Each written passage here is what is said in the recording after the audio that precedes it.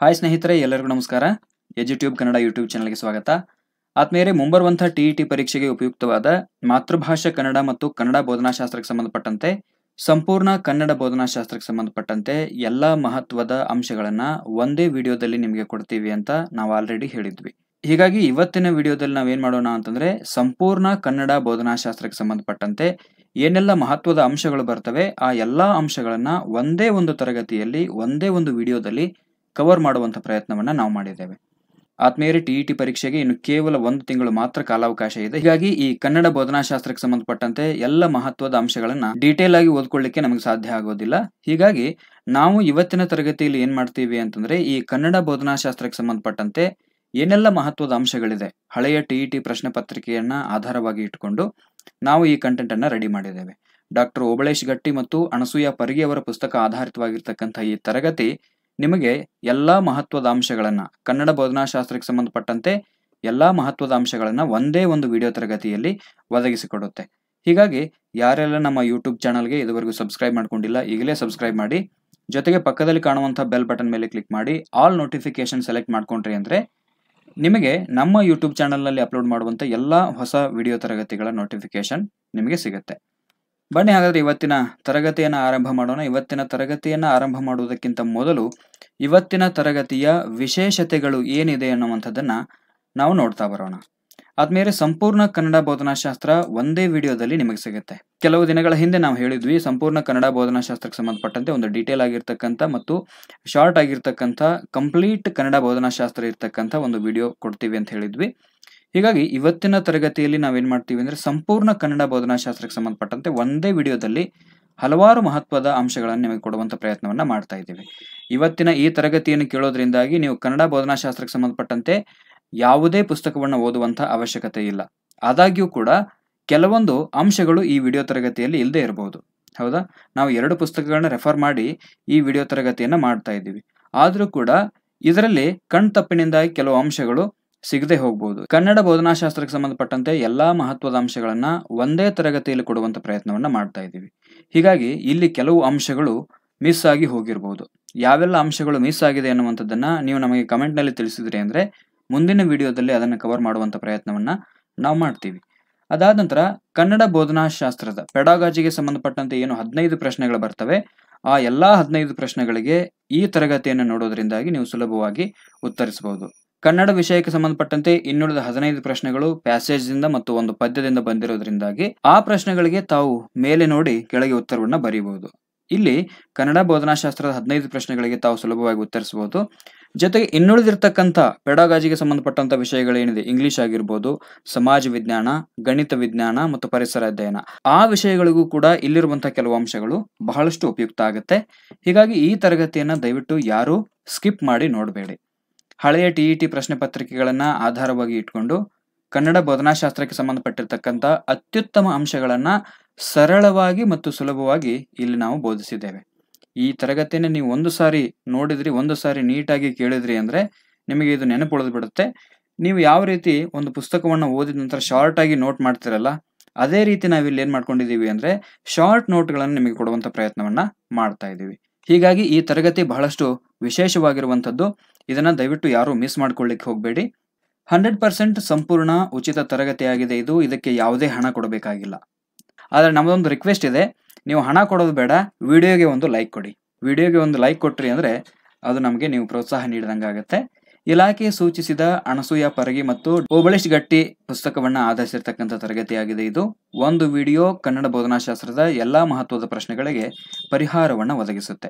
ಈ ಒಂದು ವಿಡಿಯೋ ಕನ್ನಡ ಬೋಧನಾಶಾಸ್ತ್ರದ ಎಲ್ಲಾ ಮಹತ್ವದ ಪ್ರಶ್ನೆಗಳಿಗೆ ಪರಿಹಾರವನ್ನ ಒದಗಿಸುತ್ತೆ. ಬನ್ನಿ, ತಡ ಮಾಡದೆ ನಾವು ತರಗತಿಯನ್ನ ಆರಂಭ ಮಾಡೋಣ. ಹಾಗಾದ್ರೆ ಈ ವಿಡಿಯೋಗೆ ನೀವು ಎಷ್ಟು ಲೈಕ್ ಕೊಡ್ತೀರಿ? ಆದ್ಮೇಲೆ ಇಲ್ಲಿರ್ತಕ್ಕಂಥ ಕಂಟೆಂಟ್ ಅನ್ನ ರೆಡಿ ಮಾಡ್ಕೊಳ್ಳಿಕ್ಕೆ ನಾವು ತುಂಬಾ ದಿನಗಳನ್ನ ತಗೊಂಡಿದ್ದೀವಿ. ಈ ವಿಡಿಯೋದಲ್ಲಿರ್ತಕ್ಕಂಥ ಕಂಟೆಂಟ್ ಅನ್ನ ರೆಡಿ ಮಾಡಲಿಕ್ಕೆ ನಾವು ಸುಮಾರು ದಿನಗಳನ್ನು ತಗೊಂಡಿದ್ದೀವಿ. ನಮ್ಮ ಲೈಕ್ ಟಾರ್ಗೆಟ್ ಎಷ್ಟಿದೆ ಅಂತಂದ್ರೆ ಎರಡು ಸಾವಿರ. ಈ ವಿಡಿಯೋಗೆ ನೀವುಗಳು ಎರಡು ಸಾವಿರ ಲೈಕ್ ಅನ್ನು ಕೊಡ್ತೀರಿ ಅಂತ ನಾವೊಂದು ಟಾರ್ಗೆಟ್ ಇಟ್ಕೊಂಡಿದ್ದೀವಿ. ವಿಡಿಯೋ ಕಂಟೆಂಟ್ ಇಷ್ಟ ಆಗಿತ್ತು ಅಂದ್ರೆ ದಯವಿಟ್ಟು ವಿಡಿಯೋಗೆ ಲೈಕ್ ಕೊಡಿ. ಬಹಳಷ್ಟು ಪರಿಶ್ರಮ ಪಟ್ಟು ನಿಮ್ಮ ಅಧ್ಯಯನವನ್ನ ಸುಲಭಗೊಳಿಸಲಿಕ್ಕೆ ನಾವು ಬಹಳಷ್ಟು ಪ್ರಯತ್ನ ಪಟ್ಟು ಈ ವಿಡಿಯೋ ತರಗತಿಯನ್ನ ಮಾಡ್ತಾ ಇದ್ದೇವೆ.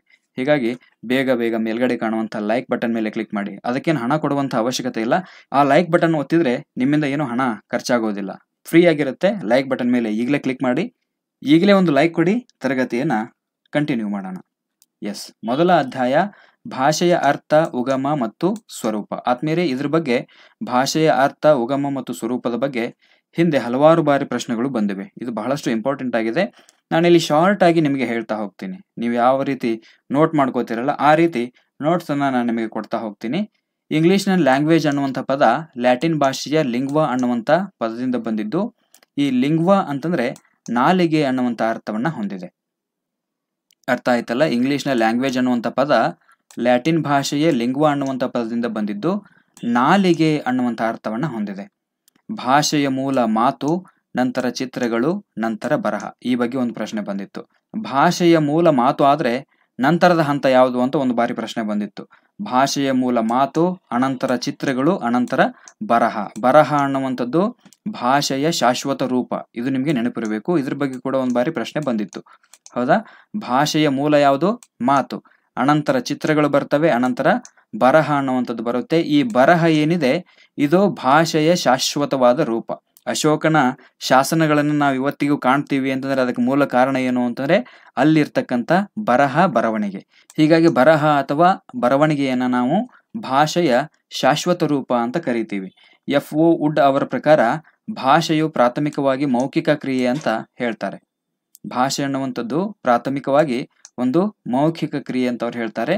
ಭಾಷೆಯ ಕುರಿತು ಶಾಸ್ತ್ರೀಯವಾಗಿ ಅಧ್ಯಯನ ಮಾಡಿದ ಮೊದಲ ದಾರ್ಶನಿಕ ಯಾರು ಅಂದ್ರೆ ಪ್ಲೇಟೋ. ಹೌದಾ?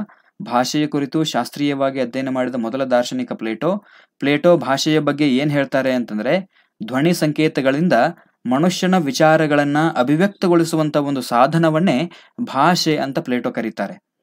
ಭಾಷೆ ಅಂದ್ರೆ ಧ್ವನಿ ಸಂಕೇತಗಳಿಂದ ಧ್ವನಿ ಸಂಕೇತಗಳಿಂದ ಮನುಷ್ಯ ತನ್ನಲ್ಲಿರುವಂತ ವಿಚಾರಗಳನ್ನ ಅಭಿವ್ಯಕ್ತಗೊಳಿಸಲಿಕ್ಕೆ ಬಳಸ್ತಕ್ಕಂಥ ಒಂದು ಸಾಧನವನ್ನ ಭಾಷೆ ಅಂತ ಪ್ಲೇಟೋ ಹೇಳ್ತಾರೆ. ಇನ್ನು ಈಸ್ಲರ್ ಈಸ್ಲರ್ ಅವರ ವ್ಯಾಖ್ಯಾನವನ್ನ ನಾನು ಯಾಕೆ ಇಲ್ಲಿ ತಗೊಂಡಿದ್ದೀನಿ ಅಂತಂದ್ರೆ ಕಳೆದ ಬಾರಿ ಟಿ ಇ ಟಿ ಪರೀಕ್ಷೆಯಲ್ಲಿ ಒಂದು ಪ್ರಶ್ನೆ ಬಂದಿತ್ತು. ಭಾಷೆ ವ್ಯಾಖ್ಯಾನಕ್ಕೆ ಸಂಬಂಧಪಟ್ಟಂತೆ ಈ ವ್ಯಾಖ್ಯಾನವನ್ನು ಯಾರು ನೀಡಿದರು ಅಂತ ಅಲ್ಲಿ ಪ್ರಶ್ನೆ ಇತ್ತು. ಆ ನಾಲ್ಕು ಆಯ್ಕೆಗಳಲ್ಲಿ ಈಸ್ಲರ್ ಅವರದ್ದು ಕೂಡ ಒಂದು ಆಪ್ಷನ್ ಇತ್ತು. ಹೀಗಾಗಿ ಈಸ್ಲರ್ ಅವರು ಭಾಷೆಗೆ ಸಂಬಂಧಪಟ್ಟಂತೆ ಏನು ಹೇಳ್ತಾರೆ ಅನ್ನುವಂಥದ್ದನ್ನು ನಾವು ನೋಡೋಣ. ಈಸ್ಲರ್ ಅವರ ಪ್ರಕಾರ ಆತ್ಮ ಅಥವಾ ಮನಸ್ಸಿನಲ್ಲಿರುವಂತಹ ಯಾವುದೇ ಪ್ರಾಣಿಯ ಅನುಭವಗಳ ಅಭಿವ್ಯಕ್ತಿಯ ಭಾಷೆ. ಅನುಭವಗಳ ಅಭಿವ್ಯಕ್ತಿಯ ಭಾಷೆ ಅಂತ ಯಾರು ಕರೀತಾರೆ ಅಂತಂದ್ರೆ ಈಸ್ಲರ್ ಅವರು ಕರೀತಾರೆ. ನಾನು ಬಹಳಷ್ಟು ಪ್ರಯತ್ನ ಪಟ್ಟು ಬಹಳಷ್ಟು ಇಂಪಾರ್ಟೆಂಟ್ ಆಗಿರ್ತಕ್ಕಂಥ ಮಹತ್ವದ ಅಂಶಗಳನ್ನು ನಿಮಗೆ ಕೊಡ್ತಾ ಹೋಗ್ತಾ ಇದ್ದೀನಿ. ಹೀಗಾಗಿ ಪ್ರತಿಯೊಂದು ಅಂಶವನ್ನು ಕೂಡ ನೀವುಗಳು ನೋಟ್ ಮಾಡ್ಕೋಬೇಕು. ಸಾಧ್ಯ ಆಯಿತು ಅಂತಂದ್ರೆ ಇನ್ನೊಂದು ಸಾರಿ ಇದನ್ನ ನೋಡಿದ್ರಿ ಅಂದ್ರೆ ನಿಮಗೆ ಬಹಳಷ್ಟು ಉಪಯುಕ್ತ ಆಗುತ್ತೆ. ಪರೀಕ್ಷೆ ಬರೋಕ್ಕಿಂತ ಒಂದು ತಿಂಗಳ ಮುಂಚೆ ನಾನು ಈ ಕಂಟೆಂಟ್ ಅನ್ನು ನಿಮಗೆ ಕೊಡ್ತಾ ಇದ್ದೀನಿ. ಹೀಗಾಗಿ ಇದನ್ನ ಒಂದಲ್ಲ ಎರಡು ಸಾರಿ ನೀವುಗಳು ನೋಡಿದ್ರಿ ಅಂದ್ರೆ ಸಾಕು. ಶಾಶ್ವತವಾಗಿ ಇದು ನಿಮಗೆ ನೆನಪುಳಿದು ಬಿಡುತ್ತೆ. ಇಸ್ಲರ್ ಅವರ ಪ್ರಕಾರ ಅನುಭವಗಳ ಅಭಿವ್ಯಕ್ತಿಯೇ ಭಾಷೆ. ಆತ್ಮ ಅಥವಾ ಮನಸ್ಸಿನಲ್ಲಿರ್ತಕ್ಕಂಥ ಯಾವುದೇ ಪ್ರಾಣಿಯ ಅನುಭವಗಳ ಅಭಿವ್ಯಕ್ತಿಯನ್ನ ಭಾಷೆ ಅಂತ ಈಸ್ಲರ್ ಅವರು ಕರೀತಾರೆ. ಇನ್ನು ಫರ್ಡಿನಾಂಡ್ ಡಿ ಸಸೂರ್ ಇವ್ರದ್ದು ಕೂಡ ಒಂದು ಆಪ್ಷನ್ ಇತ್ತು. ಹಿಂದೆ ಕೇಳಿರ್ತಕ್ಕಂಥ ಪ್ರಶ್ನೆ ಪತ್ರಿಕೆಯಲ್ಲಿ ಫರ್ಡಿನಾಂಡ್ ಡಿ ಸಸೂರ್ ಅವರ ಪ್ರಕಾರ ಮನುಷ್ಯನ ಅಭಿಪ್ರಾಯಗಳನ್ನ ವ್ಯಕ್ತಗೊಳಿಸುವಂತಹ ಧ್ವನಿ ಸಂಕೇತಗಳ ಒಂದು ವ್ಯವಸ್ಥೆಯನ್ನ ಭಾಷೆ ಅಂತ ಫರ್ಡಿನಾಂಡ್ ಡಿ ಸಸೂರ್ ಅವರು ಕರೀತಾರೆ. ಮನುಷ್ಯನ ಅಭಿಪ್ರಾಯಗಳನ್ನ ವ್ಯಕ್ತಗೊಳಿಸುವ ಧ್ವನಿ ಸಂಕೇತಗಳ ಒಂದು ವ್ಯವಸ್ಥೆಯನ್ನ ಭಾಷೆ ಅಂತ ಇವರು ಕರೀತಾರೆ. ಇನ್ನು ಬ್ಲಾಕ್ ಮತ್ತು ಟ್ರೇಗರ್ ಅವರ ಪ್ರಕಾರ, ಒಂದು ಸಮಾಜದ ಪರಸ್ಪರ ವ್ಯವಹಾರಕ್ಕಾಗಿ ಬಳಸುವ ಧ್ವನಿ ಸಂಕೇತಗಳ ವ್ಯವಸ್ಥೆಯನ್ನ ಭಾಷೆ ಅಂತ ಬ್ಲಾಕ್ ಮತ್ತು ಟ್ರೇಗರ್ ಅವರು ಕರೀತಾರೆ. ಇನ್ನು ಆಕ್ಸ್ಫರ್ಡ್ ಇಂಗ್ಲಿಷ್ ನಿಘಂಟು, ಬಹಳ ಇಂಪಾರ್ಟೆಂಟ್ ಆಗಿರ್ತಕ್ಕಂಥದ್ದು ಇದು. ಎರಡ್ ಸಾವಿರದ ಹತ್ತೊಂಬತ್ತರ ಟಿ ಇ ಟಿ ಪತ್ರಿಕೆ ಎರಡರಲ್ಲಿ ಈ ವ್ಯಾಖ್ಯಾನವನ್ನ ಕೊಟ್ಟು, ಈ ವ್ಯಾಖ್ಯಾನವನ್ನ ಹೇಳಿದವರು ಯಾರು ಅಂತ ಪ್ರಶ್ನೆ ಬಂದಿತ್ತು. ಅದು ಆಕ್ಸ್ಫರ್ಡ್ ಇಂಗ್ಲಿಷ್ ನಿಘಂಟು ಹೇಳುತ್ತೆ. ಮನುಷ್ಯನ ಯೋಜನೆಗಳನ್ನ ಅಭಿವ್ಯಕ್ತಗೊಳಿಸುವ ಸಲುವಾಗಿ ಇರುವ ಒಂದು ಶಬ್ದ ಸಂಯೋಜನಾ ಮಾಧ್ಯಮವೇ ಭಾಷೆ. ಈ ವ್ಯಾಖ್ಯೆಯನ್ನ ನೀಡಿದವರು ಯಾರು ಅಂತ ಪ್ರಶ್ನೆ ಇತ್ತು. ಈ ವ್ಯಾಖ್ಯೆಯನ್ನು ನೀಡಿದವರು ಆಕ್ಸ್ಫರ್ಡ್ ಇಂಗ್ಲಿಷ್ ನಿಘಂಟಿನವರು. ಇನ್ನು ಭಾಷೆಯ ಉಗಮದ ಕುರಿತು ಯಾವುದೇ ರೀತಿಯ ಚರ್ಚೆಗಳನ್ನು ಮಾಡದಂತೆ ಸಾವಿರದ ಎಂಟುನೂರ ಅರವತ್ತಾರರಲ್ಲಿ ಫ್ರಾನ್ಸ್ನ ಭಾಷಾ ಪರಿಷತ್ತು ನಿಷೇಧ ಹೇರಿತ್ತು. ಭಾಷೆ ಯಾವ ರೀತಿ ಉಗಮವಾಯಿತು ಅನ್ನುವಂಥದ್ರ ಬಗ್ಗೆ ಯಾವುದೇ ರೀತಿ ಚರ್ಚೆ ಮಾಡಬಾರದು ಅಂತ ಸಾವಿರದ ಎಂಟುನೂರ ಅರವತ್ತಾರರಲ್ಲಿ ಫ್ರಾನ್ಸ್ನ ಭಾಷಾ ಪರಿಷತ್ತು ನಿಷೇಧ ಹೇರಿತು ಭಾಷೆಯ ಉಗಮ ಹೇಗಾಯಿತು? ಮಾನವನ ಮೂಲ ಭಾಷೆ ಯಾವುದು ಅನ್ನುವಂಥದ್ರ ಬಗ್ಗೆ ಒಮ್ಮತದ ಅಭಿಪ್ರಾಯ ಇದುವರೆಗೂ ಇಲ್ಲ. ಹೌದಾ? ಮೊದಲ ಭಾಷೆ ಯಾವುದು? ಈ ಭಾಷೆ ಹೇಗೆ ಹುಟ್ಕೊಂತು ಅನ್ನುವಂಥದ್ರ ಬಗ್ಗೆ ಒಮ್ಮತದ ಅಭಿಪ್ರಾಯ ಇದುವರೆಗೂ ಇಲ್ಲ. ಭಾಷೆಯ ಉಗಮದ ಕುರಿತಾಗಿರ್ತಕ್ಕಂಥ ಪ್ರಮುಖ ಸಿದ್ಧಾಂತಗಳನ್ನ ನಾವು ನೋಡ್ತಾ ಹೋಗೋಣ. ಆದ್ಮೇಲೆ ಈ ಸಿದ್ಧಾಂತಗಳ ಬಗ್ಗೆ ಕೂಡ ಹಿಂದಿನ ಟಿ ಇ ಟಿ ಪರೀಕ್ಷೆಯಲ್ಲಿ ಬಹಳ ಬಾರಿ ಪ್ರಶ್ನೆಗಳು ಬಂದಿದೆ. ಹೀಗಾಗಿ ಇದನ್ನ ಗಮನವಿಟ್ಟು ತಾವುಗಳು ನೋಡ್ಕೋಬೇಕು. ಮೊದಲನೇದು ದೈವ ಮೂಲ ಸಿದ್ಧಾಂತ. ಈ ಬಗ್ಗೆ ನಾನು ಆಲ್ರೆಡಿ ಒಂದು ಡೀಟೇಲ್ ಆಗಿರ್ತಕ್ಕಂಥ ಕ್ಲಾಸ್ ಕೂಡ ಮಾಡಿದ್ದೇನೆ. ಭಾಷೆಯ ಉಗಮದ ಕುರಿತಾಗಿರ್ತಕ್ಕಂಥ ಸಿದ್ಧಾಂತಗಳ ಬಗ್ಗೆ ಬಹಳಷ್ಟು ಡೀಟೇಲ್ ಆಗಿರ್ತಕ್ಕಂಥ ಕ್ಲಾಸ್ ಅನ್ನು ಕೂಡ ನಾನು ಹೇಳಿದ್ದೇನೆ ಆಲ್ರೆಡಿ ಅದು ನಮ್ಮ ಯೂಟ್ಯೂಬ್ ಚಾನಲ್ನ ಪ್ಲೇಲಿಸ್ಟ್ನಲ್ಲಿ ನಿಮಗೆ ಸಿಗುತ್ತೆ. ಇದಕ್ಕಿಂತ ಜಾಸ್ತಿ ಡೀಟೇಲ್ ಬೇಕಿತ್ತು ಅಂದ್ರೆ ನೀವು ಆ ತರಗತಿಯನ್ನ ನೋಡ್ಕೋಬೇಕು. ಇಲ್ಲಿ ನಾನು ಏನು ಮಾಡ್ತಾ ಇದ್ದೀನಿ ಅಂದ್ರೆ ಶಾರ್ಟ್ ಆಗಿ ಇಂಪಾರ್ಟೆಂಟ್ ಆಗಿರ್ತಕ್ಕಂಥ ಅಂಶಗಳನ್ನ ಹೇಳ್ತಾ ಹೋಗ್ತಾ ಇದ್ದೀನಿ. ಇದು ಶಾರ್ಟ್ ನೋಟ್ ಇದ್ದಂಗೆ ನಿಮಗೆ ಡೀಟೇಲ್ ಕ್ಲಾಸ್ ಬೇಕಿತ್ತು ಅಂದ್ರೆ ಪ್ಲೇಲಿಸ್ಟ್ನಲ್ಲಿ ಆ ತರಗತಿಗಳು ಕೂಡ ನಿಮಗೆ ಸಿಗ್ತವೆ. ಅವುಗಳನ್ನು ಕೂಡ ತಾವುಗಳು ನೋಡ್ಕೋಬೇಕು. ಭಾಷೆಯ ಉಗಮದ ಕುರಿತಾಗಿರ್ತಕ್ಕಂಥ ಮೊದಲ ಸಿದ್ಧಾಂತ ಯಾವುದು ಅಂದ್ರೆ ದೈವ ಮೂಲ ಸಿದ್ಧಾಂತ. ದೈವ ಅಂತಂದ್ರೆ ದೇವರು. ಭಾಷೆಯ ಉಗಮಕ್ಕೆ ಮೂಲ ಕಾರಣ ದೇವರೇ ಅನ್ನುವಂಥ ಸಿದ್ಧಾಂತ ಯಾವುದು ಅಂತಂದ್ರೆ ಅದು ದೈವ ಮೂಲ ಸಿದ್ಧಾಂತ. ಈ ಸಿದ್ಧಾಂತದ ಪ್ರಕಾರ ಭಾಷೆಯ ಉಗಮಕ್ಕೆ ದೈವವೇ ಕಾರಣ, ದೇವರೇ ಕಾರಣ ಅಂತ ನಂಬುವಂಥ ಸಿದ್ಧಾಂತ ಇದು. ಪ್ರಸಿದ್ಧ ಲಾಕ್ಷಣಿಕನಾಗಿರ್ತಕ್ಕಂಥ ಭಟ್ಟ ಕಳಂಕ ಕೂಡ ಎಲ್ಲಾ ಭಾಷೆಗಳು ಭಗವಂತನಿಂದಲೇ ಸೃಷ್ಟಿಯಾಗಿವೆ ಅಂತ ಹೇಳ್ತಾನೆ. ಹೌದಾ? ಭಟ್ಟ ಕಳಂಕ ಏನ್ ಹೇಳ್ತಾನೆ ಅಂತಂದ್ರೆ, ಎಲ್ಲಾ ಭಾಷೆಗಳು ಭಗವಂತನಿಂದಲೇ ಸೃಷ್ಟಿಯಾಗಿವೆ ಅಂತ ಹೇಳ್ತಾನೆ. ಇನ್ನು ಅನುಕರಣ ಸಿದ್ಧಾಂತ. ಎರಡನೇದು, ಪರಿಸರದಲ್ಲಿ ಕೇಳಿ ಬರುತ್ತಿದ್ದ ಕೂಗುಗಳ, ಧ್ವನಿಗಳ ಅನುಕರಣೆಯ ಮೂಲಕ ಭಾಷೆ ಅನ್ನುವಂಥದ್ದು ಉಗಮ ಆಯಿತು ಅಂತ ಹೇಳುವಂತ ಸಿದ್ಧಾಂತವನ್ನೇ ನಾವು ಅನುಕರಣ ಸಿದ್ಧಾಂತ ಅಂತ ಕರಿತೀವಿ. ಹೌದಾ? ಪರಿಸರದಲ್ಲಿ ಏನ್ ಮಾಡ್ತಾ ಇದ್ವು? ಅಂದ್ರೆ ಪ್ರಾಣಿಗಳು, ಪಕ್ಷಿಗಳು ಗಿಡ ಮರಗಳು ಗಾಳಿ ಬಿಟ್ಟಾಗ ಏನ್ ಮಾಡ್ತಾ ಇತ್ತು ಅಂದ್ರೆ ಸೌಂಡ್ ಅನ್ನ ಮಾಡ್ತಾ ಇದ್ವು, ಧ್ವನಿಗಳನ್ನ ಹೊರಡಿಸ್ತಾ ಇದ್ವು. ಈ ಧ್ವನಿಗಳನ್ನ ಅನುಕರಣೆ ಮಾಡ್ತಾ ಭಾಷೆ ಉಗಮ ಆಯ್ತು ಅಂತ ಹೇಳಿರುವಂತ ಸಿದ್ಧಾಂತ ಯಾವುದು ಅಂದ್ರೆ ಅನುಕರಣ ಸಿದ್ಧಾಂತ.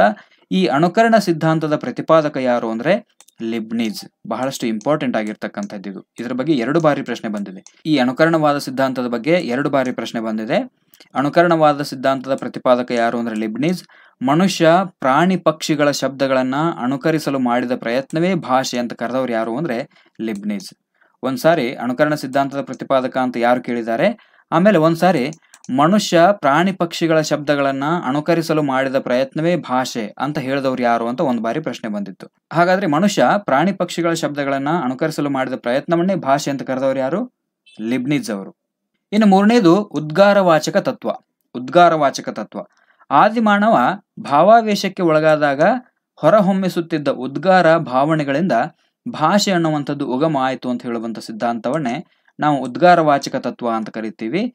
ಈ ವಾದವನ್ನ ಮ್ಯಾಕ್ಸ್ ಮುಲ್ಲರ್ ಅವರು ಪೋಹ್ ಪೋಹ್ ಸಿದ್ಧಾಂತ ಅಂತ ಕರೀತಾರೆ. ಉದ್ಗಾರವಾಚಕ ತತ್ವವನ್ನ ಮ್ಯಾಕ್ಸ್ ಮುಲ್ಲರ್ ಪೋಹ್ ಪೋಹ್ ಸಿದ್ಧಾಂತ ಅಂತ ಕರೀತಾರೆ. ಇದು ಉದ್ಗಾರವಾಚಕ ತತ್ವ. ಅಂದ್ರೆ ವ್ಯಕ್ತಿಯೊಬ್ಬ ಭಾವಾವೇಶಕ್ಕೆ ಒಳಗಾದಾಗ ಹೊರಹೊಮ್ಮಿಸಿರ್ತಕ್ಕಂಥ ಉದ್ಗಾರಗಳು, ಭಾವನೆಗಳಿಂದ ಭಾಷೆ ಅನ್ನುವಂಥದ್ದು ಉಗಮ ಆಯಿತು ಅಂತ ಹೇಳುವಂಥದ್ದು ಉದ್ಗಾರವಾಚಕ ತತ್ವ.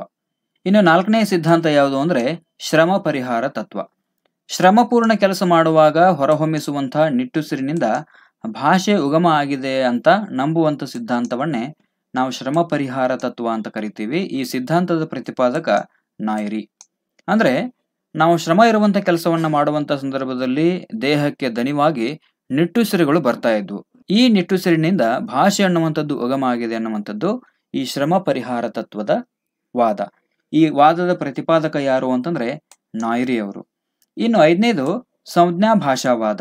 ಕೈ, ಬಾಯಿ, ಮುಖ ಹಾಗೂ ಕಣ್ಣು ಸಂಜ್ಞೆಗಳಿಂದಲೇ ತನ್ನ ಭಾವನೆಗಳನ್ನ ಇತರರಿಗೆ ತಿಳಿಸುತ್ತಾ ಭಾಷೆಯ ಉಗಮ ಆಯಿತು ಅನ್ನುವಂಥ ಸಿದ್ಧಾಂತವನ್ನೇ ನಾವು ಸಂಜ್ಞಾ ಭಾಷಾವಾದ ಅಂತ ಕರಿತೀವಿ. ಇದರ ಪ್ರತಿಪಾದಕ ಊಂಟ್ ಅವರು.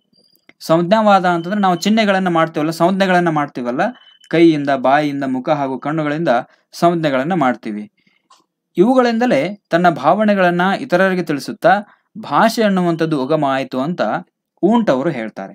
ಇನ್ನು ತೊದಲ್ನುಡಿ ವಾದ. ಜನಿಸಿದ ಮಗುವೊಂದು ನಾಲ್ಕಾರು ತಿಂಗಳುಗಳಲ್ಲಿ ಅನುಕರಣೆಯ ಮೂಲಕ ತನಗೆ ಕೇಳುವ, ಕಾಣುವ ಕ್ರಿಯೆಗಳನ್ನ ಅನುಕರಿಸುತ್ತಾ ತೊದಲ್ ನುಡಿಯುತ್ತದೆಯೋ ಹಾಗೆ ಭಾಷೆ ಅನ್ನುವಂಥದ್ದು ಉಗಮ ಆಯಿತು ಅನ್ನುವಂಥದ್ದೇ ಈ ತೊದಲ್ ನುಡಿ ವಾದ. ಮಗು ಏನ್ ಮಾಡುತ್ತೆ ಅಂದ್ರೆ ನಾಲ್ಕಾರು ತಿಂಗಳುಗಳಲ್ಲಿ ತನಗೆ ಕೇಳುವಂತ ಕಾಣುವಂತ ಕ್ರಿಯೆಗಳನ್ನ ಅನುಕರಣೆ ಮಾಡ್ತಾ ತೊದಲ್ ನುಡಿಯಿಂದ ಭಾಷೆ ಅನ್ನುವಂಥದ್ದು ಜನಿಸುತ್ತೆ, ಭಾಷೆ ಅನ್ನುವಂಥದ್ದು ಉಗಮ ಆಗುತ್ತೆ ಅಂತ ಹೇಳುವಂಥ ಸಿದ್ಧಾಂತವನ್ನೇ ನಾವು ತೊದಲ್ ನುಡಿವಾದ ಅಂತ ಕರಿತೀವಿ. ಇನ್ನು ಏಳನೇದು ನಾದ ತತ್ವ.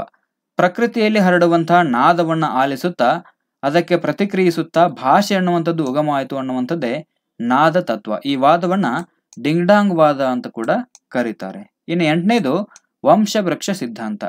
ಜಗತ್ತಿನ ವಿವಿಧ ಭಾಷೆ, ಉಪಭಾಷೆಗಳು ಒಂದೇ ಭಾಷೆಯಿಂದ ಕವಲೊಡೆದು ವಿಕಾಸಗೊಂಡಿವೆ ಅನ್ನುವಂಥದ್ದೇ ಈ ವಂಶವೃಕ್ಷ ಸಿದ್ಧಾಂತದ ವಾದ.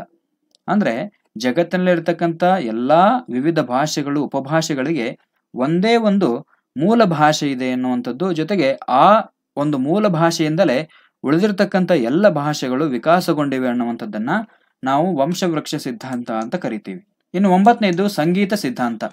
ಆದಿಮಾನವರ ಭಾಷೆ ಸಂಗೀತದಿಂದಲೇ ಆರಂಭವಾಗಿದೆ ಅನ್ನುವಂಥದ್ದು ಈ ಸಿದ್ಧಾಂತದ ವಾದ ಹತ್ತನೇದು ಸಂಪರ್ಕ ಸಿದ್ಧಾಂತ.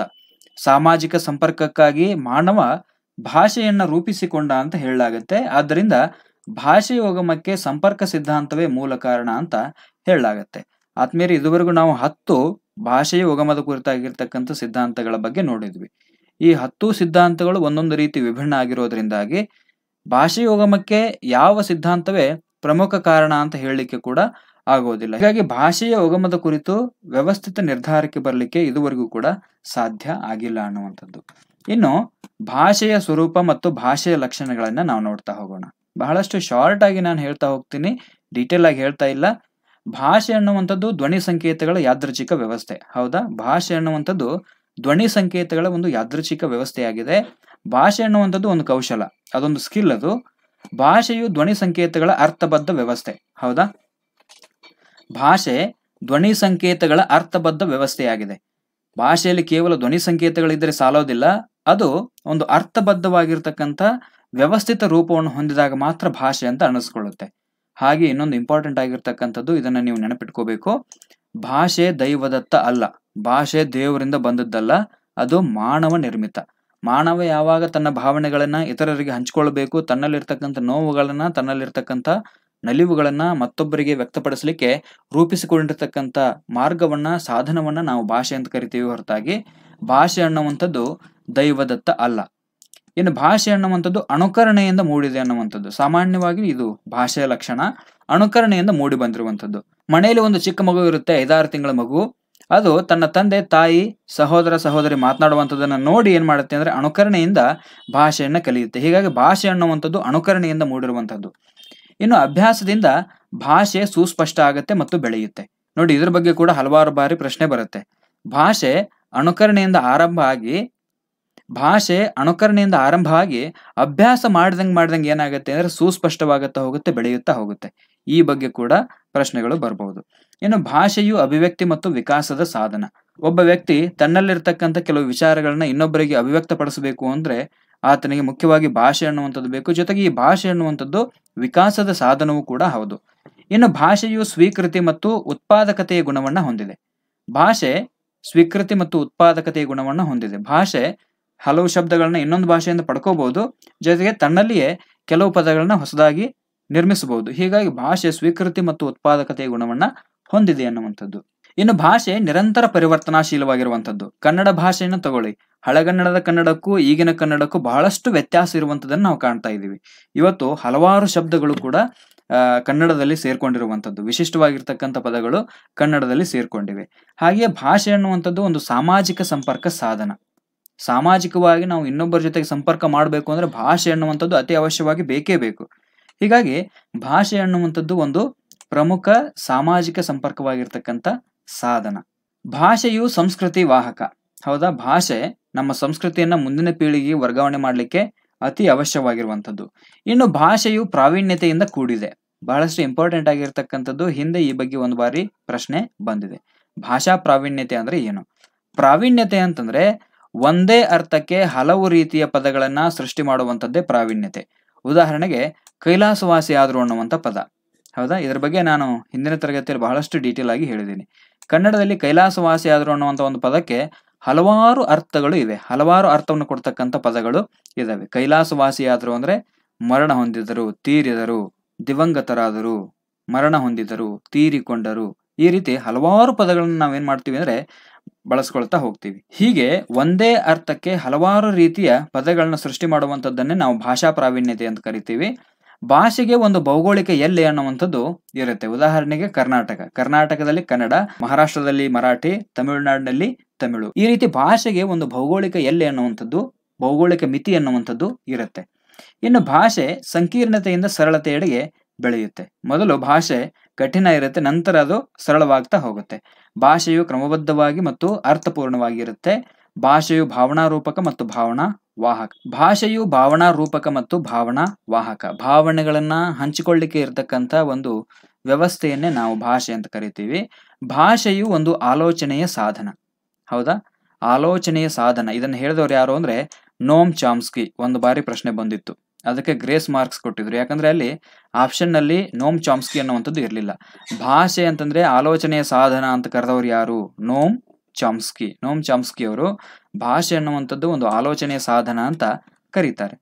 ಸೊ ಇದಿಷ್ಟು ಮೊದಲ ಅಧ್ಯಾಯಕ್ಕೆ ಸಂಬಂಧಪಟ್ಟಂತೆ. ಆದ್ಮೇಲೆ ಅಣಸೂಯ ಪರಿಗೆಯವರ ಪುಸ್ತಕದಲ್ಲಿ ಸುಮಾರು ಇಪ್ಪತ್ತು, ಇಪ್ಪತ್ತೊಂದು ಅಧ್ಯಾಯಗಳಿದೆ. ಅವುಗಳನ್ನು ನಾವು ಶಾರ್ಟ್ ಮಾಡಿ ಡಾಕ್ಟರ್ ಓಬಳೇಶ್ ಗಟ್ಟಿಯವರ ಪುಸ್ತಕ ಮತ್ತು ಅಣಸೂಯ ಪರಿಗೆಯವರ ಪುಸ್ತಕವನ್ನ ನೋಟ್ ಮಾಡಿಕೊಂಡು ಶಾರ್ಟ್ ಮಾಡಿ, ಕೇವಲ ಹದಿನಾಲ್ಕು ಅಧ್ಯಾಯಗಳಲ್ಲಿ ಸಂಪೂರ್ಣವಾಗಿರ್ತಕ್ಕಂಥ ಕನ್ನಡ ಬೋಧನಾ ಶಾಸ್ತ್ರವನ್ನು ಮುಗಿಸುವಂಥ ಪ್ರಯತ್ನವನ್ನು ಮಾಡಿದ್ದೇವೆ. ಇದಿಷ್ಟು ಮೊದಲ ಅಧ್ಯಾಯಕ್ಕೆ ಸಂಬಂಧಪಟ್ಟಂತೆ ಆದರೆ, ಇನ್ನು ಕೇವಲ ಹದಿಮೂರು ಅಧ್ಯಾಯಗಳ ಬಗ್ಗೆ ಮಾತ್ರ ಮುಂದೆ ತರಗತಿ ಇದೆ. ಇದು ಮೊದಲನೇ ಅಧ್ಯಾಯಕ್ಕೆ ಸಂಬಂಧಪಟ್ಟಂತೆ. ಇನ್ನು ಎರಡನೇ ಅಧ್ಯಾಯಕ್ಕೆ ಹೋಗೋಣ. ಅದಕ್ಕೂ ಮೊದಲು ಯಾರಾದರೂ ಈ ವಿಡಿಯೋನ ಲೈಕ್ ಮಾಡಿಲ್ಲ ಅಂದ್ರೆ ದಯವಿಟ್ಟು ವಿಡಿಯೋಗೆ ಲೈಕ್ ಮಾಡಿ, ಜೊತೆಗೆ ನಮ್ಮ ಚಾನಲ್ಗೆ ಸಬ್ಸ್ಕ್ರೈಬ್ ಮಾಡಿ. ಇದು ಮೊದಲನೇ ಅಧ್ಯಾಯ. ಮೊದಲನೇ ಅಧ್ಯಾಯ ಇಲ್ಲಿವರೆಗೂ ಮುಗೀತು ಇಂಪಾರ್ಟೆಂಟ್ ಆಗಿರ್ತಕ್ಕಂಥ ಅಂಶಗಳನ್ನ ಹೇಳಿದ್ದೀನಿ. ಜೊತೆಗೆ ಯಾವೆಲ್ಲ ಹಿಂದೆ ಪ್ರಶ್ನೆಗಳು ಬಂದಿದ್ವು ಅನ್ನುವಂಥದ್ದನ್ನು ಕೂಡ ಹೇಳಿದ್ದೀನಿ. ಇಲ್ಲಿ ಭಾಷಾ ಪ್ರಾವೀಣ್ಯತೆ ಬಗ್ಗೆ ಕೂಡ ಹಿಂದೆ ಒಂದು ಪ್ರಶ್ನೆ ಬಂದಿತ್ತು. ಆಮೇಲೆ ನೋಮ್ ಚಾಮ್ಸ್ಕಿ ಬಗ್ಗೆ ಪ್ರಶ್ನೆ ಬಂದಿತ್ತು. ಹೀಗಾಗಿ ಬಹಳಷ್ಟು ಇಂಪಾರ್ಟೆಂಟ್ ಆಗಿರ್ತಕ್ಕಂಥ ಕ್ಲಾಸ್ ಇದೆ. ದಯವಿಟ್ಟು ಯಾರು ಮಿಸ್ ಮಾಡಬೇಡಿ, ಯಾರು ಸ್ಕಿಪ್ ಮಾಡಬೇಡಿ. ಇನ್ನು ಎರಡನೇ ತರಗತಿಗೆ ನೇರವಾಗಿ ಹೋಗೋಣ. ಎರಡನೇ ತರಗತಿ ಭಾಷಾ ಕೌಶಲಗಳು. ಆದ್ಮೇಲೆ ಈ ಹಿಂದಿನ ತರಗತಿಗಳು ನಾನು ಏನು ಮಾಡಿದ್ದೀನಿ ಅಂದರೆ, ಈ ಭಾಷಾ ಕೌಶಲಗಳಾಗಿರ್ತಕ್ಕಂಥ ಆಲಿಸುವಿಕೆ, ಮಾತನಾಡುವಿಕೆ ಮತ್ತು ಓದುವಿಕೆ. ಈ ಮೂರು ಕೌಶಲಗಳ ಬಗ್ಗೆ ಬಹಳಷ್ಟು ಡೀಟೇಲ್ ಆಗಿ ನಾನು ಹಿಂದಿನ ತರಗತಿಯಲ್ಲಿ ಡೀಟೇಲ್ ಕ್ಲಾಸಸ್ಗಳು ನಿಮಗೆ ಸಿಗ್ತವೆ. ಇಲ್ಲಿ ನಾನು ಕೇವಲ ಶಾರ್ಟ್ ಆಗಿ ಇಂಪಾರ್ಟೆಂಟ್ ಆಗಿರ್ತಕ್ಕಂಥ ಅಂಶಗಳನ್ನ ಮಾತ್ರ ನಿಮಗೆ ಹೇಳ್ತಾ ಹೋಗ್ತೀನಿ. ಎರಡನೇ ಅಧ್ಯಾಯ ಭಾಷಾ ಕೌಶಲಗಳು. ಭಾಷೆಯು ಧ್ವನಿ ಸಂಕೇತಗಳ ಒಂದು ಸಂಕೀರ್ಣ ವ್ಯವಸ್ಥೆ ಹಾಗೂ ಸೂಕ್ಷ್ಮವಾದ ಕೌಶಲ. ಭಾಷಾ ಕಲಿಕೆಯಲ್ಲಿ ಮುಖ್ಯವಾಗಿ ನಾವು ನಾಲ್ಕು ಕೌಶಲಗಳನ್ನು ಕಾಣ್ತೀವಿ. ಮೊದಲನೇದು ಆಲಿಸುವಿಕೆ, ಮಾತನಾಡುವಿಕೆ, ಓದುವಿಕೆ ಮತ್ತು ಬರವಣಿಗೆ. ಇದು ಇಂಗ್ಲಿಷ್ ಪೆಡಾಗೋಜಿಗೆ ಸಂಬಂಧಪಟ್ಟಂತೆ ಕೂಡ ಸೇಮ್ ಬರುತ್ತೆ. ಇಂಗ್ಲಿಷ್ನಲ್ಲಿ ಇದನ್ನ ಎಲ್ ಎಸ್ ಆರ್ ಡಬ್ಲ್ಯೂ ಅಂತ ಕರೀತಾರೆ. ಹೌದಾ? L S R W, listening, speaking, reading and writing. ಇವು ಭಾಷೆಯ ನಾಲ್ಕು ಕೌಶಲಗಳು. ಆಲಿಸುವಿಕೆಯ ಕೌಶಲ, ಇದು ಭಾಷೆಯ ಮೂಲ ಕೌಶಲ. ಹಾಗೆ ಬರವಣಿಗೆ ಅನ್ನುವಂಥದ್ದು ಭಾಷೆಯ ಶಾಶ್ವತ ಕೌಶಲ. ಹೌದಾ? ಇದ್ರ ಬಗ್ಗೆ ಬಹಳ ಬಾರಿ ಪ್ರಶ್ನೆ ಬಂದಿದೆ. ಭಾಷೆಯ ಶಾಶ್ವತ ರೂಪ ಯಾವುದು ಅಂತ ಹಲವಾರು ಬಾರಿ ಪ್ರಶ್ನೆ ಬಂದಿದೆ, ಬರವಣಿಗೆ ಅನ್ನುವಂಥದ್ದು. ಇವುಗಳ ಬಗ್ಗೆ ಸಂಪೂರ್ಣವಾಗಿ ಇದೀಗ ನಾವು ನೋಡ್ತಾ ಹೋಗೋಣ. ಮೊದಲನೇ ಕೌಶಲ, ಆಲಿಸುವಿಕೆಯ ಕೌಶಲ. ಇದು ಭಾಷೆಯ ಮೊದಲ ಹಾಗೂ ಮೂಲ ಕೌಶಲ. ಇಂಪಾರ್ಟೆಂಟ್ ಇದು. ಭಾಷೆಯ ಮೊದಲ ಹಾಗೂ ಮೂಲ ಕೌಶಲ ಯಾವುದು ಅಂತ ಪ್ರಶ್ನೆಗೆ ಬರಬಹುದು ಭಾಷೆಯ ಮೂಲ ಕೌಶಲ ಯಾವುದು ಅಂದ್ರೆ ಆಲಿಸುವಿಕೆ, ಲಿಸ್ನಿಂಗ್ ಅಂತ ಕರಿತೀವಿ. ಹಾಗಾದ್ರೆ ಆಲಿಸುವಿಕೆ ಅಂದ್ರೆ ಏನು? ಧ್ವನಿ ಸಂಕೇತಗಳನ್ನು ಆಲಿಸುವುದು ಮತ್ತು ಅನುಕರಿಸುವುದರಿಂದ ಭಾಷೆಯನ್ನು ಕಲಿಯಲಾಗತ್ತೆ. ಭಾಷೆಯನ್ನು ನಾವು ಹ್ಯಾಕೆ ಕಲಿತೀವಿ? ಧ್ವನಿ ಸಂಕೇತಗಳನ್ನು ಆಲಿಸೋದು, ಕೇಳುವುದು ಮತ್ತು ಅನುಕರಣೆಯಿಂದ. ಹೌದಾ? ಇನ್ನು ಆಲಿಸುವಿಕೆಯು ಒಂದು ಪ್ರಜ್ಞಾಪೂರ್ವಕ, ಉದ್ದೇಶಪೂರ್ವಕ, ಮಾನಸಿಕ ಕ್ರಿಯೆಯಾಗಿದ್ದು ನಾವು ಕೇಳುವ ಶಬ್ದಗಳಲ್ಲಿರುವಂತಹ ಅರ್ಥಗಳನ್ನ, ಭಾವನೆಗಳನ್ನ ಅರ್ಥ ಮಾಡಿಕೊಳ್ಳುವುದು ಮತ್ತು ನಿರೂಪಿಸುವುದೇ ಆಗಿದೆ. ಆಲಿಸುವಿಕೆ ಅಂತಂದ್ರೆ ಪ್ರಜ್ಞಾಪೂರ್ವಕವಾಗಿ ಕೇಳೋದು, ಉದ್ದೇಶಪೂರ್ವಕವಾಗಿ ಕೇಳುವಂತ ಒಂದು ಮಾನಸಿಕ ಕ್ರಿಯೆ ಇದು. ನಾವು ಕೇಳುವಂತ ಶಬ್ದಗಳಲ್ಲಿ ಅರ್ಥಗಳನ್ನ, ಭಾವನೆಗಳನ್ನ ಅರ್ಥ ಮಾಡ್ಕೊಳ್ಳೋದು ಮತ್ತು ನಿರೂಪಿಸುವುದನ್ನ ಆಲಿಸುವಿಕೆ ಅಂತ ಕರಿತೀವಿ. ಮನುಷ್ಯ ಒಬ್ಬ ದಿನದಲ್ಲಿ ಶೇಕಡ ನಲವತ್ತೈದರಷ್ಟು ಸಮಯವನ್ನ ಕೇಳಲಿಕ್ಕೆ ಕಳಿತಾನೆ, ಶೇಕಡ ಮೂವತ್ತರಷ್ಟು ಸಮಯವನ್ನ ಓದಲಿಕ್ಕೆ ಮತ್ತು ಶೇಕಡ ಒಂಬತ್ತರಷ್ಟು ಸಮಯವನ್ನ ಬರೆಯಲು ಬಳಸ್ತಾನೆ ಅಂತ ವೈಜ್ಞಾನಿಕವಾಗಿ ಅಂದಾಜು ಮಾಡಲಾಗಿದೆ. ಕೇಳುವವನಲ್ಲಿ ಇರತಕ್ಕಂಥ ನಿರಾಸಕ್ತಿ ಇಡೀ ಸಂವಹನವನ್ನೇ ಹಾಳು ಮಾಡಬಲ್ಲದು. ಯಾರಲ್ಲಿ ಆಲಿಸುವಿಕೆಯ ಕೌಶಲ ಇಲ್ಲ, ಅವನ ಸಂವಹನ ಸಂಪೂರ್ಣವಾಗಿ ಹಾಳಾಗಿ ಹೋಗುತ್ತೆ. ಯಾಕಂದ್ರೆ ಆತ ಸರಿಯಾಗಿ ಕೇಳಿಸ್ಕೊಳ್ಳಿಲ್ಲ ಅಂತಂದ್ರೆ ಅವನಿಗೆ ಏನಾಗುತ್ತೆ ಅಂದ್ರೆ ಹೇಳಿರುವಂಥದ್ದು ತಿಳಿದಿರೋದಿಲ್ಲ. ಹೀಗಾಗಿ ಇಡೀ ಸಂಪೂರ್ಣ ಸಂವಹನ ವ್ಯವಸ್ಥೆ ಏನಾಗುತ್ತೆ ಅಂದ್ರೆ ಹಾಳಾಗಿ ಹೋಗುತ್ತೆ. ಹೀಗಾಗಿ ಭಾಷೆಯ ಮೂಲ ಕೌಶಲ ಯಾವುದು ಅಂತಂದ್ರೆ ಆಲಿಸುವಿಕೆ ಅನ್ನುವಂಥದ್ದು. ಇನ್ನು ಆಲಿಸುವಿಕೆಯಲ್ಲಿ ಕಂಡು ಬರ್ತಕ್ಕಂಥ ಸಾಮಾನ್ಯ ದೋಷಗಳು. ಕೇಳುವಾಗ ಯಾವೆಲ್ಲ ದೋಷಗಳು ಕಂಡು ಬರ್ತವೆ ಅನ್ನುವಂಥದ್ದನ್ನ ನಾವು ನೋಡ್ತಾ ಹೋಗೋಣ. ಮಾನಸಿಕ ಸಿದ್ಧತೆ ಇಲ್ಲದೆ ಆಲಿಸುವಂಥದ್ದು. ಮಾನಸಿಕ ಸಿದ್ಧತೆ ಇಲ್ಲದೆ ಆಲಿಸೋದು ಅಂತಂದ್ರೆ ಫಿಸಿಕಲಿ ಪ್ರೆಸೆಂಟ್ ಮೆಂಟಲಿ ಅಬ್ಸೆಂಟ್ ಆಗಬಾರ್ದು. ನಾವು ತರಗತಿಯಲ್ಲಿ ಕೂತ್ಕೊಂಡಿದ್ದೀವಿ, ಕೇಳ್ತಾ ಇದ್ದೀವಿ ಅಂದ್ರೆ ನಮ್ಮ ಮನಸ್ಸು ಏಕಾಗ್ರತೆ ಎಲ್ಲ ಎಲ್ಲಿರಬೇಕು ಅಂದ್ರೆ ನಾವು ಮಾನಸಿಕವಾಗಿ ಸಿದ್ಧವಾಗಿ ಆ ತರಗತಿಯನ್ನೇ ಕೇಳ್ತಾ ಇರಬೇಕು. ಮನಸ್ಸು ಬೇರೆ ಕಡೆ, ದೇಹ ಮಾತ್ರ ಇಲ್ಲಿ ಅಂತಂದ್ರೆ ಅದು ಸರಿಯಲ್ಲ. ಭಾಷೆಯ ಅಪೂರ್ಣತೆಯಿಂದ ಆಗ್ತಕ್ಕಂಥ ದೋಷಗಳು, ಅಪೂರ್ಣ ಭಾಷಾ ದೋಷಗಳು ಅಂತ ಬರ್ತವೆ. ಆಮೇಲೆ ದೈಹಿಕ ಆಯಾಸ ಮತ್ತು ಶ್ರವಣ ದೋಷಗಳು. ದೈಹಿಕವಾಗಿ ಆಯಾಸವಾಗಿದ್ದಾಗ ನಿಮ್ಗೆ ಏನು ಕೇಳಲಿಕ್ಕೆ ಆಗೋದಿಲ್ಲ. ಜೊತೆಗೆ ಶ್ರವಣ ದೋಷಗಳು. ಕೆಲವರಿಗೆ ಶ್ರವಣ ದೋಷಗಳು ಇರ್ತಾವಲ್ಲ, ಆ ಶ್ರವಣ ದೋಷಗಳಿಂದ ಕೂಡ ಆಲಿಸುವಿಕೆ ಅನ್ನುವಂಥದ್ದು ಸರಿ ಆಗೋದಿಲ್ಲ. ಇನ್ನು ಅಪೂರ್ಣ ಕೇಳುವಿಕೆ, ಅರ್ಧಂಬರ್ಧ ಕೇಳೋದು. ಹೌದಾ? ಈಗ ನಾನು ಕ್ಲಾಸನ್ನು ಮಾಡ್ತಾ ಇದ್ದೀನಿ. ಟೋಟಲ್ ಇದರಲ್ಲಿ ಹದಿನಾಲ್ಕು ಅಧ್ಯಾಯಗಳಿದೆ ಅಂತ ನಾನು ಹೇಳಿದೆ. ಇದರಲ್ಲಿ ನೀವೇನ್ ಮಾಡ್ತೀರಿ ಅಂದ್ರೆ ಮೊದಲ ಅಧ್ಯಾಯವನ್ನ ಒಂದು ನಾಲ್ಕೈದು ನಿಮಿಷ ನೋಡ್ಬಿಡೋದು. ಹೌದಾ? ನಾಲ್ಕೈದು ನಿಮಿಷ ಕೇಳೋದು. ಆಮೇಲೆ ಬಿಟ್ಟು ಬಿಡೋದು ಇದು ಅಪೂರ್ಣ ಕೇಳುವಿಕೆ. ಪೂರ್ಣವಾಗಿ ನಾವು ಕೇಳಿದ್ವಿ ಅಂದ್ರೆ ಆ ಇಡೀ ಕಂಟೆಂಟ್ ಏನಿದೆ ಅದೆಲ್ಲ ನಿಮಗೆ ಅರ್ಥ ಆಗ್ತಾ ಹೋಗುತ್ತೆ. ಆಮೇಲೆ ವ್ಯಕ್ತಿನಿಷ್ಠ ದೋಷಗಳು. ಪ್ರತಿಯೊಬ್ಬನ ವೈಯಕ್ತಿಕ ಸಮಸ್ಯೆಗಳು ಕೂಡ ಈ ಆಲಿಸುವಿಕೆಯಲ್ಲಿ ಸಮಸ್ಯೆಗಳಾಗ್ತವೆ. ಇನ್ನು ಆಲಿಸುವಿಕೆಯ ಸ್ಥಳ ಮತ್ತು ಸಂದರ್ಭದಲ್ಲಿ ಇರತಕ್ಕಂಥ ಅಡಚಣೆಗಳು. ಆಲಿಸುವಿಕೆಗೆ ಎಲ್ಲಾ ಸಮಯವೂ ಸೂಕ್ತ ಸಮಯಾನೆ ಅಂತ ಹೇಳಲಿಕ್ಕೆ ಆಗೋದಿಲ್ಲ. ಹೀಗಾಗಿ ಈ ಆಲಿಸುವಿಕೆಯ ಸ್ಥಳ ಮತ್ತು ಸಂದರ್ಭದಲ್ಲಿ ಇರತಕ್ಕಂಥ ಕೆಲವು ಅಡಚಣೆಗಳು ಕೂಡ ಆಲಿಸುವಿಕೆಯಲ್ಲಿ ಸಾಮಾನ್ಯವಾಗಿ ಕಂಡುಬರ್ತಕ್ಕಂಥ ದೋಷಗಳು. ಇನ್ನು ಆಲಿಸುವಿಕೆಯನ್ನು ಉತ್ತಮಪಡಿಸುವಂತ ಕ್ರಮ ಯಾವುವು ಏನು ಮಾಡೋದ್ರಿಂದ ನಾವು ಉತ್ತಮ ಆಲಿಸುವಿಕೆಯನ್ನ ರೂಢಿಸಬಹುದು? ಮೊದಲನೇದು, ಉದ್ದೇಶಪೂರ್ವಕವಾಗಿ ಪ್ರಚೋದನೆಗೊಂಡು ಆಲಿಸಬೇಕು. ಇದು ನಮ್ಮಲ್ಲೇನೆ ಬರಬೇಕು. ಈಗ ಯಾರೋ ಒಬ್ರು ಪಾಠ ಹೇಳ್ತಿದ್ದಾರೆ ಅಂತಂದ್ರೆ, ಒಬ್ಬ ವ್ಯಕ್ತಿ ಏನ್ ಮಾಡಬೇಕು ಅಂದ್ರೆ ಉದ್ದೇಶಪೂರ್ವಕವಾಗಿ ಮತ್ತು ಪ್ರಚೋದನೆಗೊಂಡು ಆಲಿಸಬೇಕು. ಶಾರೀರಿಕವಾಗಿ ಮತ್ತು ಮಾನಸಿಕವಾಗಿ ಆರೋಗ್ಯದ ಸುಸ್ಥಿತಿಯಲ್ಲಿ ಆಲಿಸಬೇಕಾಗತ್ತೆ, ಆಸಕ್ತಿಯಿಂದ ಆಲಿಸಬೇಕು ಕೇವಲ ಆಲಿಸೋದಾಗಬಾರದು, ಆಲಿಸುತ್ತಾ ಗ್ರಹಿಸಬೇಕು. ಏನು ವಿಷಯಗಳನ್ನು ಹೇಳ್ತಾ ಇದ್ದಾರೆ ಅವರು, ಆ ವಿಷಯಗಳನ್ನ ಗ್ರಹಿಸಬೇಕು. ಭಾಷಾ ಸಾಮರ್ಥ್ಯದೊಂದಿಗೆ ಆಲಿಸಬೇಕು. ವಿಷಯವನ್ನ ಇಡಿಯಾಗಿ ಆಲಿಸಿ ಗ್ರಹಿಸಬೇಕು. ಗೆಸ್ಟಾಲ್ಟ್ ವಾದ ಅಂತ ಬರುತ್ತೆ ನೋಡಿ ಸೈಕಾಲಜಿ ಒಳಗಡೆ. ಗೆಸ್ಟಾಲ್ಟ್ ವಾದ ಇಡಿಯಾಗಿ ನಾವು ಏನ್ ಮಾಡಬೇಕು ಅಂದ್ರೆ ಆ ವಿಷಯವನ್ನು ಸಂಪೂರ್ಣವಾಗಿ ಆಲಿಸಿ ಗ್ರಹಿಸಬೇಕು. ಪೂರ್ವಾಗ್ರಹ ಪೀಡಿತರಾಗದೆ ಮುಕ್ತ ಮನಸ್ಸಿನಿಂದ ಆಲಿಸಬೇಕು. ಅವ್ರೇನ್ ಹೇಳ್ತಾರೆ, ಇವ್ರೇನು ಹೇಳ್ತಾರೆ ಅನ್ನೋದಕ್ಕಿಂತ ಮುಕ್ತ ಮನಸ್ಸಿನಿಂದ ಅವ್ರು ಏನು ಹೇಳ್ತಾರೆ, ಅವ್ರ ವಿಚಾರಗಳನ್ನು ಕೇಳೋದು. ಅದು ತಪ್ಪೋ ಸರಿನೋ ನೀವು ಆಮೇಲೆ ನಿರ್ಧಾರ ಮಾಡ್ಕೊಳ್ಳಿ. ಯಾವುದೇ ಪೂರ್ವಾಗ್ರಹ ಪೀಡಿತರಾಗದೆ ಮುಕ್ತ ಮನಸ್ಸಿನಿಂದ ಕೇಳಬೇಕು. ಇನ್ನು ಸಹಜವಾಗಿ ಮತ್ತು ನಿರಂತರವಾಗಿ ಆಲಿಸಬೇಕು. ಯಾವ ವ್ಯಕ್ತಿ ಸಹಜವಾಗಿ ಮತ್ತು ನಿರಂತರವಾಗಿ ಆಲಿಸ್ತಾ ಇರ್ತಾನೆ, ಆತನಲ್ಲಿ ವಿಚಾರಗಳು ಧಾರಣವಾಗ್ತಾ ಹೋಗ್ತವೆ. ಹೀಗಾಗಿ ಆತನ ನೆನಪಿನ ಶಕ್ತಿ ಕೂಡ ಜಾಸ್ತಿ ಆಗುವಂತ ಸಾಧ್ಯತೆ ಇರುತ್ತೆ. ಜೊತೆಗೆ ವಸ್ತುನಿಷ್ಠವಾಗಿ ಆಲಿಸಬೇಕು. ವ್ಯಕ್ತಿನಿಷ್ಠವಾಗಿ ಅಲ್ಲ ವಸ್ತುನಿಷ್ಠವಾಗಿ ಆಲಿಸಬೇಕು. ವ್ಯಕ್ತಿ ಯಾರೇ ಇರಲಿ, ಅವರು ಹೇಳುವಂಥ ವಿಷಯ ವಸ್ತುನಿಷ್ಠವಾಗಿದೆ ಅಂತಂದಾಗ ಆ ವಿಚಾರಗಳನ್ನು ನಾವು ಆಲಿಸಬೇಕು. ಇನ್ನು ಹೇಳುವವರನ್ನ ನೋಡುತ್ತಾ ಆತುರ ಪಡದೆ ಆಲಿಸಬೇಕು. ಹೇಳುವಂಥವರನ್ನ ನೋಡುತ್ತಾ ಆತುರ ಪಡದೆ, ಯಾವುದೇ ರೀತಿ ಗಾಬರಿಗೆ ಒಳಗಾಗದೆ ಆತುರ ಪಡದೆ ಆಲಿಸಬೇಕು. ಸೊ ಇದಿಷ್ಟು ಆಲಿಸುವಿಕೆಯ ಕೌಶಲದ ಬಗ್ಗೆ. ಆಲಿಸುವಿಕೆ ಅಂದ್ರೆ ಏನು? ಆಲಿಸುವಿಕೆಯ ಕೌಶಲದಲ್ಲಿರ್ತಕ್ಕಂಥ ದೋಷಗಳು ಮತ್ತು ಆ ದೋಷಗಳನ್ನ ಪರಿಹಾರ ಮಾಡಲಿಕ್ಕೆ ಇರತಕ್ಕಂಥ ಪ್ರಮುಖ ಕ್ರಮಗಳ ಬಗ್ಗೆ ನಾವು ತಿಳ್ಕೊಂಡ್ವಿ. ಇದು ಆಲಿಸುವಿಕೆಯ ಕೌಶಲ, ಮೊದಲ ಕೌಶಲ. ಇನ್ನು ಎರಡನೇ ಕೌಶಲ, ಮಾತುಗಾರಿಕೆ. ಬಹಳಷ್ಟು ಇಂಪಾರ್ಟೆಂಟ್ ಆಗಿರ್ತಕ್ಕಂಥದ್ದು ಇದು ಮಾತುಗಾರಿಕೆ. ನಮ್ಮ ಮಾತು ಯಾವ ರೀತಿ ಇರ್ತದೆ, ಸಮಾಜ ಆ ರೀತಿ ನಮಗೆ ರಿಯಾಕ್ಟ್ ಮಾಡ್ತಾ ಹೋಗುತ್ತೆ. ಊಟ ಬಲ್ಲವನಿಗೆ ರೋಗವಿಲ್ಲ, ಮಾತು ಬಲ್ಲವನಿಗೆ ಜಗಳವಿಲ್ಲ.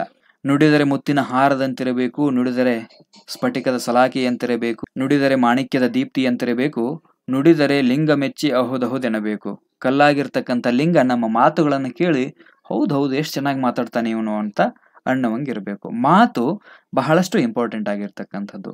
ಮಾತುಗಾರಿಕೆಯ ಕೌಶಲ ಯಾರಿಗೆ ಇದೆ, ಆತನನ್ನ ಎಲ್ಲೇ ಬಿಟ್ಟರೂ ಕೂಡ ಆತ ಜಾಣ್ಮೆಯಿಂದ ಪಾರಾಗಿ ಬರಬಲ್ಲ. ಮಾತುಗಾರಿಕೆಯ ಕೌಶಲ ಬಹಳಷ್ಟು ಇಂಪಾರ್ಟೆಂಟ್ ಆಗಿರ್ತಕ್ಕಂಥ ಕೌಶಲ. ಇದು ಸುಮ್ಮನೆ ಪಾಠ ಕೇಳೋದಷ್ಟೇ ಅಲ್ಲ, ಸಮಾಜದಲ್ಲಿ ನಾವುಗಳು ಕೂಡ ಇದನ್ನ ಅಳವಡಿಸ್ಕೊಳ್ಬೇಕು. ಮಾತುಗಾರಿಕೆ, ನಮ್ಮ ಮಾತು ಬಹಳಷ್ಟು ಶುದ್ಧವಾಗಿರಬೇಕು ಮತ್ತು ಯಾರಿಗೂ ನೋಯಿಸುವಂಗೆ ಇರಬಾರದು. ಮಾತುಗಾರಿಕೆ ಅಷ್ಟು ಶುದ್ಧವಾಗಿರಬೇಕು. ಇಲ್ಲಿ ಮಾತುಗಾರಿಕೆ ಅಂದ್ರೆ ಏನು ಮತ್ತು ಈ ಮಾತುಗಾರಿಕೆಯಲ್ಲಿ ಕಂಡು ಬರ್ತಕ್ಕಂಥ ದೋಷಗಳೇನು ಅವುಗಳನ್ನು ಯಾವ ರೀತಿ ಪರಿಹಾರ ಮಾಡಬೇಕು ಅನ್ನುವಂಥದ್ದನ್ನ ನೋಡ್ತಾ ಹೋಗೋಣ. ಮೊದಲನೇದು, ಮಾತು ಒಂದು ಶಾಬ್ದಿಕ ಮತ್ತು ಮಾನಸಿಕ ಕ್ರಿಯೆ. ನಾವು ಮಾತನಾಡೋದ್ರಿಂದ ಶಬ್ದ ಹೊರಗಡೆ ಬರುತ್ತೆ, ಜೊತೆಗೆ ಇದೊಂದು ಮಾನಸಿಕವಾಗಿರ್ತಕ್ಕಂಥ ಪ್ರಕ್ರಿಯೆ. ಯಾರ ಜೊತೆ ಯಾವ ರೀತಿ ಮಾತಾಡಬೇಕು ಅನ್ನುವಂಥದ್ದು ಮಾನಸಿಕವಾಗಿ ನಾವು ಆಲೋಚನೆ ಮಾಡಿಕೊಂಡು ಮಾತಾಡಬೇಕಾಗತ್ತೆ. ಮಾತುಗಾರಿಕೆ ಒಂದು ಶಾಬ್ದಿಕ ಮತ್ತು ಮಾನಸಿಕ ಕ್ರಿಯೆಯಾಗಿದ್ದು, ಒಂದು ನಿರ್ದಿಷ್ಟ ಭಾಷೆಯ ಧ್ವನಿ ಸಂಕೇತಗಳ ಮೂಲಕ ಶಬ್ದ, ಅರ್ಥ, ಭಾವನೆಗಳು ಸಮನ್ವಯಗೊಳಿಸಿ ಅಭಿವ್ಯಕ್ತಗೊಳಿಸುವಂಥದ್ದೇ ಮಾತುಗಾರಿಕೆ. ಮಕ್ಕಳು ಸ್ಪಷ್ಟವಾಗಿ, ತರ್ಕಬದ್ಧವಾಗಿ, ನಿರ್ಭಯವಾಗಿ ಸ್ವ ಇಚ್ಛೆಯಿಂದ ಕೇಳುವವರಿಗೆ ಹಿತವಾಗುವಂತೆ ಮತ್ತು ಸ್ಪಷ್ಟವಾಗಿ ಅರ್ಥವಾಗುವಂತೆ ಕಲಿತ ಮತ್ತು ತಿಳಿದ ವಿಷಯಗಳನ್ನ ಅಭಿವ್ಯಕ್ತ ಮಾಡಲು ಭಾಷಾಭ್ಯಾಸದಲ್ಲಿ ಕೈಗೊಳ್ಳುವಂತಹ ಕ್ರಿಯಾ ಚಟುವಟಿಕೆಗಳನ್ನ ಬಾಯ್ದರಿ ಕೆಲಸ ಅಥವಾ ಮಾತುಗಾರಿಕೆ ಕೌಶಲ ಅಂತ ನಾವು ಕರಿತೀವಿ. ಒಂದು ನಿರ್ದಿಷ್ಟ ಭಾಷೆಯ ಧ್ವನಿ ಸಂಕೇತಗಳ ಮೂಲಕ ಶಬ್ದ, ಅರ್ಥ, ಭಾವನೆಗಳನ್ನ ಸಮನ್ವಯಗೊಳಿಸಿಕೊಂಡು ಅಭಿವ್ಯಕ್ತಗೊಳಿಸುವಂತ ಕೌಶಲವನ್ನ ನಾವು ಮಾತುಗಾರಿಕೆಯ ಕೌಶಲ ಅಂತ ಕರಿತೀವಿ. ಮಕ್ಕಳು ಸ್ಪಷ್ಟವಾಗಿ, ತರ್ಕಬದ್ಧವಾಗಿ, ನಿರ್ಭಯವಾಗಿ, ಯಾವುದೇ ಭಯ ಇಲ್ಲದೆ ಸ್ವ ಇಚ್ಛೆಯಿಂದ ಕೇಳುವವರಿಗೆ ಹಿತವಾಗುವಂತೆ ಮತ್ತು ಸ್ಪಷ್ಟವಾಗಿ ಅರ್ಥ ಆಗುವಂತೆ ಕಲಿತ ಮತ್ತು ತಿಳಿದ ವಿಷಯಗಳನ್ನ ಅಭಿವ್ಯಕ್ತ ಮಾಡಲು ಭಾಷಾಭ್ಯಾಸದಲ್ಲಿ ಕೈಗೊಳ್ತಕ್ಕಂಥ ಕ್ರಿಯಾ ಚಟುವಟಿಕೆಗಳನ್ನ ಬಾಯ್ದರಿ ಕೆಲಸ ಅಥವಾ ಮಾತುಗಾರಿಕೆಯ ಕೌಶಲ ಅಂತ ಕರಿತೀವಿ. ಮಾತುಗಾರಿಕೆಯ ಕೌಶಲದ ಉದ್ದೇಶ ಏನು? ಏನು ಇದರ ಉದ್ದೇಶ? ಉತ್ತಮ ಮಾತುಗಾರರನ್ನಾಗಿ ಮಾಡೋದು, ಸುಸ್ಪಷ್ಟ ಉಚ್ಚಾರ, ಅರ್ಥಕ್ಕೆ ಅನುಗುಣವಾಗಿ ಧ್ವನಿ, ಏರಿಳಿತಗಳೊಂದಿಗೆ ನಿರರ್ಗಳವಾಗಿ ಮಾತನಾಡುವಂಥ ಸಾಮರ್ಥ್ಯವನ್ನು ಬೆಳೆಸುವಂಥದ್ದು, ತಾರ್ಕಿಕವಾಗಿ ವಿಷಯವನ್ನ ನಿರೂಪಣೆ ಮಾಡಲು. ಮಾತನಾಡೋದು ಅಂದ್ರೆ ಸುಮ್ಮನೆ ಮಾತಾಡೋದಲ್ಲ, ಟೈಮ್ ಪಾಸ್ ಮಾಡೋಕೆ ಮಾತಾಡೋದಲ್ಲ. ಇರುವಂಥ ವಿಷಯವನ್ನ ತಾರ್ಕಿಕವಾಗಿ ನಿರೂಪಣೆ ಮಾಡಲಿಕ್ಕೆ ಮಾತನಾಡುವಂಥದ್ದು. ಒಂದು ವಿಷಯದ ಕುರಿತು ಸ್ವತಂತ್ರ ಮತ್ತು ಅರ್ಥಬದ್ಧವಾಗಿ ಮಾತನಾಡುವ ಸಾಮರ್ಥ್ಯವನ್ನು ಬೆಳೆಸುವಂಥದ್ದು, ವಿಷಯ ಅಭಿವ್ಯಕ್ತಿಗೊಳಿಸುವಲ್ಲಿ ಇರುವಂತಹ ಅಳುಕು, ಅಂಜಿಕೆ, ಭಯವನ್ನು ಹೋಗಲಾಡಿಸೋದು ಈ ಮಾತುಗಾರಿಕೆಯ ಕೌಶಲ್ಯದ ಉದ್ದೇಶ. ನಾವು ಶಿಕ್ಷಕರಾಗಿ ಶಾಲೆಗೆ ಹೋದ ನಂತರ ಒಂದು ವಿಷಯದ ಕುರಿತು ಮಕ್ಕಳಿಗೆ ಸ್ವತಂತ್ರವಾಗಿ, ಅರ್ಥಬದ್ಧವಾಗಿ ಜೊತೆಗೆ ಯಾವುದೇ ಅಳುಕು, ಅಂಜಿಕೆ, ಭಯ ಇಲ್ಲದೆ ಮಾತನಾಡುವಂತೆ ಮಕ್ಕಳನ್ನ ಪ್ರೇರೇಪಿಸಬೇಕು. ವಿಷಯದ ವಿವರಣೆ, ಚರ್ಚೆ, ಭಾಷಣ, ಅಭಿಪ್ರಾಯ ನಿರೂಪಣೆಯಂತ ಮುಂತಾದ ಕೌಶಲಗಳನ್ನು ಬೆಳೆಸುವಂಥದ್ದು ಈ ಮಾತುಗಾರಿಕೆ ಕೌಶಲದ ಉದ್ದೇಶ. ಇನ್ನು ಉಚ್ಚಾರಣಾ ದೋಷಗಳನ್ನ ತಿದ್ದುವಂಥದ್ದು. ಈ ಉಚ್ಚಾರಣಾ ದೋಷಗಳನ್ನ ತಿದ್ದಲಿಕ್ಕೆ ಈ ಮಾತುಗಾರಿಕೆಯ ಕೌಶಲ ಬಹಳಷ್ಟು ಇಂಪಾರ್ಟೆಂಟ್ ಆಗಿರ್ತಕ್ಕಂಥದ್ದು. ಜೊತೆಗೆ ವಾಚನಶೀಲತೆಯನ್ನು ಬೆಳೆಸುವಂಥದ್ದು. ಒಬ್ಬ ವ್ಯಕ್ತಿ ಯಾವಾಗ ಮಾತನಾಡ್ತಾನೆ ಅಂತಂದ್ರೆ ಆತ ಓದ್ಕೊಂಡಾಗ ಅಥವಾ ಒಂದು ವಿಷಯವನ್ನ ತಿಳ್ಕೊಂಡಾಗ. ಹೀಗಾಗಿ ವಾಚನಶೀಲತೆಯನ್ನ ಈ ಮಾತುಗಾರಿಕೆಯ ಕೌಶಲ ಬೆಳೆಸುತ್ತೆ ಅನ್ನುವಂಥದ್ದು. ಇನ್ನು ಮಾತುಗಾರಿಕೆಯ ಕೌಶಲದ ಮಹತ್ವ ಏನು? ಇಂಪಾರ್ಟೆನ್ಸ್ ಏನಿದೆ? ವಾಕ್ ಚಾತುರ್ಯ ಭಾಷಾ ಜ್ಞಾನ ಶಬ್ದ ಭಂಡಾರವನ್ನ ಇದು ಪೋಷಿಸುತ್ತೆ. ಮಾನಸಿಕ ವಿಕಾಸ, ಯೋಚನಾ ಶಕ್ತಿಯನ್ನು ಬೆಳೆಸುತ್ತೆ. ಉತ್ತಮ ಮಾತುಗಾರ, ಭಾಷಣಕಾರರನ್ನಾಗಿ ಇದು ರೂಪಿಸುತ್ತೆ. ಯಾವ ವ್ಯಕ್ತಿ ಉತ್ತಮ ಮಾತುಗಾರಿಕೆಯ ಕೌಶಲ್ಯವನ್ನು ಹೊಂದಿದಾನೋ, ಆತ ಉತ್ತಮ ಮಾತುಗಾರ ಆಗಬಲ್ಲ, ಉತ್ತಮ ಭಾಷಣಕಾರ ಆಗಬಲ್ಲ. ಆಮೇಲೆ ವಿಷಯಾಭಿವ್ಯಕ್ತಿಯಲ್ಲಿ ತಾರ್ಕಿಕ ಶಕ್ತಿಯನ್ನ ಇದು ಹೆಚ್ಚಿಸುತ್ತೆ. ಯಾವ ವಿಷಯವನ್ನ ಯಾವ ಸಂದರ್ಭದಲ್ಲಿ ಮಾತನಾಡಬೇಕು ಅನ್ನುವಂಥ ಒಂದು ಶಕ್ತಿಯನ್ನ ಅದು ಹೆಚ್ಚುತ್ತೆ. ಜೊತೆಗೆ ಸಾಹಿತ್ಯ, ಸಂಸ್ಕೃತಿ, ಆಡಳಿತ ವ್ಯವಹಾರಕ್ಕೆ ಅನುಕೂಲ ಆಗಿದೆ. ಭಾಷಾ ಸ್ವಾಮಿತ್ವವನ್ನು ಬೆಳೆಸುತ್ತೆ, ಉತ್ತಮ ವಾಗ್ಮಿಯಾಗಲು ಸಹಕಾರಿಯಾಗಿದೆ. ತನ್ನ ಭಾವನೆಗಳನ್ನ ಅಭಿವ್ಯಕ್ತಪಡಿಸಲಿಕ್ಕೆ ಮಾತುಗಾರಿಕೆಯ ಕೌಶಲ ಬಹಳಷ್ಟು ಇಂಪಾರ್ಟೆಂಟ್ ಆಗಿರುವಂತದ್ದು ಇದಿಷ್ಟು ಮಾತುಗಾರಿಕೆಯ ಕೌಶಲದ ಮಹತ್ವ. ಇನ್ನು ಮಾತುಗಾರಿಕೆಯನ್ನ ಉತ್ತಮಪಡಿಸುವಂತ ಚಟುವಟಿಕೆಗಳು ಯಾವುವು? ಯಾವ ಚಟುವಟಿಕೆಗಳನ್ನ ಮಾಡಿಸುವ ಮೂಲಕ ಮಕ್ಕಳ ಮಾತುಗಾರಿಕೆಯನ್ನ ನಾವು ಉತ್ತಮಪಡಿಸಬಹುದು? ಬಹಳಷ್ಟು ಇಂಪಾರ್ಟೆಂಟ್ ಇದು. ಇದ್ರ ಬಗ್ಗೆ ಒಂದು ಪ್ರಶ್ನೆ ಬರಬಹುದು ಮಾತುಗಾರಿಕೆಯನ್ನ ಉತ್ತಮಪಡಿಸುವಂತ ಚಟುವಟಿಕೆಗಳು ಯಾವುವು ಅನ್ನುವಂಥದ್ದನ್ನ ನೋಡ್ತಾ ಹೋಗೋಣ. ಮೊದಲನೇದು ಸಂಭಾಷಣೆಗಳನ್ನ ಏರ್ಪಡಿಸುವಂಥದ್ದು ಡೈಲಾಗ್ಗಳು ಹೌದಾ? ಡೈಲಾಗ್ಗಳಿಂದ ಏನಾಗುತ್ತೆ ಅಂದ್ರೆ ಮಾತುಗಾರಿಕೆಯನ್ನು ನಾವು ಉತ್ತಮಪಡಿಸಬಹುದು. ಆಮೇಲೆ ಪುಟಾಣಿ ಭಾಷಣಗಳು, ಸಣ್ಣ ಮಕ್ಕಳಿಗೆ ಸಣ್ಣ ಸಣ್ಣ ಭಾಷಣಗಳನ್ನು ಮಾಡಿಸುವಂಥದ್ದು. ಆಮೇಲೆ ಕತೆ ಹೇಳಿಸೋದು ಮತ್ತೆ ಕೇಳಿಸೋದು. ಹೌದಾ? ಮಕ್ಕಳಿಂದ ಕತೆಗಳನ್ನು ಹೇಳಿಸೋದ್ರಿಂದ ಅವರು ಮಾತುಗಾರರಾಗ್ತಾರೆ. ಆಮೇಲೆ ಗಟ್ಟಿ ವಾಚನದ ಅಭ್ಯಾಸಗಳು, ಗಟ್ಟಿಯಾಗಿ ಓದಲಿಕ್ಕೆ ಮಕ್ಕಳಿಗೆ ಹೇಳೋದು, ಆಮೇಲೆ ಕ್ರೀಡೆಗಳು ಮತ್ತು ನಾಟಕ ಅಭ್ಯಾಸಗಳು, ಚಿತ್ರಪಟಗಳ ಮೂಲಕ ಮಾತನಾಡುವಂಥದ್ದನ್ನು ಕಲಿಸೋದು, ಚರ್ಚೆ ಮತ್ತು ತರ್ಕಕೂಟಗಳು ಆಶು ಭಾಷಣಗಳು ಆಶು ಅಂತಂದ್ರೆ ಚೀಟಿಯಿಂದ ಒಂದು ವಿಷಯವನ್ನು ತಗೊಂಡು ಅಲ್ಲಿಂದಲ್ಲಿನೇ ಆ ವಿಷಯದ ಬಗ್ಗೆ ಮಾತನಾಡುವಂಥದ್ದು ಆಶು ಭಾಷಣಗಳು ಆಮೇಲೆ ಪ್ರಶ್ನೋತ್ತರ ಕಾರ್ಯಕ್ರಮಗಳು. ಪ್ರಶ್ನೆಗಳನ್ನ ಕೇಳೋದು ಮಕ್ಕಳಿಂದ ಉತ್ತರವನ್ನ ಹೇಳಿಸೋದು. ಇದರಿಂದ ಕೂಡ ಮಕ್ಕಳ ಮಾತುಗಾರಿಕೆ ಉತ್ತಮ ಆಗತ್ತೆ. ಆಮೇಲೆ ಏಕಪಾತ್ರಾಭಿನಯ, ಬಹುಪಾತ್ರಾಭಿನಯ ಮತ್ತು ಗಾಯನಗಳು. ಆಮೇಲೆ ಪತ್ರಿಕೆಗಳು ಮತ್ತು ವರದಿಗಳನ್ನ ಓದಿಸೋದು. ಇವುಗಳಿಂದ ನಾವೇನ್ ಮಾಡ್ಬೋದು ಅಂತಂದ್ರೆ ಮಕ್ಕಳ ಮಾತುಗಾರಿಕೆಯನ್ನ ಉತ್ತಮ ಪಡಿಸಬಹುದು ಇನ್ನು ಮಕ್ಕಳ ಮಾತುಗಾರಿಕೆಯನ್ನು ಉತ್ತಮಪಡಿಸುವಂತಹ ಚಟುವಟಿಕೆಗಳ ಬಗ್ಗೆ ಸ್ವಲ್ಪ ಡೀಟೇಲ್ ಆಗಿ ನಾವು ತಿಳ್ಕೊಳ್ತಾ ಹೋಗೋಣ. ಮೊದಲನೇದು ತರ್ಕ ಮತ್ತು ವಿಚಾರಗೋಷ್ಠಿ ಅಂತ ನಾನು ಹೇಳಿದ್ದೆ. ಹಾಗಾದ್ರೆ ತರ್ಕ ಮತ್ತು ವಿಚಾರಗೋಷ್ಠಿ ಅಂದ್ರೆ ಏನು? ಒಂದು ವಿಷಯವನ್ನ ಆಯ್ದುಕೊಂಡು ಮಕ್ಕಳನ್ನ ಒಂದುಗೂಡಿಸಿ, ವಿಷಯದ ಬಗ್ಗೆ ಚರ್ಚೆ ಮಾಡಲು ಮಕ್ಕಳನ್ನ ಪ್ರೋತ್ಸಾಹಿಸಿ, ತರ್ಕಬದ್ಧವಾಗಿ ಆಲೋಚಿಸಿ ಮಾತನಾಡುವಂತೆ ಮಾಡುವುದರಿಂದ ಮಕ್ಕಳ ಮಾತುಗಾರಿಕೆಯನ್ನು ಉತ್ತಮಪಡಿಸಬಹುದು. ಇನ್ನು ಭಾಷಣ ಮತ್ತು ಆಶುಭಾಷಣ. ಮಕ್ಕಳಿಗೆ ಒಂದು ವಿಷಯವನ್ನ ಮೊದಲೇ ಕೊಟ್ಟು ಆ ವಿಷಯದ ಬಗ್ಗೆ ಮಕ್ಕಳೇ ತಯಾರಾಗಿ ಬಂದು ಸಭೆಯ ಮುಂದೆ ಪ್ರತಿಪಾದನೆ ಮಾಡುವಂಥದ್ದು ಭಾಷಣ ಆಗತ್ತೆ. ಇನ್ನು ಆಶು ಭಾಷಣ ಅಂತಂದ್ರೆ ಇದನ್ನ ಕಿರು ಭಾಷಣ ಅಂತ ನಾವು ಕರಿತೀವಿ. ಆಶು ಭಾಷಣ ಅಂದ್ರೆ ಕಿರು ಭಾಷಣ ನಾಲ್ಕು ಅಥವಾ ಐದು ನಿಮಿಷಗಳ ಕಾಲ ಚೀಟಿಯಲ್ಲಿರುವಂತಹ ಯಾವುದೋ ಒಂದು ವಿಷಯದ ಬಗ್ಗೆ ಅದೇ ಕ್ಷಣದಲ್ಲಿ ಮಾತನಾಡುವಂಥದ್ದನ್ನು ನಾವು ಆಶು ಭಾಷಣ ಅಂತ ಕರಿತೀವಿ. ಪಿಕ್ ಅಂಡ್ ಸ್ಪೀಚ್ ಅಂತಾರಲ್ಲ ಅದು. ಇನ್ನು ಕಥಾ ನಿರೂಪಣೆ. ಭಾಷಾ ಬೋಧಕ ತರಗತಿಯಲ್ಲಿ ಸೂಕ್ತ ಕಥೆಗಳನ್ನು ಹೇಳಿ ಮರುದಿನ ಅವುಗಳನ್ನ ಮಕ್ಕಳಿಂದ ಹೇಳಿಸೋದ್ರಿಂದ ಮಕ್ಕಳ ಅಭಿವ್ಯಕ್ತಿ ಸಾಮರ್ಥ್ಯ ಹೆಚ್ಚಾಗತ್ತೆ. ಇನ್ನು ಉಪನ್ಯಾಸ. ಶಾಲೆಗಳಲ್ಲಿ ವಿದ್ವಾಂಸರಿಂದ ಉಪನ್ಯಾಸಗಳನ್ನು ಏರ್ಪಡಿಸೋದ್ರಿಂದ ಮಕ್ಕಳು ಅವರನ್ನ ಅನುಕರಣೆ ಮಾಡಿ ಅವರುಗಳು ಕೂಡ ಅವರಂತೆಯೇ ಅನುಕರಿಸುತ್ತಾ ಬಾಯ್ದರಿಯಾಗಿ ಹೇಳುತ್ತಾ ಹೋದಂತೆ ಮಾತುಗಾರಿಕೆ ಅನ್ನುವಂಥದ್ದು ಉತ್ತಮ ಆಗತ್ತೆ. ಇದು ಉಪನ್ಯಾಸ. ಉಪನ್ಯಾಸದಿಂದ ನಾವು ಯಾವ ರೀತಿ ಮಾತುಗಾರಿಕೆಯನ್ನ ಪೋಷಿಸಬಹುದು ಅನ್ನುವಂಥದ್ದನ್ನ ತಿಳ್ಕೊಂಡ್ವಿ. ಸೊ, ಇವಿಷ್ಟು ಮಾತುಗಾರಿಕೆಯನ್ನ ಉತ್ತಮಪಡಿಸಲಿರ್ತಕ್ಕಂಥ ಕೆಲವು ಮಹತ್ವದ ಅಂಶಗಳು. ಇದಿಷ್ಟು ಮಾತುಗಾರಿಕೆಯ ಕೌಶಲಕ್ಕೆ ಸಂಬಂಧಪಟ್ಟಂತೆ. ಎರಡನೇ ಕೌಶಲದ ಬಗ್ಗೆ ನಾವು ಬಹಳಷ್ಟು ಡೀಟೇಲ್ ಆಗಿ ತಿಳ್ಕೊಂಡ್ವಿ. ಇನ್ನು ಮೂರನೇ ಕೌಶಲ, ಓದುಗಾರಿಕೆ ರೀಡಿಂಗ್ ಅಂತ ಕರಿತೀವಿ. ರೀಡಿಂಗ್ ಓದುಗಾರಿಕೆಯ ಕೌಶಲ. ಓದುಗಾರಿಕೆಯ ಕೌಶಲ ಮೂರನೆಯ ಪ್ರಮುಖ ಕೌಶಲ, ಇದೊಂದು ಮಾನಸಿಕ ಮತ್ತು ಶಾಬ್ದಿಕ ಕ್ರಿಯೆ. ಲಿಪಿಯ ಸಂಕೇತಗಳನ್ನ ಶಬ್ದ ರೂಪದ ಅರ್ಥಬದ್ಧವಾಗಿ ಹೊರಹೊಮ್ಮಿಸುವ ಪ್ರಕ್ರಿಯೆ ಓದುಗಾರಿಕೆ.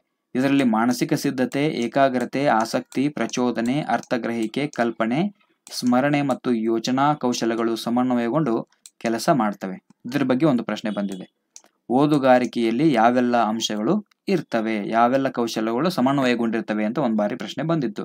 ಮಾನಸಿಕ ಸಿದ್ಧತೆ, ಏಕಾಗ್ರತೆ, ಆಸಕ್ತಿ, ಪ್ರಚೋದನೆ, ಅರ್ಥಗ್ರಹಿಕೆ, ಕಲ್ಪನೆ, ಸ್ಮರಣೆ ಮತ್ತು ಯೋಚನಾ ಕೌಶಲ್ಯಗಳು ಇನ್ನು ಸಾಂಪ್ರದಾಯಿಕ ಧ್ವನಿ ಸಂಕೇತಗಳ ರೂಪದಲ್ಲಿ ಬರೆದ ಬರಹವನ್ನ ಬಾಯ್ದರಿಯಾಗಿ ಅಥವಾ ಮನಸ್ಸಿನಲ್ಲಿ ಯಾದೃಚ್ಛಿಕವಾಗಿ ಕಣ್ ಚಲನೆಯ ಮುಖಾಂತರ ವಿಷಯ ಗ್ರಹಿಕೆ ಮಾಡುವಂಥದ್ದನ್ನೇ ನಾವು ಓದುವಿಕೆ ಅಂತ ಕರಿತೀವಿ ಬಿ ವಿ ರಮಣ ಅವರ ಪ್ರಕಾರ ಲಿಪಿಗಳು ಯಾಂತ್ರಿಕ ರೀತಿಯಿಂದ ಕಣ್ಣುಗಳ ಮೂಲಕ ಪ್ರವೇಶಿಸಿ ಅಭಿವ್ಯಕ್ತಿತ್ವವನ್ನು ಪಡೆಯುವಂಥದ್ದೇ ಓದುವಿಕೆ ಅಂತ ಹೇಳ್ತಾರೆ. ಎಚ್ ಎಂ ಪಾವರ್ ಅವರ ಪ್ರಕಾರ ಅಚ್ಚಾದುದನ್ನ ಒದರುವಂಥದ್ದೇ ಓದುವಿಕೆ ಅಂತ ಎಚ್ ಎಂ ಪಾವರ್ ಅವರು ಹೇಳ್ತಾರೆ. ಬಾರ್ಕಿಂಗ್ ಅಟ್ ಪ್ರಿಂಟ್ ಅಂತ ಇದನ್ನ ಕರೀತಾರೆ. ಇನ್ನು ಓದುಗಾರಿಕೆ ಕೌಶಲ್ಯದ ಉದ್ದೇಶ ಏನು? ಸರಳವಾಗಿ, ಸುಸ್ಪಷ್ಟವಾಗಿ, ನಿರರ್ಗಳವಾಗಿ ಮತ್ತು ಅರ್ಥಬದ್ಧವಾಗಿ ಓದುವ ಕೌಶಲ್ಯಗಳ ಸಾಮರ್ಥ್ಯ ಬೆಳೆಸುವಂಥದ್ದು ವಾಕ್ಯವೃಂದ ಕತೆ ಕವನ, ಕಾವ್ಯ, ನಾಟಕ, ಕಾದಂಬರಿ, ಪ್ರಬಂಧ, ಪತ್ರಿಕೆ, ವಿಚಾರ ಇತ್ಯಾದಿ ಪಠ್ಯಗಳನ್ನು ಸ್ವತಂತ್ರವಾಗಿ ಓದಿ ಗ್ರಹಿಸುವ ಹಾಗೂ ಆಸ್ವಾದಿಸುವ ಸಾಮರ್ಥ್ಯವನ್ನು ಬೆಳೆಸುವಂಥದ್ದು ಓದುಗಾರಿಕೆ ಕೌಶಲ್ಯದ ಉದ್ದೇಶ. ಜೊತೆಗೆ ಗಟ್ಟಿ ವಾಚನ ಆಗಿರ್ಬೋದು, ಮೌನ ವಾಚನ, ವಿಶಾಲ ವಾಚನ, ಆಳವಾದ ವಾಚನ, ಸ್ಥೂಲ ವಾಚನ, ಸೂಕ್ಷ್ಮ ವಾಚನ, ವಿಮರ್ಶಾ ವಾಚನದಂತಹ ಓದಿನ ಪ್ರಕಾರಗಳ ಕೌಶಲ ಮತ್ತು ತಂತ್ರಗಳಲ್ಲಿ ಸಾಮರ್ಥ್ಯ ಬೆಳೆಸುತ್ತೆ. ಓದಿನಲ್ಲಿ ಈ ಎಲ್ಲ ಪ್ರಕಾರಗಳು ಬರ್ತವೆ. ಗಟ್ಟಿ ವಾಚನ, ಮೌನ ವಾಚನ, ವಿಶಾಲ ವಾಚನ, ಆಳವಾದ ವಾಚನ, ಸ್ಥೂಲ ವಾಚನ, ಸೂಕ್ಷ್ಮ ವಾಚನ, ವಿಮರ್ಶಾತ್ಮಕ ವಾಚನದಂತಹ ಓದಿನ ಪ್ರಕಾರಗಳಲ್ಲಿ ಕೌಶಲ್ಯಗಳನ್ನು ಗಳಿಸುವಂಥದ್ದು ಮತ್ತು ತಂತ್ರಗಳಲ್ಲಿ ಸಾಮರ್ಥ್ಯವನ್ನು ಬೆಳೆಸುವಂಥ ಪ್ರಯತ್ನವನ್ನ ಈ ಓದುಗಾರಿಕೆ ಕೌಶಲ ಮಾಡುತ್ತೆ. ಆಮೇಲೆ ಓದುಗಾರಿಕೆಯ ಹವ್ಯಾಸ ಮತ್ತು ಸಾಹಿತ್ಯಾಭಿರುಚಿಯನ್ನ ಉಂಟು ಮಾಡುವಂಥದ್ದು ಓದುಗಾರಿಕೆ ಕೌಶಲದ ಉದ್ದೇಶ.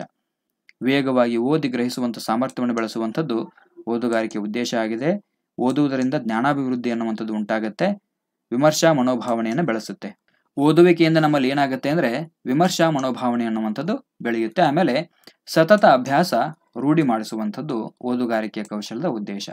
ಹಾಗೆ ಈ ಓದುಗಾರಿಕೆ ಅನ್ನುವಂಥದ್ದು ಮಾತುಗಾರಿಕೆಯನ್ನ ಪೋಷಿಸುತ್ತೆ. ಯಾವಾಗ ಒಬ್ಬ ವ್ಯಕ್ತಿ ಓದ್ತಾನೆ, ಅವನಲ್ಲಿ ಜ್ಞಾನ ಬರುತ್ತೆ. ಹೀಗಾಗಿ ಆ ವಿಚಾರಗಳನ್ನ, ಓದಿರತಕ್ಕಂಥ ವಿಚಾರಗಳನ್ನ ಆತ ಮತ್ತೊಬ್ಬರ ಮುಂದೆ ಹೇಳಬಲ್ಲ. ಹೀಗಾಗಿ ಮಾತುಗಾರಿಕೆಯನ್ನ ಈ ಓದುಗಾರಿಕೆ ಕೌಶಲ ಪೋಷಣೆ ಮಾಡುತ್ತೆ. ಕಾಲಹರಣವನ್ನು ನಿಯಂತ್ರಣ ಮಾಡಿ ಸದುಪಯೋಗದ ಭಾವನೆಯನ್ನು ಬೆಳೆಸುತ್ತೆ. ಶಬ್ದ ಭಂಡಾರ ಅಧಿಕಗೊಳ್ಳುತ್ತೆ. ಓದೋದ್ರಿಂದಾಗಿ ಏನಾಗುತ್ತೆ ಅಂದ್ರೆ ನಮ್ಮ ಶಬ್ದ ಭಂಡಾರ ಅನ್ನುವಂಥದ್ದು ಜಾಸ್ತಿ ಆಗುತ್ತೆ. ಅರ್ಥಗ್ರಹಣ ಶಕ್ತಿಯನ್ನು ಬೆಳೆಸುತ್ತೆ, ಜ್ಞಾಪಕ ಶಕ್ತಿಯನ್ನು ಬೆಳೆಸುತ್ತೆ, ಸ್ಪಷ್ಟ ಉಚ್ಚಾರಣೆಯ ಸಾಮರ್ಥ್ಯವನ್ನು ಇದು ಬೆಳೆಸುತ್ತೆ, ಧ್ವನ್ಯಾಂಗಗಳನ್ನ ಪುಷ್ಟೀಕರಣ ಮಾಡುತ್ತೆ. ನಾವು ಗಟ್ಟಿಯಾಗಿ ಓದೋದ್ರಿಂದಾಗಿ ಏನಾಗುತ್ತೆ ಅಂದ್ರೆ ನಮ್ಮ ಧ್ವನ್ಯಾಂಗಗಳು ಪುಷ್ಟೀಕರಣಗೊಳ್ಳುತ್ತವೆ, ಓದುವ ಶೈಲಿಯನ್ನು ಉತ್ತಮಗೊಳಿಸುತ್ತೆ. ಹೌದಾ? ಇದೆಲ್ಲ ಓದುಗಾರಿಕೆ ಕೌಶಲದ ಉದ್ದೇಶಗಳು. ಇನ್ನು ಓದುಗಾರಿಕೆಯ ಕೌಶಲದ ಮಹತ್ವ ಏನು? ಇಂಪಾರ್ಟೆನ್ಸ್ ಏನಿದ್ರದ್ದು ಓದುಗಾರಿಕೆಯ ಕೌಶಲದ್ದು? ಭಾಷಾ ಸ್ವಾಮಿತ್ವವನ್ನು ಉಂಟು ಮಾಡುತ್ತೆ, ಆತ್ಮಸಂತೋಷವನ್ನು ನೀಡುತ್ತೆ. ಶಬ್ದ ಭಂಡಾರವನ್ನು ಅಧಿಕಗೊಳಿಸುತ್ತೆ, ಕಾಲಹರಣವನ್ನು ನಿಯಂತ್ರಣ ಮಾಡುತ್ತೆ, ಜ್ಞಾನಾಭಿವೃದ್ಧಿಯನ್ನು ಉಂಟು ಮಾಡುತ್ತೆ, ವಿಮರ್ಶಾ ಮನೋಭಾವನೆ ಶಕ್ತಿಯನ್ನು ಹೆಚ್ಚು ಮಾಡುತ್ತೆ, ಸತತ ಅಭ್ಯಾಸ ಮತ್ತು ಸ್ಫೂರ್ತಿಯನ್ನು ಉಂಟು ಮಾಡುತ್ತೆ. ಮಾತುಗಾರಿಕೆಯ ಕೌಶಲವನ್ನು ಪೋಷಿಸುತ್ತೆ, ಜ್ಞಾಪಕ ಶಕ್ತಿಯನ್ನು ವೃದ್ಧಿ ಮಾಡುತ್ತೆ, ಸ್ಪಷ್ಟ ಉಚ್ಚಾರಣೆಯನ್ನು ಬೆಳೆಸುತ್ತೆ, ಧ್ವನ್ಯಾಂಗಗಳನ್ನು ಪುಷ್ಟೀಕರಿಸುತ್ತೆ, ಓದುವ ಶೈಲಿ ಅಥವಾ ರೀತಿಯನ್ನ ಉತ್ತಮಗೊಳಿಸುತ್ತೆ. ಇದು ಓದುಗಾರಿಕೆಯ ಕೌಶಲ್ಯದ ಮಹತ್ವ. ಇನ್ನು ಓದುಗಾರಿಕೆಯ ಪ್ರಕಾರಗಳು. ಟೈಪ್ಸ್ ಆಫ್ ರೀಡಿಂಗ್ ಬಹಳಷ್ಟು ಇಂಪಾರ್ಟೆಂಟ್ ಆಗಿರ್ತಕ್ಕಂಥದ್ದು ಇದು. ಇಂಗ್ಲಿಷ್ನಲ್ಲೂ ಕೂಡ ಸೇಮ್ ಬರುತ್ತೆ. ಬಾಯ್ದೆರೆ ಓದು. ಓರಲ್ ರೀಡಿಂಗ್ ಅಂತ ನಾವು ಕರಿತೀವಿ. ಎರಡನೇದು ಮೌನ ವಾಚನ ಅಥವಾ ಮೌನ ಓದು ಸೈಲೆಂಟ್ ರೀಡಿಂಗ್ ಗಾಢ ಓದು ಇಂಟೆನ್ಸಿವ್ ರೀಡಿಂಗ್ ಮುಂದೋದು ಎಕ್ಸ್ಟೆನ್ಸಿವ್ ರೀಡಿಂಗ್ ಅಂತೀವಿ. ಶೇಷಪೂರಿತ ಓದು ಸಪ್ಲಿಮೆಂಟರಿ ರೀಡಿಂಗ್ ಆತ್ಮಸಂತೋಷದ ಓದು ರೀಡಿಂಗ್ ಫಾರ್ ಪ್ಲೇಜರ್ ಸ್ಥೂಲ ವಾಚನ ಸ್ಕಿಮ್ಮಿಂಗ್ ಸೂಕ್ಷ್ಮ ವಾಚನ ಸ್ಕ್ಯಾನಿಂಗ್ ಬಹಳಷ್ಟು ಇಂಪಾರ್ಟೆಂಟ್ ಆಗಿರ್ತಕ್ಕಂಥದ್ದು ಇದು. ಸ್ಕಿಮ್ಮಿಂಗ್ ಮತ್ತು ಸ್ಕ್ಯಾನಿಂಗ್ ಇಂಗ್ಲಿಷ್ನಲ್ಲೂ ಕೂಡ ಈ ಬಗ್ಗೆ ಪ್ರಶ್ನೆಗಳು ಬರುವಂತಹ ಸಾಧ್ಯತೆ ಇರುತ್ತೆ. ಇವುಗಳ ಬಗ್ಗೆ ಡೀಟೇಲ್ ಆಗಿ ನಾವು ನೋಡ್ತಾ ಹೋಗೋಣ. ಮೊದಲನೇದು, ಓದುಗಾರಿಕೆಯ ಪ್ರಕಾರಗಳಲ್ಲಿ ಬಾಯಿದೆರೆ ಓದು. ಬಾಯಿದೆರೆ ಓದು. ಓರಲ್ ರೀಡಿಂಗ್ ಅಂತೀವಿ. ವಾಕ್ಯಗಳನ್ನ ಗಟ್ಟಿಯಾಗಿ, ಶಬ್ದದೊಂದಿಗೆ ಬೇರೆಯವರಿಗೆ ಕೇಳುವಂತೆ ಓದುವಂಥದ್ದನ್ನ ಗಟ್ಟಿ ವಾಚನ ಅಂತ ಕರಿತೀವಿ. ಗಟ್ಟಿಯಾಗಿ, ಬಾಯಿ ಬಿಟ್ಟು ಧ್ವನಿಯುಕ್ತವಾಗಿ ಕೇಳುವವರಿಗೆ ಹಿತವಾಗುವಂತೆ ತಪ್ಪಿಲ್ಲದೆ ತ್ವರೋಪಕರಣಗಳನ್ನ ಸ್ಪಷ್ಟವಾಗಿ ಉಚ್ಚರಿಸುವುದಕ್ಕೆ ಬಾಯ್ದೆರೆ ಓದು ಅಂತ ಕರಿತೀವಿ. ಇದು ಬಾಯ್ದೆರೆ ಓದು. ಗಟ್ಟಿಯಾಗಿ ಓದೋದು, ಎಲ್ಲರಿಗೂ ಕೇಳುವಂತೆ ಓದೋದು. ಇದರಿಂದ ಧ್ವನ್ಯಾಂಗಗಳು ಏನಾಗ್ತವೆ ಅಂದ್ರೆ ಪುಷ್ಟೀಕರಣಗೊಳ್ತವೆ. ಎರಡನೇದು ಮೌನ ಓದು ಸೈಲೆಂಟ್ ರೀಡಿಂಗ್ ಇನ್ನೊಬ್ಬರಿಗೆ ತೊಂದರೆಯಾಗದಂತೆ, ನೋಡಿ, ಇನ್ನೊಬ್ಬರಿಗೆ ತೊಂದರೆಯಾಗದಂತೆ ತುಟಿ ಬಿಚ್ಚದೆ ಮನಸ್ಸಿನಲ್ಲಿ ಮನಸ್ಸು ತೆರೆದು ಕಣ್ ಚಲನೆಯ ಮೂಲಕ ವಿಷಯ ಗ್ರಹಿಕೆ ಮಾಡುವಂಥದ್ದನ್ನೇ ನಾವು ಮೌನ ಓದು ಅಂತ ಕರಿತೀವಿ. ಎಸ್, ನಾವು ಮೌನ ಓದಿನ ಬಗ್ಗೆ ತಿಳ್ಕೊಂಡ್ವಿ. ಇನ್ನು ಗಾಢ ಓದು ಅಂದ್ರೆ ಏನು? ಇಂಟೆನ್ಸಿವ್ ರೀಡಿಂಗ್ ಪಠ್ಯ ವಿಷಯವನ್ನ ಕ್ರಮಬದ್ಧವಾಗಿ ಪದ, ವಾಕ್ಯ, ಪ್ಯಾರಾವನ್ನು ಬಿಡದೆ ಎಲ್ಲಾ ವಿಷಯಕ್ಕೂ ಪ್ರಾಧಾನ್ಯತೆ ಕೊಟ್ಟು ಅವಧಾನ ಕೇಂದ್ರೀಕರಿಸಿ ವಿಷಯವನ್ನ ವಿಶ್ಲೇಷಿಸುವುದೇ ಗಾಢವಾದ ಓದು ಅಥವಾ ಆಳವಾದ ಓದು ಅಂತ ಕರೀತಾರೆ. ಗಾಢವಾದ ಓದು ಅಂದ್ರೆ ಪಠ್ಯ ವಿಷಯದಲ್ಲಿರ್ತಕ್ಕಂಥ ಎಲ್ಲಾ ವಿಷಯಗಳನ್ನ ಕ್ರಮಬದ್ಧವಾಗಿ, ಪಠ್ಯ ವಿಷಯದಲ್ಲಿರ್ತಕ್ಕಂಥ ಪದ, ವಾಕ್ಯ, ಪ್ಯಾರಾವನ್ನ ಯಾವುದನ್ನು ಬಿಡದೆ ಎಲ್ಲಾ ವಿಷಯಕ್ಕೂ ಪ್ರಾಧಾನ್ಯತೆ ಕೊಟ್ಟು ಅವಧಾನವನ್ನು ಕೇಂದ್ರೀಕರಿಸಿ ವಿಷಯವನ್ನ ವಿಶ್ಲೇಷಣೆ ಮಾಡಿ ಓದುವಂಥದ್ದನ್ನೇ ನಾವು ಗಾಢ ಓದು ಅಥವಾ ಆಳ ಓದು ಅಂತ ಕರಿತೀವಿ. ಇಂಟೆನ್ಸಿವ್ ರೀಡಿಂಗ್ ಗಾಢ ಓದು. ಇನ್ನು ಮುಂದೋದು ಎಕ್ಸ್ಟೆನ್ಸಿವ್ ರೀಡಿಂಗ್ ಯಾರ ಅಂಕೆ ಇಲ್ಲದೆ ತಮಗೆ ತಿಳಿದಂತೆ ಪಠ್ಯ ಪುಸ್ತಕಕ್ಕೆ ಸಂಬಂಧಪಟ್ಟಂತೆ ಅಥವಾ ಕೆಲವು ಸಮಯ ಪಠ್ಯಕ್ಕೆ ಸಂಬಂಧವಿರದ ವಿಷಯಗಳನ್ನ ತಿಳಿದುಕೊಳ್ಳಲು ಸ್ವಯಂ ಪ್ರೇರಿತವಾಗಿ ಗ್ರಂಥಾಲಯ ಅಥವಾ ವಾಚನಾಲಯದಲ್ಲಿ ಓದುವಂಥದ್ದನ್ನ ನಾವು ಮುಂದೋದು ಅಂತ ಕರಿತೀವಿ. ಎಕ್ಸ್ಟೆನ್ಸಿವ್ ರೀಡಿಂಗ್ ಹೌದಾ? ಮುಂದೋದು, ಹೆಚ್ಚಿನ ಓದು ಅಂತ ಇದನ್ನ ಕರೀತಾರೆ. ಯಾರ ಅಂಕೆನೂ ಇಲ್ಲದೆ ತಮಗೆ ತಿಳಿದಿರ್ತಕ್ಕಂಥ ಪಠ್ಯವನ್ನ ಅಥವಾ ಕೆಲವೊಂದು ಸಾರಿ ಪಠ್ಯಕ್ಕೆ ಸಂಬಂಧ ಇಲ್ಲದೆ ಇರತಕ್ಕಂಥ ವಿಷಯಗಳನ್ನ ತಿಳ್ಕೊಳ್ಳಿಕ್ಕೆ ಸ್ವಯಂ ಪ್ರೇರಿತವಾಗಿ ಗ್ರಂಥಾಲಯ ಅಥವಾ ವಾಚನಾಲಯದಲ್ಲಿ ಓದುವಂಥದ್ದನ್ನ ನಾವು ಮುಂದೋದು ಅಂತ ಕರೀತೀವಿ. ಇನ್ನು ಶೇಷಪೂರಿತ ಓದು ಸಪ್ಲಿಮೆಂಟರಿ ರೀಡಿಂಗ್ ತಮಗೆ ಬೇಕಾದ ತಮ್ಮ ಅಭಿರುಚಿಗೆ ತಕ್ಕಂತಹ ವಿಷಯಗಳನ್ನ ಮಾತ್ರ ಮೇಲೆ ಮೇಲೆ ಓದಿ ತಿಳಿದುಕೊಳ್ಳುವುದಕ್ಕೆ ಶೇಷಪೂರಿತ ಓದು ಅಂತ ಕರಿತೀವಿ. ಹೌದಾ? ಶೇಷಪೂರಿತ ಓದು ಸಪ್ಲಿಮೆಂಟರಿ ರೀಡಿಂಗ್ ಇದು.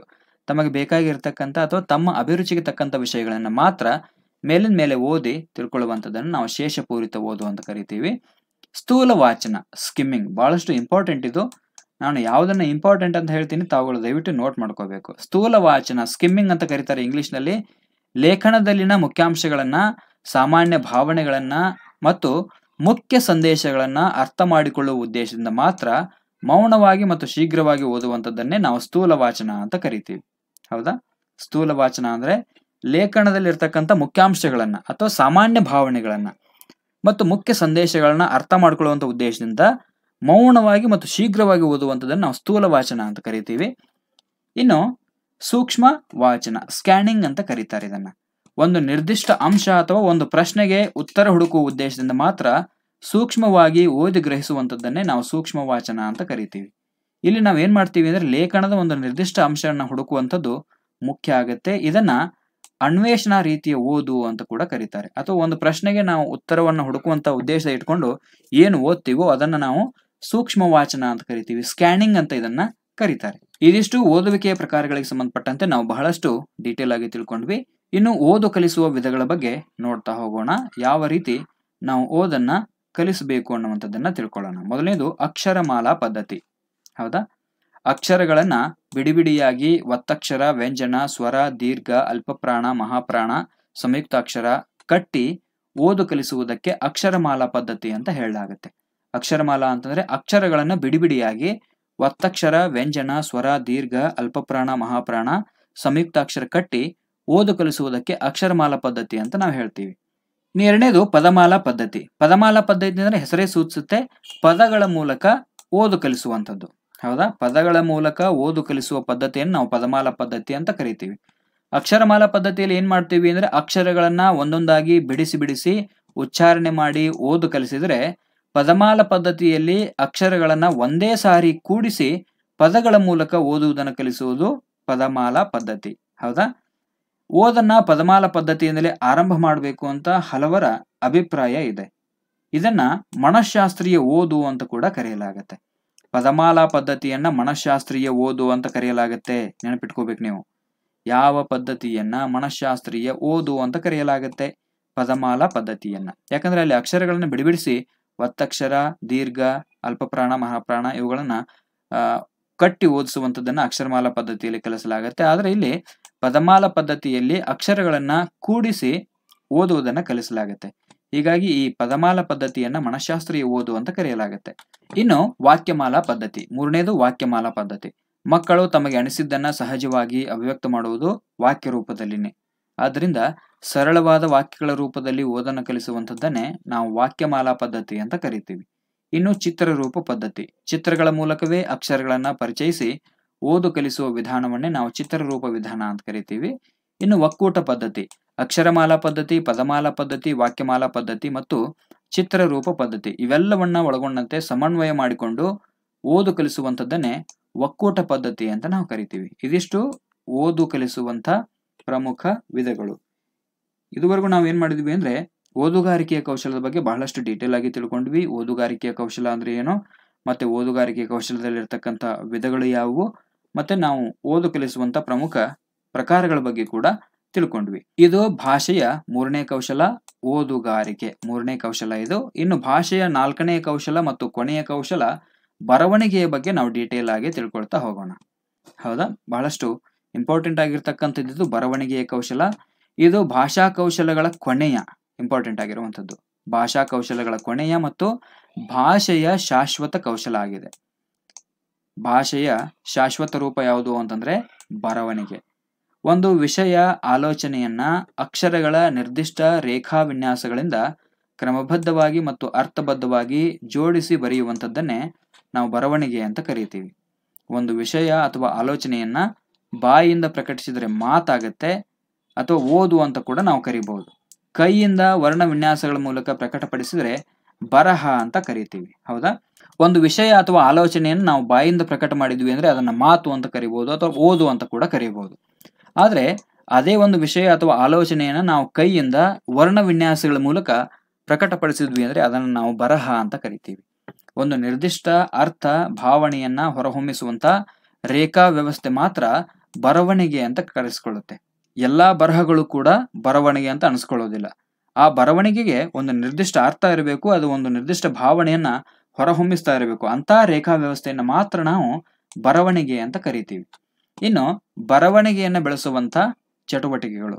ಮಕ್ಕಳಲ್ಲಿ ಯಾವ ಚಟುವಟಿಕೆಗಳ ಮೂಲಕ ನಾವು ಬರವಣಿಗೆಯನ್ನ ಸೂಕ್ತವಾಗಿ ಬೆಳೆಸಬಹುದು ಅನ್ನುವಂಥದ್ದಕ್ಕೆ ಕೆಲವು ಚಟುವಟಿಕೆಗಳು ಬರ್ತವೆ. ಮೊದಲನೇದು ಉಕ್ತ ಲೇಖನ ಅಥವಾ ಹೇಳಿ ಬರೆಸುವಂಥದ್ದು. ಇದನ್ನ ಇಂಗ್ಲಿಷ್ನಲ್ಲಿ ಡಿಕ್ಟೇಷನ್ ಅಂತಾರೆ. ಪದ, ಪದಪುಂಜ, ನುಡಿಗಟ್ಟುಗಳು ಮತ್ತು ವಾಕ್ಯ ಬಂಧಗಳನ್ನ ಮಕ್ಕಳ ಮುಂದೆ ಮೌಖಿಕವಾಗಿ ಹೇಳುತ್ತಾ ಬರೆಸುವಂಥದ್ದನ್ನೇ ನಾವು ಉಕ್ತ ಲೇಖನ ಅಂತ ಕರಿತೀವಿ ಅರ್ಥ ಆಯ್ತಲ್ಲ ಉಕ್ತ ಲೇಖನ ಅಂದ್ರೆ ಏನು ಅಂತ? ಪದ, ಪದಪುಂಜ, ನುಡಿಗಟ್ಟುಗಳು ಮತ್ತು ವಾಕ್ಯಗಳನ್ನ ಶಿಕ್ಷಕರು, ಮಕ್ಕಳ ಮುಂದೆ ಹೇಳೋದು. ಶಿಕ್ಷಕರು ಹೇಳಿರುವಂತಹ ಆ ಪದಪುಂಜಗಳನ್ನ, ನುಡಿಗಟ್ಟುಗಳನ್ನ ವಾಕ್ಯ ಬಂಧಗಳನ್ನ ಮಕ್ಕಳು ಬರೆಯುವಂಥದ್ದನ್ನೇ ನಾವು ಉಕ್ತ ಲೇಖನ ಅಂತ ಕರಿತೀವಿ. ಮಕ್ಕಳ ಅಕ್ಷರಗಳ ತಪ್ಪುಗಳನ್ನ ಕಂಡುಹಿಡಿಯಲು ಅವಧಾನವನ್ನ ಪರೀಕ್ಷೆ ಮಾಡಲಿಕ್ಕೆ, ಶ್ರವಣ ಶಕ್ತಿಯನ್ನ ಪರೀಕ್ಷೆ ಮಾಡಲಿಕ್ಕೆ ವಿಷಯ ಗ್ರಹಣ ಶಕ್ತಿಯನ್ನ ಪರೀಕ್ಷೆ ಮಾಡಲಿಕ್ಕೆ, ತಪ್ಪಿಲ್ಲದೆ ಬರಿತಾರೋ ಇಲ್ಲೋ ಅನ್ನುವಂಥದ್ದನ್ನ ಪರೀಕ್ಷೆ ಮಾಡಲಿಕ್ಕೆ ಈ ಉಕ್ತ ಲೇಖನವನ್ನು ನಾವು ಬಳಸಬಹುದು. ಹೌದಾ? ಉಕ್ತ ಲೇಖನ ಅಂದರೆ ಶಿಕ್ಷಕರು ಹೇಳೋದು, ಮಕ್ಕಳು ಶಿಕ್ಷಕರು ಹೇಳದಂಗೆ ಬರೆಯುವಂಥದ್ದು. ಇನ್ನು ಸಂಕ್ಷೇಪಿಸಿ ಬರೆಯುವಂಥದ್ದು. ಒಂದು ವಿಷಯವನ್ನ ಕುರಿತಂತೆ ವಿವರವಾದ ಪಠ್ಯ, ಒಂದು ಲೇಖನವನ್ನ ಸಾರಾಂಶ ಮತ್ತು ಕೇಂದ್ರ ಭಾವನೆಯನ್ನ ಕಾಯ್ದುಕೊಂಡು ಅರ್ಥ ಕೆಡದಂತೆ ಸಂಸ್ಕರಿಸಿ ಸಾರ ಸಂಗ್ರಹಿಸಿ ಬರೆಯುವಂಥದ್ದನ್ನೇ ನಾವು ಬರವಣಿಗೆ ಅಂತ ಕರಿತೀವಿ. ಹೌದಾ? ಒಂದು ವಿಷಯವನ್ನು ಕುರಿತಂತೆ ಅಥವಾ ಒಂದು ಲೇಖನವನ್ನು ಕುರಿತಂತೆ ಸಾರಾಂಶವನ್ನ ಅಥವಾ ಕೇಂದ್ರ ಭಾವನೆಯನ್ನ ಕಾಯ್ದುಕೊಂಡು ಅರ್ಥ ಕೆಡದಂತೆ ಸಂಸ್ಕರಿಸಿ ಸಾರ ಸಂಗ್ರಹ ಬರೆಯುವಂಥದ್ದನ್ನೇ ನಾವು ಸಂಕ್ಷೇಪ ಬರವಣಿಗೆ ಅಂತ ಕರಿತೀವಿ. ಇನ್ನು ವಿಸ್ತರಣಾ ಬರಹ. ಹಲವು ಅಭಿಪ್ರಾಯಗಳು, ವಿಷಯಾಂಶಗಳು, ಭಾವನೆಗಳು ಅಂತರ್ಗತಗೊಂಡಿರ್ತಕ್ಕಂಥ ಒಂದು ವಾಕ್ಯ, ಹೇಳಿಕೆ ವಾಕ್ಯವೃಂದ ಸೂತ್ರ, ಸಿದ್ಧಾಂತ, ನಾಣ್ಣುಡಿ, ಕವನ, ಕಾವ್ಯ ಇತ್ಯಾದಿಗಳನ್ನ ಬಿಚ್ಚಿ ವಿವರಿಸಿ ಬರೆಯುವಂಥದ್ದೇ ವಿಸ್ತರಣಾ ಬರಹ. ಸೂಕ್ತವಾಗಿ ಮುಚ್ಚಿಟ್ಟಿರುವ ಭಾವನೆಗಳನ್ನ ವಿಸ್ತರಿಸುವಂಥದ್ದನ್ನೇ ವಿಸ್ತರಣಾ ಬರಹ ಅಂತ ನಾವು ಕರಿತೀವಿ. ಉದಾಹರಣೆಗೆ, ಸತ್ಯಮೇವ ಜಯತೆ. ಇದು ಒಂದೇ ವಾಕ್ಯ ಇದೆ. ಈ ಒಂದು ವಾಕ್ಯದಲ್ಲಿ ಬಹಳಷ್ಟು ಅರ್ಥ ಇದೆ. ಹೀಗಾಗಿ ಈ ಸತ್ಯಮೇವ ಜಯತೆ ಅನ್ನುವಂಥ ವಾಕ್ಯವನ್ನ ವಿಸ್ತರಿಸಿ ಬರೆಯುವಂಥದ್ದು. ಅದರಲ್ಲಿ ಏನೆಲ್ಲ ಅಂಶಗಳು ಬರ್ತವೆ ಅವುಗಳನ್ನ ಬರೆಯುವಂಥದ್ದನ್ನ ವಿಸ್ತರಣಾ ಬರಹ ಅಂತ ಕರಿತೀವಿ. ಇನ್ನು ಟಿಪ್ಪಣಿ ಬರೆಯುವಂಥದ್ದು ನೋಟ್ಸ್ ಅಂತಾರೆ ಇಂಗ್ಲಿಷ್ನಲ್ಲಿ. ಪಠ್ಯ, ಪ್ರಬಂಧ, ವಿವರಣೆ, ಉಪನ್ಯಾಸ, ಭಾಷಣಗಳನ್ನು ಓದಿ ಅಥವಾ ಕೇಳಿ ಗ್ರಹಿಸುತ್ತಾ ಮುಖ್ಯಾಂಶಗಳನ್ನ ಸಂಕ್ಷಿಪ್ತವಾಗಿ, ಕ್ರಮಬದ್ಧವಾಗಿ ಬರೆಯುವಂಥದ್ದೇ ಟಿಪ್ಪಣಿ. ಇವಾಗ ನೀವು ಕೋಚಿಂಗ್ ಕ್ಲಾಸ್ಗೆ ಹೋಗಿದ್ದೀರಿ ಅಂತಂದ್ರೆ ನಿಮ್ಮ ಕೋಚಿಂಗ್ ಕ್ಲಾಸಲ್ಲಿ ಆ ಲೆಕ್ಚರರ್ ಏನು ಹೇಳ್ತಿರ್ತಾರೆ, ಆ ಮಹತ್ವದ ಅಂಶಗಳನ್ನ, ಉಪನ್ಯಾಸವನ್ನ ಕೇಳಿ ಗ್ರಹಿಸುತ್ತಾ ಮುಖ್ಯಾಂಶಗಳನ್ನು ನೀವು ಟಿಪ್ಪಣಿ ಮಾಡ್ಕೊಳ್ತಾ ಹೋಗ್ತೀರಿ ನೋಟ್ ಮಾಡ್ಕೊಳ್ತಾ ಹೋಗ್ತೀರಿ. ಇದನ್ನೇ ಟಿಪ್ಪಣಿ ಬರೆಯುವುದು ಅಂತ ಕರೀತಾರೆ. ಅಥವಾ ಒಂದು ವಿಷಯದ ಬಗ್ಗೆ ಸೂಚ್ಯವಾಗಿ, ಸಂಕ್ಷಿಪ್ತವಾಗಿ, ಅನುಕ್ರಮವಾಗಿ ಬರೆಯುವಂಥದ್ದನ್ನೇ ನಾವು ಟಿಪ್ಪಣಿ ಅಂತ ಕರಿತೀವಿ. ಇದಿಷ್ಟು ಟಿಪ್ಪಣಿ ಬರೆಯುವುದರ ಬಗ್ಗೆ. ಸೊ ಈ ಎಲ್ಲ ಚಟುವಟಿಕೆಗಳ ಮೂಲಕ ನಾವು ಏನ್ ಮಾಡ್ಬೋದು ಅಂದ್ರೆ ಮಕ್ಕಳಲ್ಲಿ ಬರವಣಿಗೆಯನ್ನ ಬೆಳೆಸಬಹುದು. ಇನ್ನು ಈ ಬರವಣಿಗೆಯ ಕೌಶಲಕ್ಕೆ ಸಂಬಂಧಪಟ್ಟಂತೆ ಹಲವಾರು ದೋಷಗಳು ಬರ್ತವೆ. ಕೆಲವು ಮಕ್ಕಳು ಒತ್ತೊತ್ತಾಗಿ ಬರೀತಾ ಇರ್ತಾರೆ, ಬರವಣಿಗೆ ದುಂಡಾಗಿ ಇರೋದಿಲ್ಲ. ಮತ್ತೆ ಅಕ್ಷರಗಳನ್ನು ಒಂದಕ್ಕೊಂದು ಸೇರಿಸಿ ಬರಿತಾ ಇರ್ತಾರೆ. ಆ ರೀತಿಯ ಚಟುವಟಿಕೆಗಳನ್ನ ಮಕ್ಕಳು ಮಾಡಬಾರದು ಮತ್ತು ಇವುಗಳನ್ನು ಶಿಕ್ಷಕರು ತಿದ್ದಬೇಕಾಗತ್ತೆ. ಸೊ ಇದಿಷ್ಟು ಬರವಣಿಗೆಯ ಕೌಶಲಕ್ಕೆ ಸಂಬಂಧಪಟ್ಟಂತೆ ಎರಡನೆಯ ಅಧ್ಯಾಯ. ಎಲ್ಲ ನಾಲ್ಕು ಪ್ರಮುಖ ಕೌಶಲಗಳ ಬಗ್ಗೆ ನಾನು ಈ ಎರಡನೇ ಅಧ್ಯಾಯದಲ್ಲಿ ನಿಮಗೆ ಡೀಟೇಲ್ ಆಗಿ ಮತ್ತೆ ಶಾರ್ಟ್ ಆಗಿ ಹೇಳಿದ್ದೇನೆ. ಭಾಷಾ ಬೋಧನೆಯ ಉದ್ದೇಶಗಳು ಏನಾಗಿರುತ್ತದೆ? ಜ್ಞಾನ, ಗ್ರಹಿಕೆ, ಅಭಿವ್ಯಕ್ತಿ, ಅದರಲ್ಲಿ ಮುಖ್ಯವಾಗಿ ಮೌಖಿಕ ಅಭಿವ್ಯಕ್ತಿ ಮತ್ತು ಲಿಖಿತ ಅಭಿವ್ಯಕ್ತಿ ಅನ್ನುವಂಥ ಬರುತ್ತೆ. ರಸಾನುಭವ ಮತ್ತು ರಸಾಸ್ವಾದನೆ. ಸೊ ಇವುಗಳು ಏನು ಅಂತಂದ್ರೆ ಭಾಷಾ ಬೋಧನೆ ನಿರ್ದಿಷ್ಟ ಉದ್ದೇಶಗಳು. ಭಾಷಾ ಬೋಧನೆ ಮಾಡೋದ್ರಿಂದಾಗಿ ಮಕ್ಕಳಲ್ಲಿ ಈ ನಿರ್ದಿಷ್ಟ ಉದ್ದೇಶಗಳ ಈಡೇರಿಕೆ ಆಗಲೇಬೇಕು. ಮಕ್ಕಳಲ್ಲಿ ಜ್ಞಾನ ಬರಬೇಕು, ಅರ್ಥಗ್ರಹಿಕೆ ಉಂಟಾಗಬೇಕು. ಕೇಳಿರುವಂಥದ್ದನ್ನ ಅವರಲ್ಲಿ ಅಭಿವ್ಯಕ್ತಪಡಿಸುವಂಥ ಸಾಮರ್ಥ್ಯ ಬರಬೇಕು, ರಸಾನುಭವ ಮತ್ತು ರಸಾಸ್ವಾದನೆ ಅನ್ನುವಂಥದ್ದು ಉಂಟಾಗಬೇಕು. ಇದು ಭಾಷಾ ಬೋಧನೆಯ ನಿರ್ದಿಷ್ಟ ಉದ್ದೇಶಗಳು. ಇನ್ನು ಭಾಷಾ ಬೋಧನೆಯ ಸಾಮಾನ್ಯ ಉದ್ದೇಶಗಳು ಏನು ಅನ್ನುವಂಥದ್ದನ್ನ ನೋಡ್ತಾ ಹೋಗೋಣ. ಅರ್ಥಗ್ರಹಿಸಿ ಆಲಿಸುವ ಕೌಶಲ್ಯಗಳಲ್ಲಿ ಸಾಮರ್ಥ್ಯ ಬೆಳೆಸೋದು, ಅರ್ಥಬದ್ಧವಾಗಿ ಮಾತನಾಡುವ ಕೌಶಲ್ಯಗಳಲ್ಲಿ ಸಾಮರ್ಥ್ಯ ಬೆಳೆಸುವಂಥದ್ದು ಅರ್ಥಗ್ರಹಿಸಿ ಓದುವ ಸಾಮರ್ಥ್ಯ ಬೆಳೆಸೋದು ಮತ್ತು ಓದುಗಾರಿಕೆಯಲ್ಲಿ ಅಭಿರುಚಿಯನ್ನು ಬೆಳೆಸುವಂಥದ್ದು, ಸುಸಂಬದ್ಧ ವಾಕ್ಯ ರಚನೆ ಕೌಶಲ್ಯಗಳನ್ನು ಬೆಳೆಸುವಂಥದ್ದು ಪದ ಸಂಪತ್ತು ಮತ್ತು ಪದ ಪ್ರಯೋಗ ಸಾಮರ್ಥ್ಯವನ್ನು ಬೆಳೆಸುವಂಥದ್ದು, ಭಾಷೆಯ ಮೂಲಕ ಸೃಜನಶೀಲ ಅಭಿವ್ಯಕ್ತಿ ಸಾಮರ್ಥ್ಯವನ್ನು ಬೆಳೆಸುವಂಥದ್ದು. ನಾವೊಂದು ಭಾಷೆಯನ್ನು ಬೋಧನೆ ಮಾಡ್ತಾ ಇದ್ದೀವಿ ಅಂದ್ರೆ ಅದರಲ್ಲಿ ಮಕ್ಕಳಲ್ಲಿರ್ತಕ್ಕಂಥ ಸೃಜನಶೀಲ ಅಭಿವ್ಯಕ್ತಿಗಳನ್ನ ಅವ್ರು ಏನ್ ಮಾಡ್ತಾರೆ ಅಂದ್ರೆ ಹೊರಹೊಮ್ಮಿಸಬೇಕು. ಆ ರೀತಿಯ ಶಕ್ತಿಯನ್ನ ಮಕ್ಕಳಿಗೆ ನಾವು ತುಂಬಬೇಕಾಗತ್ತೆ. ಆಮೇಲೆ ರಸಾಸ್ವಾದನೆ ಮತ್ತು ಸೌಂದರ್ಯ ಪ್ರಜ್ಞೆಯನ್ನು ಬೆಳೆಸುವಂಥದ್ದು, ಕನ್ನಡ ನಾಡು ನುಡಿಯ ಬಗ್ಗೆ ಅಭಿಮಾನ ಮತ್ತು ಗೌರವವನ್ನು ಬೆಳೆಸುವಂಥದ್ದು. ಇವತ್ತು ಕರ್ನಾಟಕದಲ್ಲಿ ಕನ್ನಡ ನಾಡು ನುಡಿಯ ಬಗ್ಗೆ ಅಭಿಮಾನ ಮತ್ತು ಗೌರವವನ್ನು ಬೆಳೆಸುವಂಥದ್ದು ಪ್ರತಿಯೊಬ್ಬರ ಆದ್ಯ ಕರ್ತವ್ಯ ಆಗಿದೆ. ಜೊತೆಗೆ ಸಾಹಿತ್ಯ ಅಧ್ಯಯನದ ಸಾಮರ್ಥ್ಯ ಮತ್ತು ಸಾಹಿತ್ಯ ಅಭಿರುಚಿಯನ್ನು ಬೆಳೆಸುವಂಥದ್ದು ರಾಷ್ಟ್ರೀಯ ಮತ್ತು ಜೀವನ ಮೌಲ್ಯಗಳೊಂದಿಗೆ ವ್ಯಕ್ತಿತ್ವ ವಿಕಾಸಕ್ಕೆ ನೆರವಾಗುವಂಥದ್ದು. ಇದಿಷ್ಟು ಭಾಷಾ ಬೋಧನೆಯ ಸಾಮಾನ್ಯ ಉದ್ದೇಶಗಳು. ಸೊ ಇದಿಷ್ಟು ಮೂರನೇ ಅಧ್ಯಾಯಕ್ಕೆ ಸಂಬಂಧಪಟ್ಟಂತೆ ಶಾರ್ಟ್ ಆಗಿ ನಾನು ನಿಮಗೆ ಹೇಳಿದ್ದೇನೆ. ಇನ್ನು ನಾಲ್ಕನೇ ಅಧ್ಯಾಯ ಮಾತೃಭಾಷಾ ಬೋಧನಾ ಪದ್ಧತಿಗಳು. ಬಹಳಷ್ಟು ಇಂಪಾರ್ಟೆಂಟ್ ಆಗಿರ್ತಕ್ಕಂಥದ್ದು ಮಾತೃಭಾಷಾ ಬೋಧನೆಯ ಪದ್ಧತಿಗಳು, ಭಾಷಾ ಬೋಧನೆಯ ಸಾಂಪ್ರದಾಯಿಕ ಪದ್ಧತಿಗಳ ಬಗ್ಗೆ ನಾವು ಮೊದಲಿಗೆ ತಿಳ್ಕೊಳ್ತಾ ಹೋಗೋಣ. ಬಹಳಷ್ಟು ಇಂಪಾರ್ಟೆಂಟ್ ಆಗಿರ್ತಕ್ಕಂಥದ್ದು ನಾಲ್ಕು ಆಯ್ಕೆಗಳನ್ನು ಕೊಟ್ಟು ಇದರಲ್ಲಿ ಭಾಷಾ ಬೋಧನೆಯ ಸಾಂಪ್ರದಾಯಿಕ ಪದ್ಧತಿ ಯಾವುದು ಅಂತ ಕೇಳ್ಬೋದು. ನಾಲ್ಕು ಆಯ್ಕೆಗಳನ್ನು ಕೊಡ್ತಾರೆ, ಅದರಲ್ಲಿ ಮೂರು ಆಯ್ಕೆಗಳನ್ನು ಬೇರೆ ಬೇರೆ ಕೊಟ್ಟು, ಒಂದು ಆಯ್ಕೆಯನ್ನು ಸರಿಯಾಗಿ ಕೊಟ್ಟು ಭಾಷಾ ಬೋಧನೆಯ ಸಾಂಪ್ರದಾಯಿಕ ಪದ್ಧತಿ ಯಾವುದು ಅಂತ ಕೇಳ್ಬೋದು. ಸಾಂಪ್ರದಾಯಿಕ ಪದ್ಧತಿಯಲ್ಲಿ ಮುಖ್ಯವಾಗಿ ಕಥನ ಪದ್ಧತಿ. ಸಾಂಪ್ರದಾಯಿಕ ಪದ್ಧತಿ ಅಂದ್ರೆ ಹಳೆ ಕಾಲದಿಂದ ನಡ್ಕೊಂಡು ಬಂದಿರತಕ್ಕಂಥ ಪದ್ಧತಿಗಳಿವು ಕಥನ ಪದ್ಧತಿ ಮೊದಲನೇದು, ಉಪನ್ಯಾಸ ಪದ್ಧತಿ, ಪ್ರಶ್ನೋತ್ತರ ಪದ್ಧತಿ, ಈ ಪ್ರಶ್ನೋತ್ತರ ಪದ್ಧತಿಯನ್ನು ಸಾಕ್ರೆಟಿಸ್ ಪದ್ಧತಿ ಅಂತ ಕೂಡ ಕರೀತಾರೆ. ಹೌದಾ? ಪ್ರಶ್ನೆಯನ್ನ ಕೇಳೋದು, ಉತ್ತರವನ್ನ ಪಡೆಯೋದು. ಈ ಪ್ರಶ್ನೋತ್ತರ ಪದ್ಧತಿಯನ್ನ ಸಾಕ್ರೆಟಿಸ್ ಪದ್ಧತಿ ಅಂತ ಕೂಡ ಕರೀತಾರೆ. ಅದಾದ ನಂತರ ನಾಟಕಾಭಿನಯ ಪದ್ಧತಿ, ಅದಾದ ನಂತರ ಅನುಗಮನ ಪದ್ಧತಿ, ನಿಗಮನ ಪದ್ಧತಿ. ಇವುಗಳ ಬಗ್ಗೆ ನಾವು ಡಿಟೇಲ್ ಆಗಿ ನೋಡ್ತಾ ಹೋಗೋಣ. ಮೊದಲನೇದು ಕಥನ ಪದ್ಧತಿ. ಭಾಷಾ ಬೋಧನೆಯ ಸಾಂಪ್ರದಾಯಿಕ ಪದ್ಧತಿ ಇದು ಕಥನ ಪದ್ಧತಿ ಅಂದ್ರೆ ಕಥೆಯ ಸ್ವರೂಪಕ್ಕೆ ಹೊಂದುವಂತ ವಿಷಯ, ವಿವಿಧ ಪಾತ್ರಗಳು, ಸಂಭಾಷಣೆ ಸಂದರ್ಭಗಳನ್ನು ವಿವರವಾಗಿ ರಚಿಸಿ ಅರ್ಥಬದ್ಧ ಪದ, ವಾಕ್ಯಾವಳಿಗಳ ಮೂಲಕ, ಅನುಕ್ರಮವಾಗಿ ಉತ್ತಮ ಧ್ವನಿಯ ಮೂಲಕ ವಿಷಯ ಸಂವಹನ ಮಾಡುವಂತ ಕ್ರಮವೇ ಕಥನ ಪದ್ಧತಿ. ಇದು ಕಥನ ಪದ್ಧತಿ, ಇನ್ನು ಉಪನ್ಯಾಸ ಪದ್ಧತಿ. ಇದು ಕೂಡ ಒಂದು ಸಾಂಪ್ರದಾಯಿಕ ಬೋಧನಾ ಪದ್ಧತಿ. ವಿಷಯವೊಂದಕ್ಕೆ ಸಂಬಂಧಿಸಿದ ವಿವರಗಳನ್ನು ಒದಗಿಸುವುದಕ್ಕೂ, ಚಟುವಟಿಕೆಗಳನ್ನು ಮಾಡಿಸುವುದಕ್ಕೂ, ವಿಮರ್ಶಾತ್ಮಕ ಆಲೋಚನೆಯನ್ನು ಹುಟ್ಟಿಸುವುದಕ್ಕೂ ಆಸಕ್ತಿ ಮೂಡಿಸುವುದಕ್ಕೂ ಅಥವಾ ಅಭಿಪ್ರಾಯಗಳನ್ನು ರೂಪಿಸುವುದಕ್ಕೂ ಅಧ್ಯಾಪಕರು ಪಾಠ ಮಾಡುವ ವಿಧಾನವನ್ನೇ ನಾವು ಉಪನ್ಯಾಸ ಪದ್ಧತಿ ಅಂತ ಕರಿತೀವಿ. ಒಂದು ವಿಷಯಕ್ಕೆ ಸಂಬಂಧಪಟ್ಟಿರ್ತಕ್ಕಂಥ ವಿವರವನ್ನು ಒದಗಿಸೋದು ಅಥವಾ ಚಟುವಟಿಕೆಯನ್ನ ಮಾಡಿಸೋದು, ವಿಮರ್ಶಾತ್ಮಕ ಆಲೋಚನೆಯನ್ನ ಹುಟ್ಟಿಸೋದು, ಆಸಕ್ತಿಯನ್ನು ಮೂಡಿಸೋದು ಅಥವಾ ಅಭಿಪ್ರಾಯಗಳನ್ನು ರೂಪಿಸುವುದಕ್ಕೆ ಅಧ್ಯಾಪಕರು ಪಾಠ ಮಾಡುವಂಥ ವಿಧಾನವನ್ನೇ ನಾವು ಉಪನ್ಯಾಸ ಪದ್ಧತಿ ಅಂತ ಕರಿತೀವಿ. ಇನ್ನು ಪ್ರಶ್ನೋತ್ತರ ಪದ್ಧತಿ. ಬೋಧಿಸುವ ವಿಷಯದ ಬಗ್ಗೆ ಪ್ರಶ್ನೆಗಳನ್ನು ಕೇಳುತ್ತಾ ಮಕ್ಕಳಿಂದ ಉತ್ತರ ಹೇಳಿಸುತ್ತಾ, ವಿವರಿಸುತ್ತಾ, ಅವರು ಗ್ರಹಿಸಿರುವ ವಿಷಯ ಜ್ಞಾನವನ್ನ ಪರೀಕ್ಷಿಸುವ ಜ್ಞಾನವನ್ನ ತಿಳಿಸುವಂತ ಕ್ರಮವನ್ನೇ ಪ್ರಶ್ನೋತ್ತರ ಪದ್ಧತಿ ಅಂತ ಕರೆಯಲಾಗುತ್ತೆ. ಇದನ್ನ ಸಾಕ್ರೆಟಿಸ್ ಪದ್ಧತಿ ಅಂತ ಕೂಡ ಕರೆಯಲಾಗುತ್ತೆ. ಪ್ರಶ್ನೋತ್ತರ ಪದ್ಧತಿಯನ್ನ ಸಾಕ್ರೆಟಿಸ್ ಪದ್ಧತಿ ಅಂತ ಕೂಡ ಕರೀತಾರೆ. ಇದರ ಬಗ್ಗೆ ಒಂದು ಪ್ರಶ್ನೆ ಬಂದಿತ್ತು. ಸಾಕ್ರೆಟಿಸ್ ಪದ್ಧತಿ ಅಂತ ಯಾವ ಪದ್ಧತಿಯನ್ನು ಕರೀತಾರೆ ಅಂತ ಒಂದು ಬಾರಿ ಪ್ರಶ್ನೆ ಬಂದಿತ್ತು. ಹೀಗಾಗಿ ಪ್ರಶ್ನೋತ್ತರ ಪದ್ಧತಿಯನ್ನ ಸಾಕ್ರೆಟಿಸ್ ಪದ್ಧತಿ ಅಂತ ಕರೀತಾರೆ. ಇನ್ನು ನಾಟಕಾಭಿನಯ ಪದ್ಧತಿ.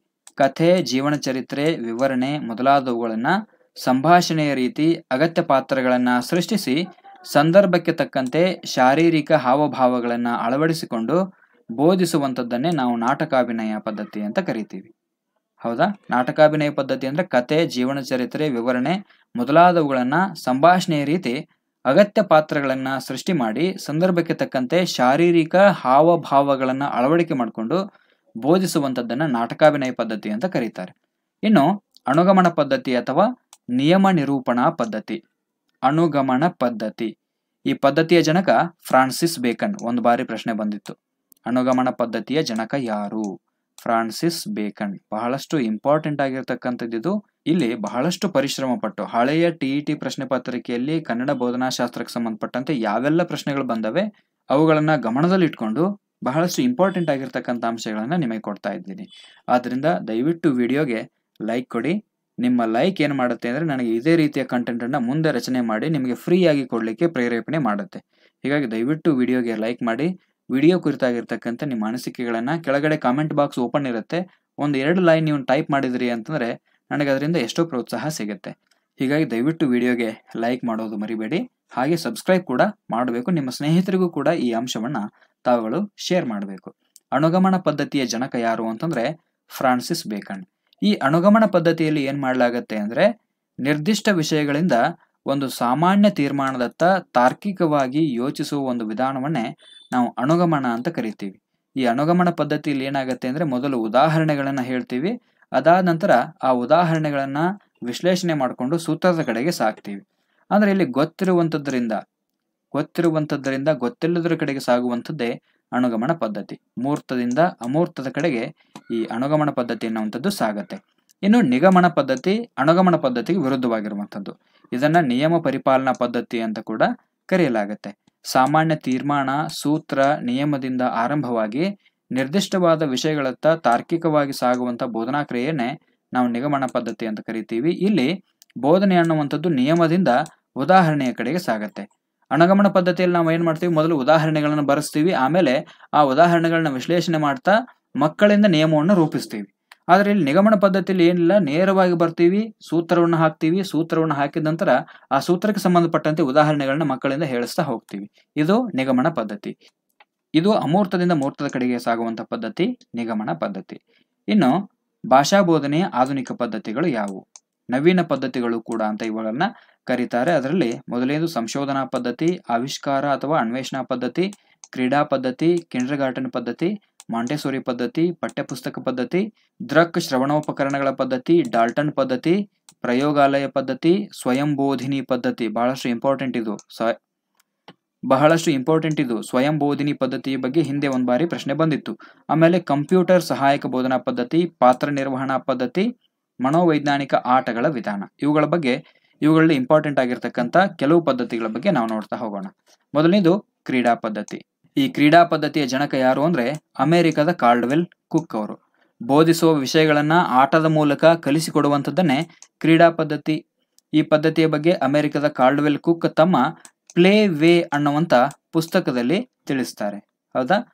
ಅಮೆರಿಕದ ಕಾರ್ಡ್ವೆಲ್ ಕುಕ್ ಪ್ಲೇ ವೇ ಅನ್ನುವಂಥ ತಮ್ಮ ಪುಸ್ತಕದಲ್ಲಿ ಈ ಕ್ರೀಡಾ ಪದ್ಧತಿಯ ಬಗ್ಗೆ ಬಹಳಷ್ಟು ವಿವರವಾಗಿ ಬರೆದಿದ್ದಾರೆ. ಇನ್ನು ಎರಡನೇದು ಕಿಂಡರ್ ಗಾರ್ಡನ್ ಪದ್ಧತಿ. ನಿಮಗೆ ನೆನಪಿರಲಿ, ಈ ಕ್ರೀಡಾ ಪದ್ಧತಿಯ ಜನಕ ಯಾರು ಅಂತ ಕೇಳ್ಬೋದು ಅವರು. ಹೌದಾ? ಕ್ರೀಡಾ ಪದ್ಧತಿಯ ಜನಕ ಯಾರು ಅಂದ್ರೆ ಕಾರ್ಡ್ವೆಲ್ ಕುಕ್ ಅವರು. ಇವರು ತಮ್ಮ ಪ್ಲೇ ವೇ ಅನ್ನುವಂಥ ಪುಸ್ತಕದಲ್ಲಿ ಕ್ರೀಡಾ ಪದ್ಧತಿ ಬಗ್ಗೆ ವಿವರವಾಗಿ ಬರೆಯುತ್ತಾರೆ. ಇನ್ನು ಕಿಂಡರ್ ಗಾರ್ಟನ್ ಪದ್ಧತಿ. ಈ ಕಿಂಡರ್ ಗಾರ್ಟನ್ ಪದ್ಧತಿಯನ್ನ ಬಾಲೋದ್ಯಾನ ಅಂತ ಕೂಡ ಕರೀತಾರೆ. ಪೆಡ್ರಿಕ್ ಪ್ರೊಬೆಲ್ ಅನ್ನುವಂಥವರು ಬಾಲೋದ್ಯಾನ ಎಂದು ಕರೆಯಲ್ಪಡುವ ಕಿಂಡರ್ ಗಾರ್ಟನ್ ಪದ್ಧತಿಯ ಪಿತಾಮಹ. ಕಿಂಡರ್ ಗಾರ್ಟನ್ ಪದ್ಧತಿಯ ಪಿತಾಮಹ ಯಾರು? ಫ್ರೆಡ್ರಿಕ್ ಪ್ರೊಬೆಲ್ ಅವರು. ಕಿಂಡರ್ ಗಾರ್ಟನ್ ಅಂತಂದ್ರೆ ಬಾಲೋದ್ಯಾನ. ನೋಡಿ, ಎಷ್ಟು ಸುಂದರವಾಗಿರ್ತಕ್ಕಂಥ ಕಲ್ಪನೆ ಪ್ರೊಬೆಲ್ ಅವ್ರದ್ದು ಬಾಲೋದ್ಯಾನ ಅಂತೆ. ಮಕ್ಕಳ ಉದ್ಯಾನ, ಬಾಲೋದ್ಯಾನ, ಬಾಲಕರ ಉದ್ಯಾನ. ಸಾವಿರದ ಎಂಟುನೂರ ಇಪ್ಪತ್ತೇಳರಲ್ಲಿ ಮೊದಲ ಕಿಂಡರ್ ಗಾರ್ಟನ್ ಶಾಲೆಯನ್ನ ಜರ್ಮನಿಯ ಬ್ಲಾಕೆನ್ಬರ್ಗ್ ಅನ್ನುವಂಥದ್ರಲ್ಲಿ ಪ್ರೊಬೆಲ್ ಅವರು ತೆರೀತಾರೆ. ಸಾವಿರದ ಎಂಟುನೂರ ಇಪ್ ಸಾವಿರದ ಎಂಟುನೂರ ಇಪ್ಪತ್ತೇಳರಲ್ಲಿ ಮೊದಲ ಕಿಂಡರ್ ಗಾರ್ಟನ್ ಶಾಲೆಯನ್ನ ಜರ್ಮನಿಯ ಬ್ಲಾಕೆನ್ಬರ್ಗ್ ಅನ್ನುವಂಥ ಸ್ಥಳದಲ್ಲಿ ಪ್ರೊಬೆಲ್ ಅವರು ಸ್ಥಾಪನೆ ಮಾಡ್ತಾರೆ. ಇನ್ನು ಮಾಂಟೆಸೋರಿ ಪದ್ಧತಿ. ಇಟಲಿಯ ಮರಿಯಾ ಮಾಂಟೆಸರಿ ಸಾವಿರದ ಒಂಬೈನೂರ ಏಳರಲ್ಲಿ ಮೂರರಿಂದ ಏಳು ವರ್ಷಗಳ ಮಕ್ಕಳಿಗಾಗಿ ಮಕ್ಕಳ ಮನೆ ಅನ್ನುವಂಥ ವಿಶೇಷ ಶಾಲೆಯನ್ನು ತೆರೀತಾರೆ. ಕಿಂಡರ್ ಗಾರ್ಟನ್ ಅನ್ನುವಂಥದ್ದು ಪ್ರೊಬೆಲ್ ಅವರದ್ದು, ಮಕ್ಕಳ ಮನೆ ಅನ್ನುವಂಥದ್ದು ಮಾಂಟೆಸರಿ ಅವರದ್ದು. ಸಾವಿರದ ಒಂಬೈನೂರ ಏಳರಲ್ಲಿ ಮೂರರಿಂದ ಏಳು ವರ್ಷಗಳ ಮಕ್ಕಳಿಗಾಗಿ ಮಕ್ಕಳ ಮನೆ ಅನ್ನುವಂಥ ವಿಶೇಷ ಶಾಲೆಯನ್ನ ಮಾಂಟೆಸರಿ ಅವರು ತೆರೀತಾರೆ. ಮುಕ್ತ ವಾತಾವರಣದಲ್ಲಿ ಮಕ್ಕಳು ವಿಕಾಸ ಹೊಂದಬೇಕು ಅನ್ನುವಂಥದ್ದು ಮಾಂಟೆಸರಿ ಅವರ ವಾದ. ಇನ್ನು ಮೇಲ್ವಿಚಾರಣಾ ಅಧ್ಯಯನ. ನಿರ್ದಿಷ್ಟ ವಿಷಯವೊಂದರ ಬಗ್ಗೆ ಶಿಕ್ಷಕರ ಮಾರ್ಗದರ್ಶನದಲ್ಲಿ ಸ್ವತಃ ವಿದ್ಯಾರ್ಥಿಗಳೇ ಅಧ್ಯಯನ ಮಾಡಿ ಕಲಿಯುವಂತಹ ಚಟುವಟಿಕೆಯನ್ನ ನಾವು ಮೇಲ್ವಿಚಾರಣಾ ಪದ್ಧತಿ ಅಂತ ಕರಿತೀವಿ. ಇನ್ನು ಪಠ್ಯಪುಸ್ತಕ ಪದ್ಧತಿ. ಒಂದು ನಿರ್ದಿಷ್ಟ ಪಠ್ಯಪುಸ್ತಕದ ಸಹಾಯದಿಂದ ಜ್ಞಾನವನ್ನು ಕಲಿಸುವ ಕ್ರಮವನ್ನೇ ನಾವು ಪಠ್ಯಪುಸ್ತಕ ಪದ್ಧತಿ ಅಂತ ಕರಿತೀವಿ. ಇದು ಕೂಡ ಭಾಷಾ ಬೋಧನೆಯ ಒಂದು ಆಧುನಿಕ ಪದ್ಧತಿ. ಇನ್ನು ಪಾತ್ರ ನಿರ್ವಹಣಾ ವಿಧಾನ ಅಥವಾ ಪಾತ್ರ ರೂಪಕ ವಿಧಾನ. ಒಂದು ವಿಷಯ ಅಥವಾ ಸನ್ನಿವೇಶಕ್ಕೆ ತಕ್ಕಂತೆ ಪಾತ್ರಗಳನ್ನ ಸೃಷ್ಟಿ ಮಾಡಿ ಅಭಿನಯದ ಮೂಲಕ ಕಲಿಸುವಂಥದ್ದೇ ಪಾತ್ರ ನಿರ್ವಹಣಾ ವಿಧಾನ. ಇನ್ನು ಸ್ವಯಂ ಬೋಧಿನಿ ವಿಧಾನ ಬಹಳಷ್ಟು ಇಂಪಾರ್ಟೆಂಟ್ ಆಗಿರ್ತಕ್ಕಂಥದ್ದು ಇದು. ಒಂದು ನಿರ್ದಿಷ್ಟ ಪಠ್ಯಾಂಶ, ಭಾಷಾಂಶಗಳಿಗೆ ಸಂಬಂಧಿಸಿದಂತೆ ವಿದ್ಯಾರ್ಥಿಗಳು ಸ್ವಯಂ ತಾವೇ ಸಾಧ್ಯವಾಗುವಂತೆ ನಿರ್ದೇಶನ, ಸೂಚನೆಗಳನ್ನು ಒಳಗೊಂಡಂತೆ ಕಲಿಕಾ ಸಾಹಿತ್ಯ ಸಾಮಗ್ರಿಗಳ ಮೂಲಕ ಸ್ವಯಂ ಕಲಿಕೆಯನ್ನ ಚಾಲನೆಗೊಳಿಸುವಂಥದ್ದೇ ಸ್ವಯಂ ಬೋಧಿನಿ ವಿಧಾನ. ಅರ್ಥ ಆಯ್ತಲ್ಲ ಸ್ವಯಂ ಬೋಧಿನಿ ವಿಧಾನ ಅಂತಂದ್ರೆ? ಒಂದು ನಿರ್ದಿಷ್ಟ ಪಠ್ಯಾಂಶ ಭಾಷಾಂಶಗಳಿಗೆ ಸಂಬಂಧಪಟ್ಟಂತೆ ವಿದ್ಯಾರ್ಥಿಗಳು ಸ್ವತಃ ತಾವೇ ಸಾಧ್ಯವಾಗುವಂತೆ ನಿರ್ದೇಶನ ಸೂಚನೆಗಳನ್ನು ಒಳಗೊಂಡಂತೆ ಕಲಿಕಾ ಸಾಹಿತ್ಯ ಸಾಮಗ್ರಿಗಳ ಮೂಲಕ ಸ್ವಯಂ ಕಲಿಕೆಯನ್ನು ಚಾಲನೆಗೊಳಿಸುವಂಥದ್ದನ್ನೇ ನಾವು ಸ್ವಯಂ ಬೋಧನೆ ವಿಧಾನ ಅಂತ ಕರಿತೀವಿ. ಇದಿಷ್ಟು ಭಾಷಾ ಬೋಧನೆಯ ಆಧುನಿಕ ಪದ್ಧತಿಗಳು ಮತ್ತು ಸಾಂಪ್ರದಾಯಿಕ ಪದ್ಧತಿಗಳ ಬಗ್ಗೆ ನಾವು ತಿಳ್ಕೊಂಡ್ವಿ. ಇದಿಷ್ಟು ಅಧ್ಯಾಯ ನಾಲ್ಕು. ಇನ್ನು ಐದನೇ ಅಧ್ಯಾಯಕ್ಕೆ ಹೋಗೋಣ. ಪದ ಸಂಪತ್ತು ಶಾರ್ಟ್ ಆಗಿದೆ. ಇಷ್ಟೇ ಇದು. ಪದ ಸಂಪತ್ತಿನ ಬಗ್ಗೆ ಸ್ವಲ್ಪ ನಾವು ತಿಳ್ಕೊಂಬಿಡೋಣ. ವ್ಯಕ್ತಿಯೊಬ್ಬನು ತನ್ನ ಭಾಷೆಯಲ್ಲಿ ಸಂಗ್ರಹಿಸಿ ಬಳಸುತ್ತಿರುವ ಪದಗಳ ಮೊತ್ತವನ್ನೇ ನಾವು ಶಬ್ದ ಸಂಪತ್ತು ಅಂತ ಕರಿತೀವಿ. ವ್ಯಕ್ತಿಯೊಬ್ಬ ತನ್ನ ಭಾಷೆಯಲ್ಲಿ ಸಂಗ್ರಹ ಮಾಡಿಕೊಂಡು ಬಳಸುತ್ತಿರುವಂಥ ಪದಗಳ ಮೊತ್ತವನ್ನ ಶಬ್ದ ಸಂಪತ್ತು ಅಂತ ಕರಿತೀವಿ. ನಿತ್ಯ ಜೀವನದಲ್ಲಿ ಬಳಸಲ್ಪಡುವಂಥ ಶಬ್ದಗಳನ್ನ ಸಕ್ರಿಯ ಪದಗಳು ಅಂತ ಕರೆದರೆ ಬಳಸದೇ ಇರುವಂತ ಪದಗಳನ್ನ ನಿಷ್ಕ್ರಿಯ ಪದಗಳು ಅಂತ ಕರೆಯಲಾಗತ್ತೆ. ಐದು ವರ್ಷದ ಮಗುವಿನಲ್ಲಿ ಮೂರು ಸಾವಿರ ಪದಗಳು. ಇಂಪಾರ್ಟೆಂಟ್ ಇದು ನೆನಪಿರಲಿ. ಐದು ವರ್ಷದ ಮಗುವಿನಲ್ಲಿ ಮೂರು ಸಾವಿರ ಪದಗಳ ಶಬ್ದ ಸಂಪತ್ತಿರುತ್ತೆ. ಹದಿನಾಲ್ಕು ವರ್ಷದ ವಿದ್ಯಾರ್ಥಿಗಳಲ್ಲಿ ಎಂಟರಿಂದ ಹತ್ತು ಸಾವಿರ ಶಬ್ದಗಳು ಸಂಗ್ರಹ ಆಗಿರ್ತವೆ. ಇದು ಪದ ಸಂಪತ್ತಿಗೆ ಸಂಬಂಧಪಟ್ಟಂತೆ. ಇದು ಐದನೇ ಅಧ್ಯಾಯವಾಗಿರ್ತಕ್ಕಂಥ ಪದ ಸಂಪತ್ತಿಗೆ ಸಂಬಂಧಪಟ್ಟಂತೆ. ಇನ್ನು ಆರನೇ ಅಧ್ಯಾಯ, ಬಹಳಷ್ಟು ಇಂಪಾರ್ಟೆಂಟ್ ಆಗಿರ್ತಕ್ಕಂಥದ್ದು ಗದ್ಯ ಬೋಧನೆ. ಪ್ರೋಸ್ ಟೀಚಿಂಗ್ ಅಂತ ಕರೀತಾರೆ. ಗದ್ಯ ಬೋಧನೆ. ಗದ್ಯ ಬೋಧನೆಗೆ ಸಂಬಂಧಪಟ್ಟಂತೆ ನಾವು ಬಹಳಷ್ಟು ಡೀಟೇಲ್ ಆಗಿ ನೋಡ್ತಾ ಹೋಗೋಣ. ಆತ್ಮೀಯರೇ, ನಿಮಗೆಲ್ಲ ಗೊತ್ತಿದೆ ಆತ್ಮೀಯರೇ, ನಿಮಗೆಲ್ಲ ಗೊತ್ತಿದೆ, ಮುದ್ದಣ್ಣನ ಪತ್ನಿ ಮನೋರಮೆ ರಾಮಾಶ್ವಮೇಧವನ್ನ ಹೇಳುವಂತ ಕೇಳಿದಾಗ, ಪತಿ ಮುದ್ದನ ಏನ್ ಮಾಡ್ತಾನೆ ಅಂತಂದ್ರೆ ಪದ್ಯದಲ್ಲಿ ಹೇಳಲು ಅಥವಾ ಗದ್ಯದಲ್ಲಿ ಹೇಳಲು ಅಂತ ಕೇಳಿದಾಗ, ಮನೋರಮೆ ಒಂದು ಮಾತನ್ನ ಹೇಳ್ತಾಳೆ, ಪದ್ಯಂ ವದ್ಯಂ ಗದ್ಯಂ ಹೃದಯಂ ಹೃದಯಮಪ್ಪ ಗದ್ಯದೊಳೆ ಪೇಳುವುದೆಂದು ಅಂತ ಮನೋರಮೆ ಹೇಳ್ತಾಳೆ. ಹೃದಯಕ್ಕೆ ಮುಟ್ಟುವಂತ ಗದ್ಯದಲ್ಲಿಯೇ ನೀನು ಹೇಳು ಅಂತ ಮನೋರಮೆ ತನ್ನ ಪತಿಗೆ ಹೇಳ್ತಾಳೆ, ರಾಮಾಶ್ವಮೇಧವನ್ನ ಹೇಳುವಂತೆ ಕೇಳಿದಾಗ. ಈ ಸಂದರ್ಭವನ್ನ ಕಲ್ಪನೆ ಮಾಡಿಕೊಂಡಾಗ ಗದ್ಯದ ಮಹತ್ವ ಎಷ್ಟಿದೆ ಅನ್ನುವಂಥದ್ದು ನಮಗೆ ಅರ್ಥ ಆಗತ್ತೆ. ಇನ್ನು ಗದ್ಯ ಅಂದ್ರೆ ಏನು? ಬಹಳಷ್ಟು ಇಂಪಾರ್ಟೆಂಟ್ ಆಗಿರ್ತಕ್ಕಂಥದ್ದು ಇದು ಗದ್ಯ ಅಂದ್ರೆ ಏನು? ಚಂದೋ ನಿಯಮಗಳಿಗೆ ಒಳಪಡದೆ ಶಿಷ್ಟ ಭಾಷೆಯಲ್ಲಿ ವ್ಯಾಕರಣ ಮತ್ತು ಅರ್ಥಬದ್ಧವಾಗಿ, ತರ್ಕಬದ್ಧವಾಗಿ ವಾಕ್ಯ ಸರಣಿಗಳ ಮೂಲಕ ಸುಸಂಬದ್ಧವಾಗಿ ರಚಿಸಿರುವಂತಹ ಪಠ್ಯವನ್ನೇ ನಾವು ಗದ್ಯ ಅಂತ ಕರಿತೀವಿ. ಗದ್ಯವು ಒಂದು ವಿಷಯ, ಆಲೋಚನೆ, ಪ್ರಸಂಗವನ್ನು ಕುರಿತಂತೆ ಅರ್ಥಬದ್ಧ ವಾಕ್ಯಗಳ ಮೂಲಕ ಸುಸಂಬದ್ಧವಾಗಿ ರಚಿಸಲ್ಪಟ್ಟಿರ್ತದೆ. ಗದ್ಯ ಅನ್ನುವಂಥದ್ದಕ್ಕೆ ಯಾವುದೇ ಚಂದೋ ನಿಯಮಗಳು ಇರೋದಿಲ್ಲ ಜೊತೆಗೆ ಶಿಷ್ಟ ಭಾಷೆಯಲ್ಲಿ ಎಲ್ಲರಿಗೂ ಅರ್ಥ ಆಗುವಂಥ ರೀತಿಯಲ್ಲಿ ವ್ಯಾಕರಣ ಮತ್ತು ಅರ್ಥಬದ್ಧವಾಗಿ, ತರ್ಕಬದ್ಧವಾಗಿ ವಾಕ್ಯ ಸರಣಿಗಳ ಮೂಲಕ ಸುಸಂಬದ್ಧವಾಗಿ ರಚಿಸಿರುವಂತಹ ಒಂದು ಪಠ್ಯವನ್ನು ನಾವು ಗದ್ಯ ಅಂತ ಕರಿತೀವಿ. ಇನ್ನು ಈ ಗದ್ಯ ಸಾಹಿತ್ಯಕ್ಕೆ ಸಂಬಂಧಪಟ್ಟಂತೆ ಯಾವೆಲ್ಲ ಪ್ರಕಾರಗಳು ಬರ್ತವೆ ಅಂದ್ರೆ ಕಥೆ, ಕಾದಂಬರಿ, ನಾಟಕ, ಪ್ರಬಂಧ, ಜೀವನ ಚರಿತ್ರೆ, ವರದಿ ನಾಟಕ, ದಿನಚರಿ, ಆತ್ಮಕಥೆ, ವಿಮರ್ಶೆ ಮುಂತಾದ ಚಂದೋ ನಿಯಮಗಳಿಗೆ ಒಳಪಡದ ಸಾಹಿತ್ಯ ಪ್ರಕಾರಗಳೆಲ್ಲವೂ ಗದ್ಯದ ಸಾಲಿಗೆ ಸೇರ್ತವೆ. ಹೌದಾ? ಕತೆ ಆಗಿರ್ಬೋದು, ಕಾದಂಬರಿ, ನಾಟಕ, ಪ್ರಬಂಧ, ಜೀವನ ಚರಿತ್ರೆ, ವರದಿ, ದಿನಚರಿ ಆತ್ಮಕತೆ ವಿಮರ್ಶೆ ಇವೆಲ್ಲವುಗಳು ಗದ್ಯದ ಸಾಲಿಗೆ ಸೇರ್ತವೆ. ಇನ್ನು ಗದ್ಯ ಬೋಧನೆಯ ಗುರಿ ಏನು? ಗದ್ಯ ಬೋಧನೆಯ ಗುರಿ ಏನು ಅಂತಂದ್ರೆ, ಪದ ಸಂಪತ್ತು ಮತ್ತು ವಾಕ್ಯ ರಚನೆಯ ಸಾಮರ್ಥ್ಯವನ್ನು ಬೆಳೆಸುತ್ತೆ, ಅರ್ಥಗ್ರಹಿಕೆ ಮತ್ತು ಸ್ವತಂತ್ರ ಯೋಚನೆಯನ್ನು ಬೆಳೆಸುತ್ತೆ ಮೌಖಿಕ, ಲಿಖಿತ ಅಭಿವ್ಯಕ್ತಿ ಸಾಮರ್ಥ್ಯವನ್ನು ಬೆಳೆಸುತ್ತೆ. ಓದುಗಾರಿಕೆಯ ಸಾಮರ್ಥ್ಯ ಮತ್ತು ಅಭಿರುಚಿಯನ್ನು ಬೆಳೆಸುತ್ತೆ. ಸಾಹಿತ್ಯ ಅಧ್ಯಯನ ಸಾಮರ್ಥ್ಯ ಸಾಹಿತ್ಯ ಅಭಿರುಚಿಯನ್ನು ಬೆಳೆಸುತ್ತೆ.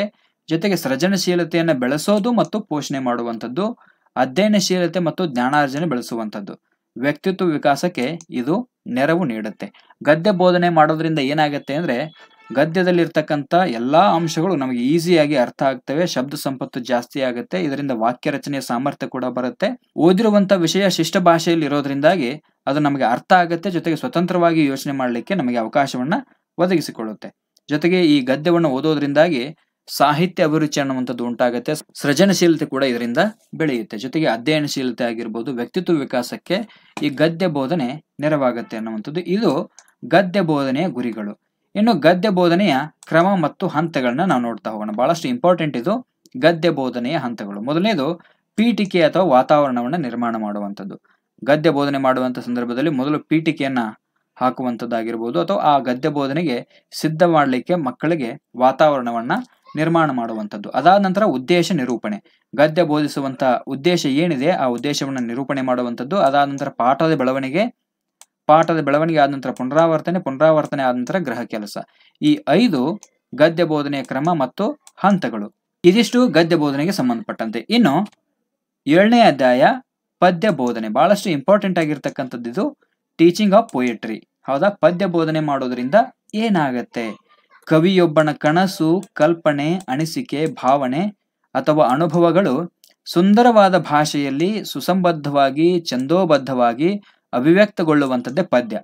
ಛಂದೋ ನಿಯಮಗಳಿಗೆ ಒಳಪಡದ ಸಾಹಿತ್ಯ ಯಾವುದು ಅಂತಂದ್ರೆ ಅದು ಗದ್ಯ ಆದರೆ ಛಂದೋಬದ್ಧವಾಗಿ ಅಭಿವ್ಯಕ್ತಗೊಳ್ಳುವಂಥದ್ದನ್ನ ಸುಂದರವಾದ ಭಾಷೆಯಲ್ಲಿ ಸುಸಂಬದ್ಧವಾಗಿ ಅರಳಿರುವಂಥದ್ದು ಯಾವುದು ಅಂತಂದ್ರೆ ಪದ್ಯ ಅದು.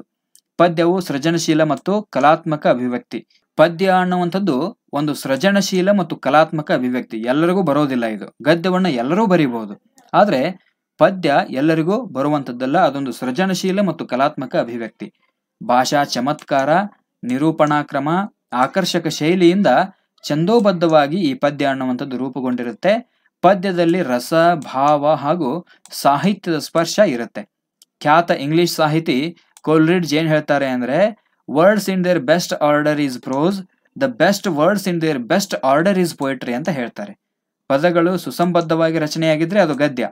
ಹೌದಾ? ಪದಗಳು ಸುಸಂಬದ್ಧವಾಗಿ ರಚನೆಯಾಗಿದ್ರೆ ಅದು ಗದ್ಯ. ಅತ್ಯುತ್ತಮ ಪದಗಳ ಸುಸಂಬದ್ಧ ರಚನೆಯೇ ಪದ್ಯ ಅಂತ ಕೋಲ್ರಿಡ್ಜ್ ಅವರು ಹೇಳ್ತಾರೆ.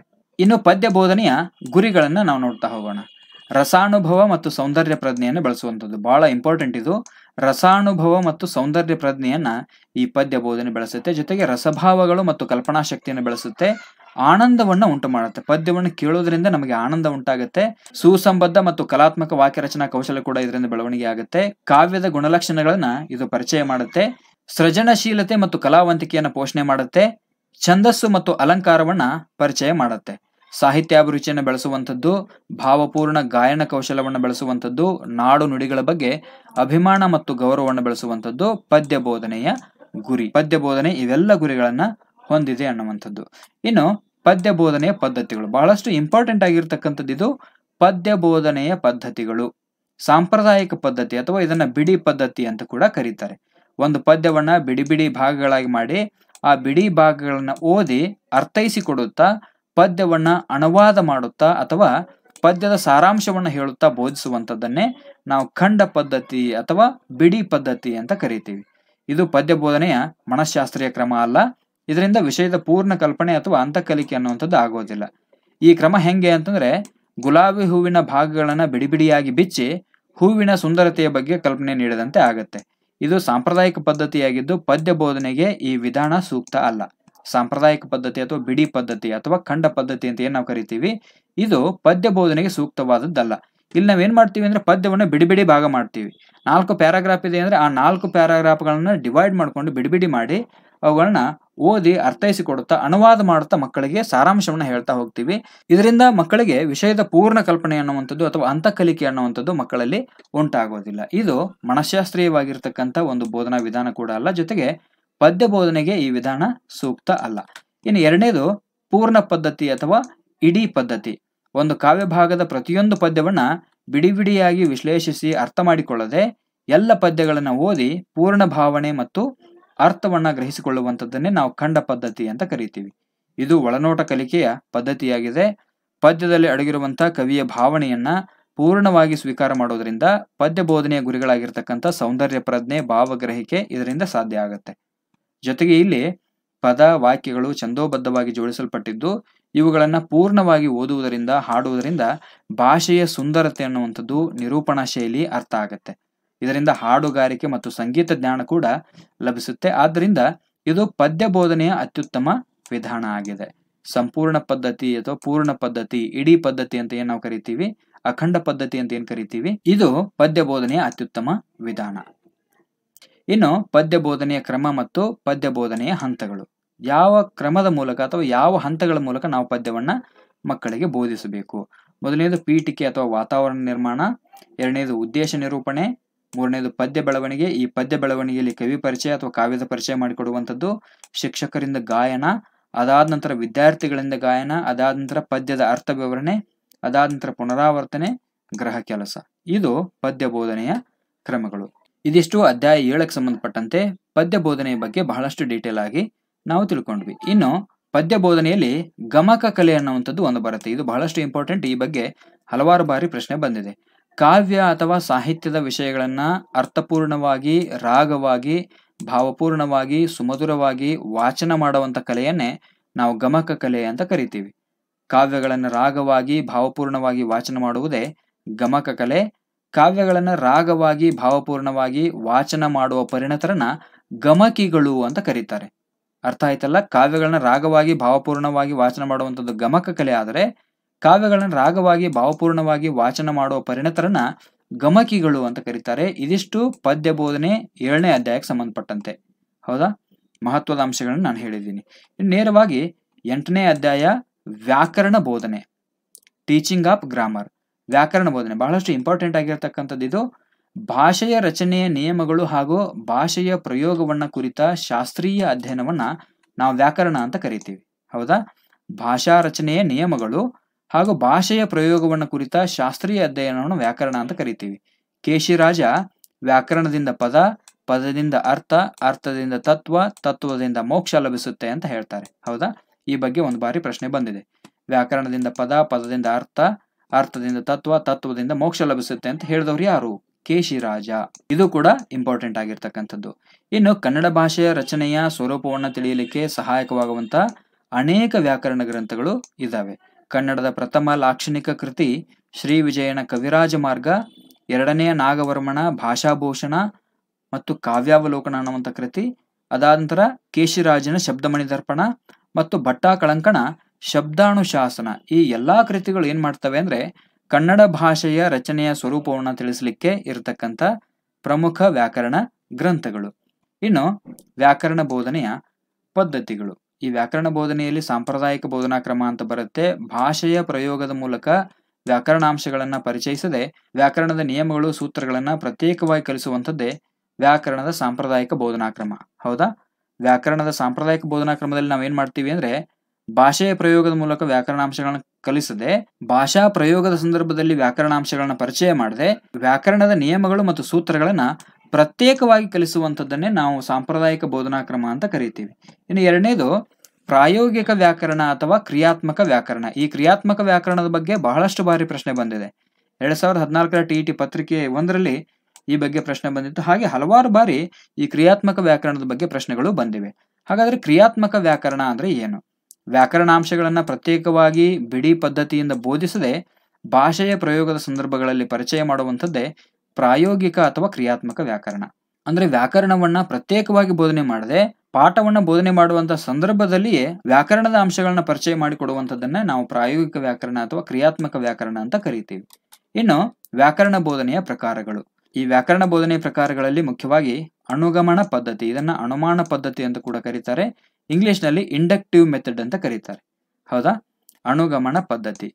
ವ್ಯಾಕರಣಾಂಶದ ಬಗ್ಗೆ ಉದಾಹರಣೆಗಳನ್ನ ಮೊದಲು ಸಂಗ್ರಹಿಸಿ ನಂತರ ಉದಾಹರಣೆಗಳಲ್ಲಿನ ಸಾಮಾನ್ಯ ಗುಣಲಕ್ಷಣಗಳಿಗೆ ಅನುಗುಣವಾದ ನಿಯಮವನ್ನ ಸೂತ್ರವನ್ನ ರೂಪಿಸಿ ಬೋಧಿಸುವಂಥದ್ದನ್ನೇ ನಾವು ಅನುಗಮನ ಪದ್ಧತಿ ಅಂತ ಕರಿತೀವಿ. ಈ ಅನುಗಮನ ಪದ್ಧತಿಯಲ್ಲಿ ಮೊದಲು ಏನ್ ಮಾಡಲಾಗುತ್ತೆ ಅಂದ್ರೆ ಸೂತ್ರಗಳನ್ನ ಪರಿಚಯ ಮಾಡಿಕೊಳ್ಳಲಾಗುತ್ತೆ ಇಲ್ಲಿ ಬೋಧನೆ ಅನ್ನುವಂಥದ್ದು ಉದಾಹರಣೆಗಳಿಂದ ಸೂತ್ರದ ಕಡೆಗೆ, ಮೂರ್ತದಿಂದ ಅಮೂರ್ತದ ಕಡೆಗೆ ಸಾಗುತ್ತೆ. ಇದು ವ್ಯಾಕರಣ ಬೋಧನೆಯ ಅತ್ಯುತ್ತಮ ವಿಧಾನ. ಹೌದಾ? ವ್ಯಾಕರಣ ಬೋಧನೆಯ ಅತ್ಯುತ್ತಮ ವಿಧಾನ ಯಾವುದು ಅಂತ ಕೇಳಬಹುದು ಅವರು. ಅನುಗಮನ ಪದ್ಧತಿ. ಇಂಡಕ್ಟಿವ್ ಮೆಥಡ್ ಅಂತ ಇಂಗ್ಲಿಷ್ನಲ್ಲಿ ಕರೀತಾರೆ. ಇನ್ನು ಅನುಗಮನ ಪದ್ಧತಿಯ ಹಂತಗಳು ಯಾವುವು? ಮೊದಲು ಉದಾಹರಣೆಗಳ ಸಂಗ್ರಹ, ಉದಾಹರಣೆಗಳ ಪರಿಶೀಲನೆ, ಅದಾದ ನಂತರ ಮೂರನೆಯದು ಸೂತ್ರ ಅಥವಾ ಸಾಮಾನ್ಯ ನಿಯಮಗಳ ರಚನೆ. ಹೌದಾ? ಅನುಗಮನ ಪದ್ಧತಿಯಲ್ಲಿ ಏನ್ ಮಾಡಲಾಗುತ್ತೆ ಅಂದ್ರೆ ವ್ಯಾಕರಣಾಂಶದ ಬಗ್ಗೆ ಮೊದಲು ಉದಾಹರಣೆಗಳನ್ನ ಸಂಗ್ರಹ ಮಾಡ್ಕೊಳ್ತಾರೆ, ಅದಾದ ನಂತರ ಉದಾಹರಣೆಗಳಿರ್ತಕ್ಕಂಥ ಸಾಮಾನ್ಯ ಗುಣಲಕ್ಷಣಗಳನ್ನ ಆಧಾರವಾಗಿ ಇಟ್ಕೊಂಡು ನಿಯಮವನ್ನ ಅಥವಾ ಸೂತ್ರವನ್ನ ರೂಪಿಸಿ ಬೋಧನೆಯನ್ನ ಮಾಡಲಾಗುತ್ತೆ. ಇದನ್ನ ಅನುಗಮನ ವಿಧಾನ ಅಂತ ಕರೀತಾರೆ. ಈ ಅನುಗಮನ ವಿಧಾನ ವ್ಯಾಕರಣ ಬೋಧನೆ ಅತ್ಯುತ್ತಮ ವಿಧಾನ. ಇಂಡಕ್ಟಿವ್ ಮೆಥಡ್ ಅಂತ ಏನ್ ಕರೀತಾರೆ? ಇದು ವ್ಯಾಕರಣ ಬೋಧನೆ ಮಾಡ್ಲಿಕ್ಕೆ ಇರ್ತಕ್ಕಂಥ ಅತ್ಯುತ್ತಮ ವಿಧಾನ. ಇನ್ನು ಎರಡನೇದು ನಿಗಮನ ಪದ್ಧತಿ ಅಥವಾ ನಿಯಮ ಪರಿಪಾಲನಾ ಪದ್ಧತಿ. ಇದನ್ನ ಡಿಡಕ್ಟಿವ್ ಮೆಥಡ್ ಅಂತ ಕರೀತಾರೆ. ವ್ಯಾಕರಣಾಂಶದ ಬಗ್ಗೆ ಮೊದಲು ಸೂತ್ರವನ್ನ ಅಥವಾ ನಿಯಮವನ್ನ ಕೊಟ್ಟು ನಂತರ ನಿಯಮದ ಗುಣಗಳನ್ನ ಅರ್ಥ ಮಾಡಿಕೊಂಡು ಆ ಗುಣಗಳಿಗೆ ಅನುಗುಣವಾಗಿ ಉದಾಹರಣೆಗಳನ್ನ ಅನ್ವಯ ಮಾಡುವಂಥದ್ದೇ ನಿಗಮನ ವಿಧಾನ. ಇಲ್ಲಿ ಬೋಧನೆ ಅನ್ನುವಂಥದ್ದು ಸೂತ್ರದಿಂದ ಉದಾಹರಣೆ ಕಡೆಗೆ, ಅಮೂರ್ತದಿಂದ ಮೂರ್ತದ ಕಡೆಗೆ ಸಾಗತ್ತೆ. ಇದು ವ್ಯಾಕರಣ ಬೋಧನೆ ಮಾಡ್ಲಿಕ್ಕೆ ಇರತಕ್ಕಂತ ಅತ್ಯುತ್ತಮ ವಿಧಾನ ಅಲ್ಲ. ಈ ನಿಗಮನ ವಿಧಾನವನ್ನು ಒಂದು ಸಾಂಪ್ರದಾಯಿಕ ವಿಧಾನ ಅಂತ ಕೂಡ ಕರಿಬಹುದು ಯಾಕಂದ್ರೆ ಮೊದಲು ನಾವು ಸೂತ್ರವನ್ನು ಬರೆದ ನಂತರ ಅದಕ್ಕೆ ಸಂಬಂಧಪಟ್ಟಂತೆ ಉದಾಹರಣೆಗಳನ್ನ ಹೇಳೋದು ಸಾಂಪ್ರದಾಯಿಕ ವಿಧಾನವೇ ಆಗತ್ತೆ.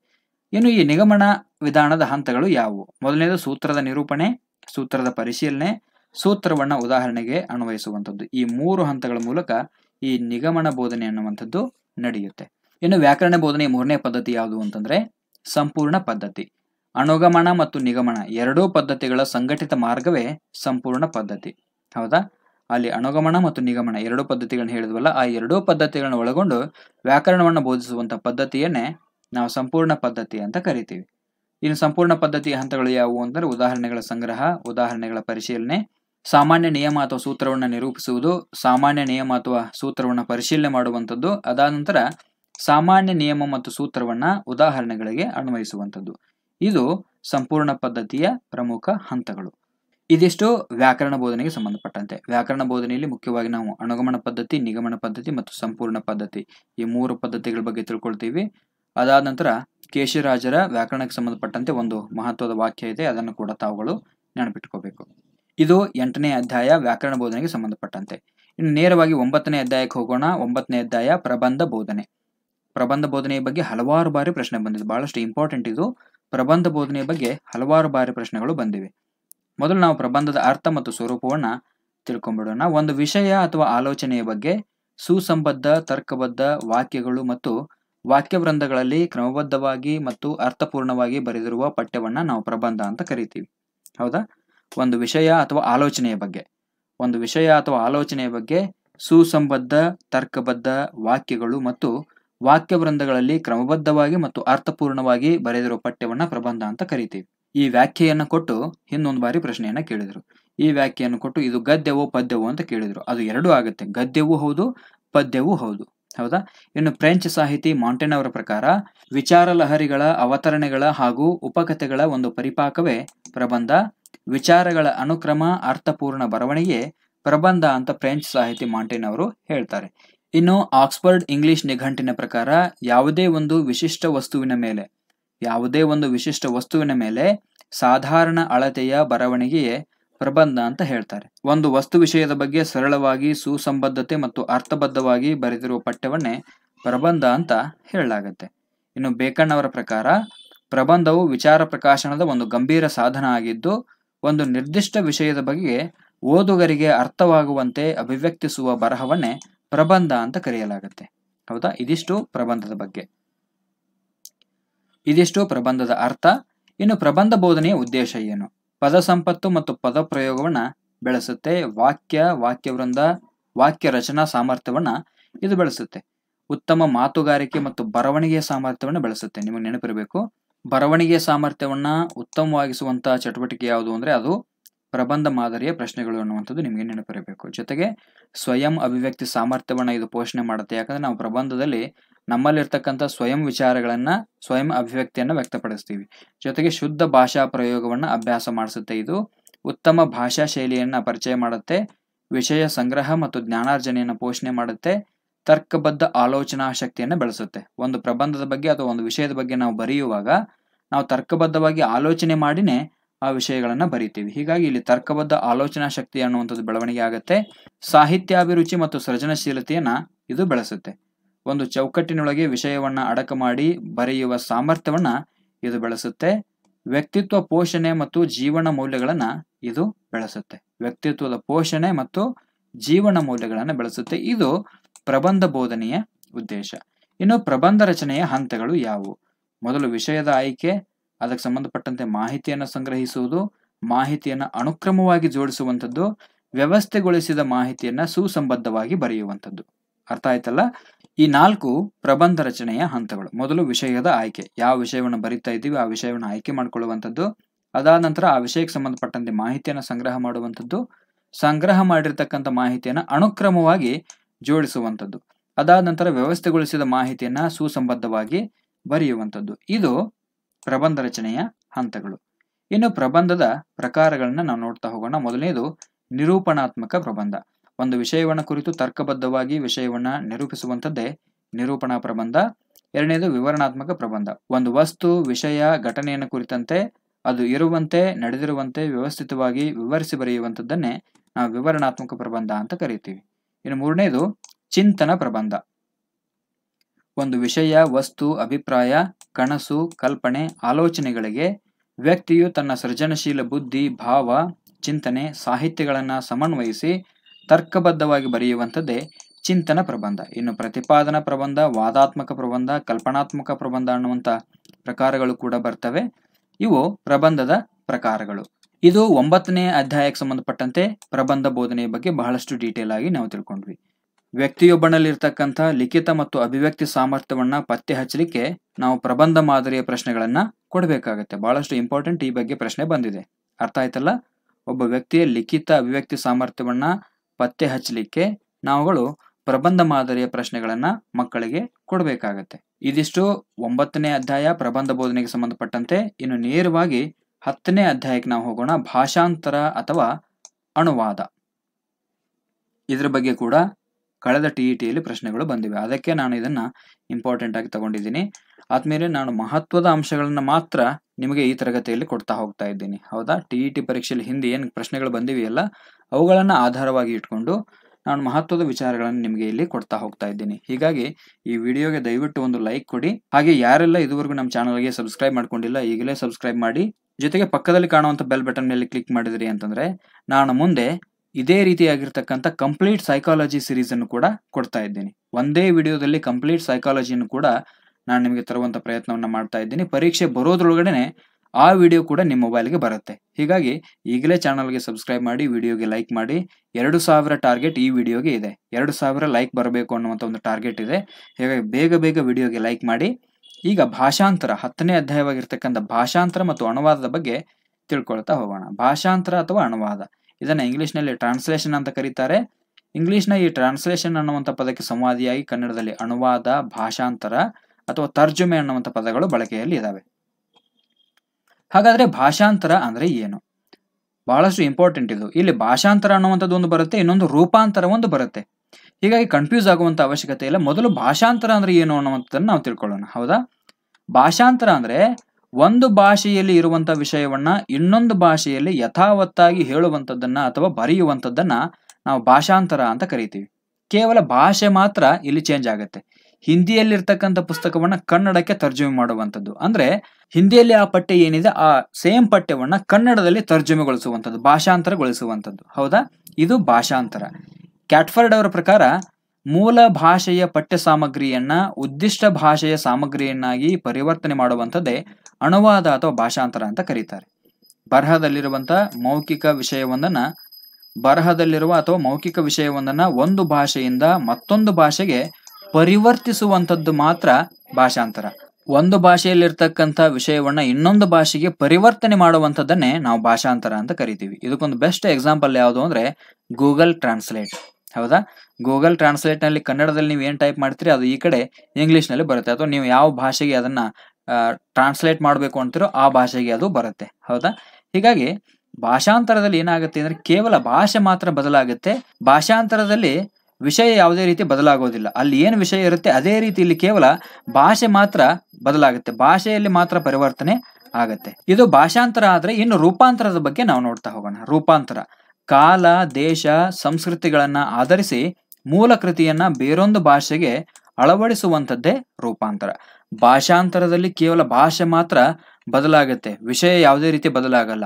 ಅದರಲ್ಲಿ ರೂಪಾಂತರದಲ್ಲಿ ಏನಾಗುತ್ತೆ ಅಂದ್ರೆ ಕಾಲ, ದೇಶ, ಸಂಸ್ಕೃತಿಗಳನ್ನ ಆಧರಿಸಿ ಮೂಲ ಕೃತಿಯನ್ನ ಬೇರೆ ಒಂದು ಭಾಷೆಗೆ ಅಳವಡಿಸುವಂಥದ್ದನ್ನೇ ನಾವು ರೂಪಾಂತರ ಅಂತ ಕರಿತೀವಿ. ಉದಾಹರಣೆಗೆ ರಾಬರ್ಟ್ ಬ್ರೌನಿಂಗ್ ಕವಿಯ the pied piper of Hamelin ಅನ್ನ ಕುವೆಂಪು ಅವರು ಬೊಮ್ಮನಹಳ್ಳಿಯ ಕಿಂದರಿ ಜೋಗಿ ಅಂತ ರೂಪಾಂತರ ಮಾಡಿದ್ದಾರೆ. ಹೌದಾ? ರಾಬರ್ಟ್ ಬ್ರೌನಿಂಗ್ ಕವಿಯ the pied piper of Hamelin ಅನ್ನ ಕುವೆಂಪು ಅವರು ಬೊಮ್ಮನಹಳ್ಳಿಯ ಕಿಂದರಿ ಜೋಗಿ ಅಂತ ರೂಪಾಂತರ ಮಾಡ್ತಾರೆ. ಅಲ್ಲಿ ರಾಬರ್ಟ್ ಬ್ರೌನಿಂಗ್ ಅವರ the pied piper of Hamelin ಕೃತಿಗೂ, ಇಲ್ಲಿ ಬೊಮ್ಮನಹಳ್ಳಿಯ ಕಿಂದರಿ ಜೋಗಿಗೂ ಬಹಳಷ್ಟು ವ್ಯತ್ಯಾಸಗಳಿರುವಂಥದ್ದನ್ನ ನಾವು ಕಾಣ್ತೀವಿ. ಅಲ್ಲಿರ್ತಕ್ಕಂಥ ಕಾಲ, ದೇಶ, ಸಂಸ್ಕೃತಿನೇ ಬೇರೆ, ಇಲ್ಲಿರ್ತಕ್ಕಂಥ ಕಾಲ, ದೇಶ, ಸಂಸ್ಕೃತಿನೇ ಬೇರೆ. ಹೀಗಾಗಿ ರೂಪಾಂತರದಲ್ಲಿ ಏನಾಗುತ್ತೆ ಅಂದ್ರೆ ಕಾಲ, ದೇಶ, ಸಂಸ್ಕೃತಿಗಳನ್ನು ಆಧಾರವಾಗಿ ಇಟ್ಕೊಂಡು ಮೂಲ ಕೃತಿಯನ್ನ ಬೇರೊಂದು ಭಾಷೆಗೆ ನಾವೇನ್ ಮಾಡ್ತೀವಿ ಅಂದ್ರೆ ಅಳವಡಿಸ್ತೀವಿ, ಇದನ್ನೇ ರೂಪಾಂತರ ಅಂತ ಕರಿತೀವಿ. ಹಾಗೆಯೇ ಶೇಕ್ಸ್ಪಿಯರ್ನ ಹ್ಯಾಮ್ಲೆಟ್ ನಾಟಕವನ್ನ ರಕ್ತಾಕ್ಷಿ ಅಂತ, ಆಮೇಲೆ ಟೆಂಪೆಸ್ಟ್ ಅನ್ನ ಬಿರುಗಾಳಿ ಅಂತ ಕುವೆಂಪು ಅವರು ರೂಪಾಂತರ ಮಾಡ್ತಾರೆ. ಈ ಬಿರುಗಾಳಿ ಟೆಂಪೆಸ್ಟ್ ನಾಟಕದ ಅನುವಾದ ಅಲ್ಲ, ಹೌದಾ? ಇಲ್ಲಿದೆ ನೋಡಿ, ಟೆಂಪೆಸ್ಟ್ ಅನ್ನುವಂಥದ್ದು ಶೇಕ್ಸ್ಪಿಯರ್ನ ನಾಟಕ. ಈ ಶೇಕ್ಸ್ಪಿಯರ್ನ ನಾಟಕವನ್ನ ಕುವೆಂಪು ಅವರು ಬಿರುಗಾಳಿ ಅಂತ ರೂಪಾಂತರ ಮಾಡ್ತಾರೆ. ಇದು ಅನುವಾದ ಅಲ್ಲ, ಇದು ಟ್ರಾನ್ಸ್ಲೇಷನ್ ಅಲ್ಲ, ರೂಪಾಂತರ ಇದು. ಹಾಗಾದ್ರೆ ಈ ಬಿರುಗಾಳಿ ಅನ್ನುವಂಥ ನಾಟಕಕ್ಕೆ ಮೂಲ ಯಾವುದು ಅಂತಂದ್ರೆ ಟೆಂಪೆಸ್ಟ್ ಅನ್ನುವಂಥದ್ದು. ಶೇಕ್ಸ್ಪಿಯರ್ನ ಟೆಂಪೆಸ್ಟ್ ನಾಟಕವನ್ನ ಕುವೆಂಪು ಅವರು ಬಿರುಗಾಳಿ ಅಂತ ರೂಪಾಂತರ ಮಾಡ್ತಾರೆ. ಅನುವಾದ ಅಲ್ಲ, ರೂಪಾಂತರ. ಅನುವಾದ ಅಂದ್ರೆ ಏನು?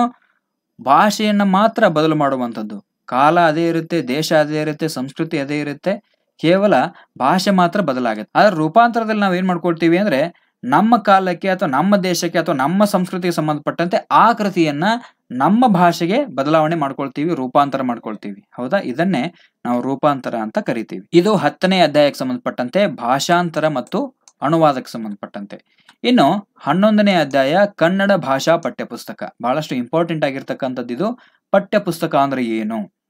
ಪಠ್ಯಪುಸ್ತಕ ಒಂದು ನಿರ್ದಿಷ್ಟ ವಿಷಯದ ಅಧ್ಯಯನಕ್ಕಾಗಿ ವಿದ್ಯಾರ್ಥಿಗಳು ಉಪಯೋಗಿಸುವಂತಹ ಉತ್ತಮ ಗುಣಮಟ್ಟದ ಪುಸ್ತಕ ಆಗಿರುತ್ತೆ.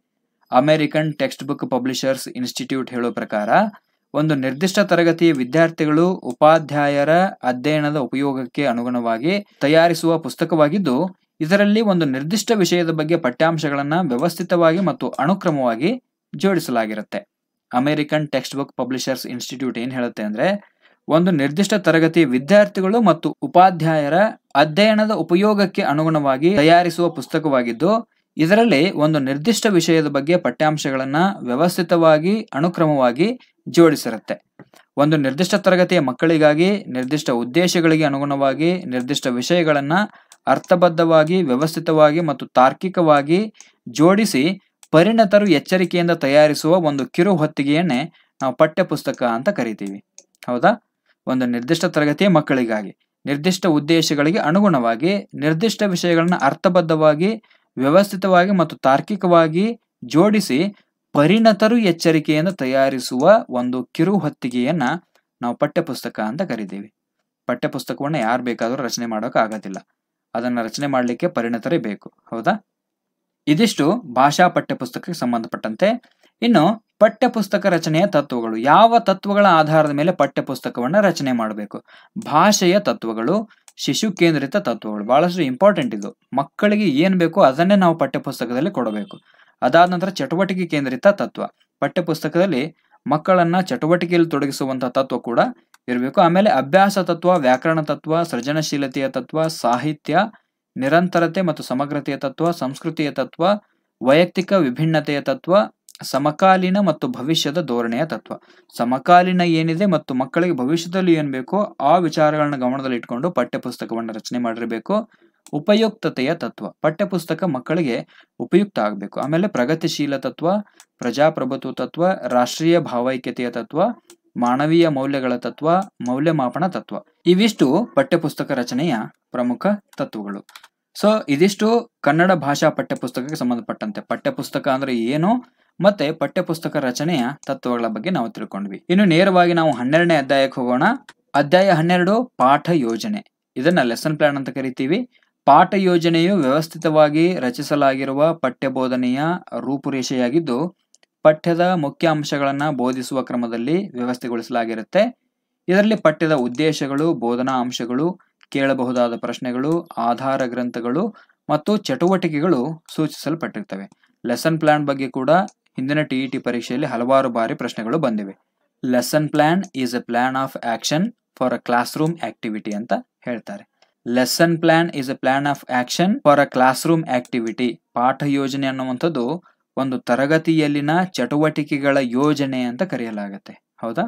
ಒಂದು ತರಗತಿಯಲ್ಲಿ ಯಾವೆಲ್ಲ ಚಟುವಟಿಕೆಗಳನ್ನ ನಾವು ಮಾಡ್ಕೊಳ್ತೀವಿ ಆ ಚಟುವಟಿಕೆಗಳಿಗೆ ಒಂದು ಯೋಜನೆ ಪ್ಲಾನ್ ಯಾವುದು ಅಂತಂದ್ರೆ ಅದು ಲೆಸನ್ ಪ್ಲಾನ್ ಇನ್ನು ಈ ಪಾಠ ಯೋಜನೆಯ ಬಗ್ಗೆ ಡೀಟೇಲ್ ಆಗಿ ನಾವು ನೋಡ್ತಾ ಹೋಗೋಣ. ಒಂದು ನಿರ್ದಿಷ್ಟ ತರಗತಿಗೆ, ನಿರ್ದಿಷ್ಟ ಕಾಲಾವಧಿಯಲ್ಲಿ, ನಿರ್ದಿಷ್ಟ ವಿಷಯ, ಭಾಗವೊಂದರ ಬೋಧನೆಗೆ ಸಂಬಂಧಿಸಿದಂತೆ ಅಧ್ಯಾಪಕರ ಸಿದ್ಧತೆಯನ್ನ ವ್ಯವಸ್ಥಿತ ರೀತಿಯಲ್ಲಿ ನಿರೂಪಿಸಿರುವ ಒಂದು ಯೋಜನೆಯೇ ಪಾಠ ಯೋಜನೆಯಾಗಿದ್ದು, ಈ ಪಾಠ ಯೋಜನೆಯಲ್ಲಿ ಪಾಠದ ವಿಷಯ, ಸಾಮಾನ್ಯ ಮತ್ತು ನಿರ್ದಿಷ್ಟ ಉದ್ದೇಶಗಳು, ವಿಷಯದ ವಿಭಜನೆ, ವಿವರಣೆ, ಪ್ರಶ್ನೆಗಳು ಮುಖ್ಯಾಂಶಗಳು, ವಿಷಯ ನಿರೂಪಣಾ ಕ್ರಮಗಳು, ಉಲ್ಲೇಖ ಆಗಿದ್ದು ಮನೆ ಕಟ್ಟಲು ಒಂದು ನಕ್ಷೆಯನ್ನು ನಾವು ಯಾವ ರೀತಿ ಬಳಕೆ ಮಾಡ್ಕೊಳ್ತೀವೋ ಹಾಗೆಯೇ ಬೋಧನೆಯನ್ನ ರೂಪಿಸಲಿಕ್ಕೆ ಈ ಪಾಠ ಯೋಜನೆ ಅನ್ನುವಂಥದ್ದು ಬಹಳಷ್ಟು ಉಪಯುಕ್ತ ಆಗಿರುವಂಥದ್ದು. ಪಾಠ ಯೋಜನೆಯು ತಾತ್ವಿಕ ಹಿನ್ನೆಲೆಯಲ್ಲಿ ಅದು ಮುಕ್ತ ಆಗಿರಬೇಕು ಮತ್ತು ಸೃಜನಶೀಲ ವ್ಯಕ್ತಿಯಿಂದ ಈ ಪಾಠ ಯೋಜನೆ ಅನ್ನುವಂಥದ್ದು ರಚನೆಯಾಗಿರಬೇಕು.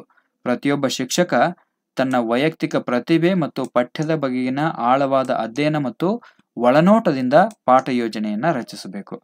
ಶಿಕ್ಷಣದ ಗುರಿಗಳು ಮತ್ತು ಪಠ್ಯ ಬೋಧನಾ ಉದ್ದೇಶಗಳ ಸಾಧನೆಗೆ ನೆರವಾಗುವಂತೆ ಪಠ್ಯದ ಸಂಘಟನೆ, ವಿಶ್ಲೇಷಣೆ, ಕಲಿಕಾ ಚಟುವಟಿಕೆಗಳು ಮತ್ತು ಅನುಭವಗಳನ್ನು ರೂಪಿಸಿ ಪಾಠ ಯೋಜನೆಯನ್ನ ರಚಿಸಬೇಕಾಗತ್ತೆ. ಈ ಪಾಠ ಯೋಜನೆ ಏನ್ ಮಾಡುತ್ತೆ ಅಂದ್ರೆ ಒಂದು ತರಗತಿಯಲ್ಲಿ ಯಾವೆಲ್ಲ ಅಂಶಗಳು ಯಾವ ರೀತಿ ನಡಿಬೇಕು ಅನ್ನುವಂಥದ್ದನ್ನು ಯೋಜನೆ ಮಾಡಿ ಕೊಡುತ್ತೆ. ಹೀಗಾಗಿ ಪಾಠ ಯೋಜನೆ ಬಹಳಷ್ಟು ಇಂಪಾರ್ಟೆಂಟ್ ಆಗಿರ್ತಕ್ಕಂಥದ್ದು. ಇನ್ನು ಪಾಠ ಯೋಜನೆಯ ಹಂತಗಳನ್ನ ನಾವು ನೋಡ್ತಾ ಹೋಗೋಣ.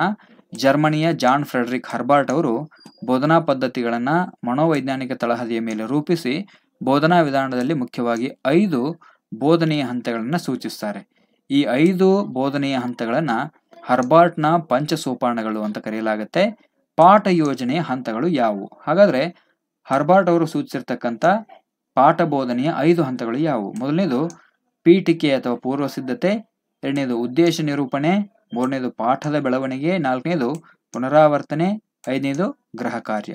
ಇವು ಹರ್ಬಾರ್ಟ್ ಅವರ ಪಂಚ ಸೋಪಾನಗಳು ಬೋಧನಾ ವಿಧಾನದ ಹಂತಗಳಿಗೆ ಸಂಬಂಧಪಟ್ಟಂತೆ ಹರ್ಬಾರ್ಟ್ ಅವರು ಸೂಚಿಸಿರ್ತಕ್ಕಂಥ ಐದು ಹಂತಗಳನ್ನ ಹರ್ಬಾರ್ಟ್ನ ಪಂಚ ಸೋಪಾನಗಳು ಅಂತ ಕರೆಯಲಾಗುತ್ತೆ.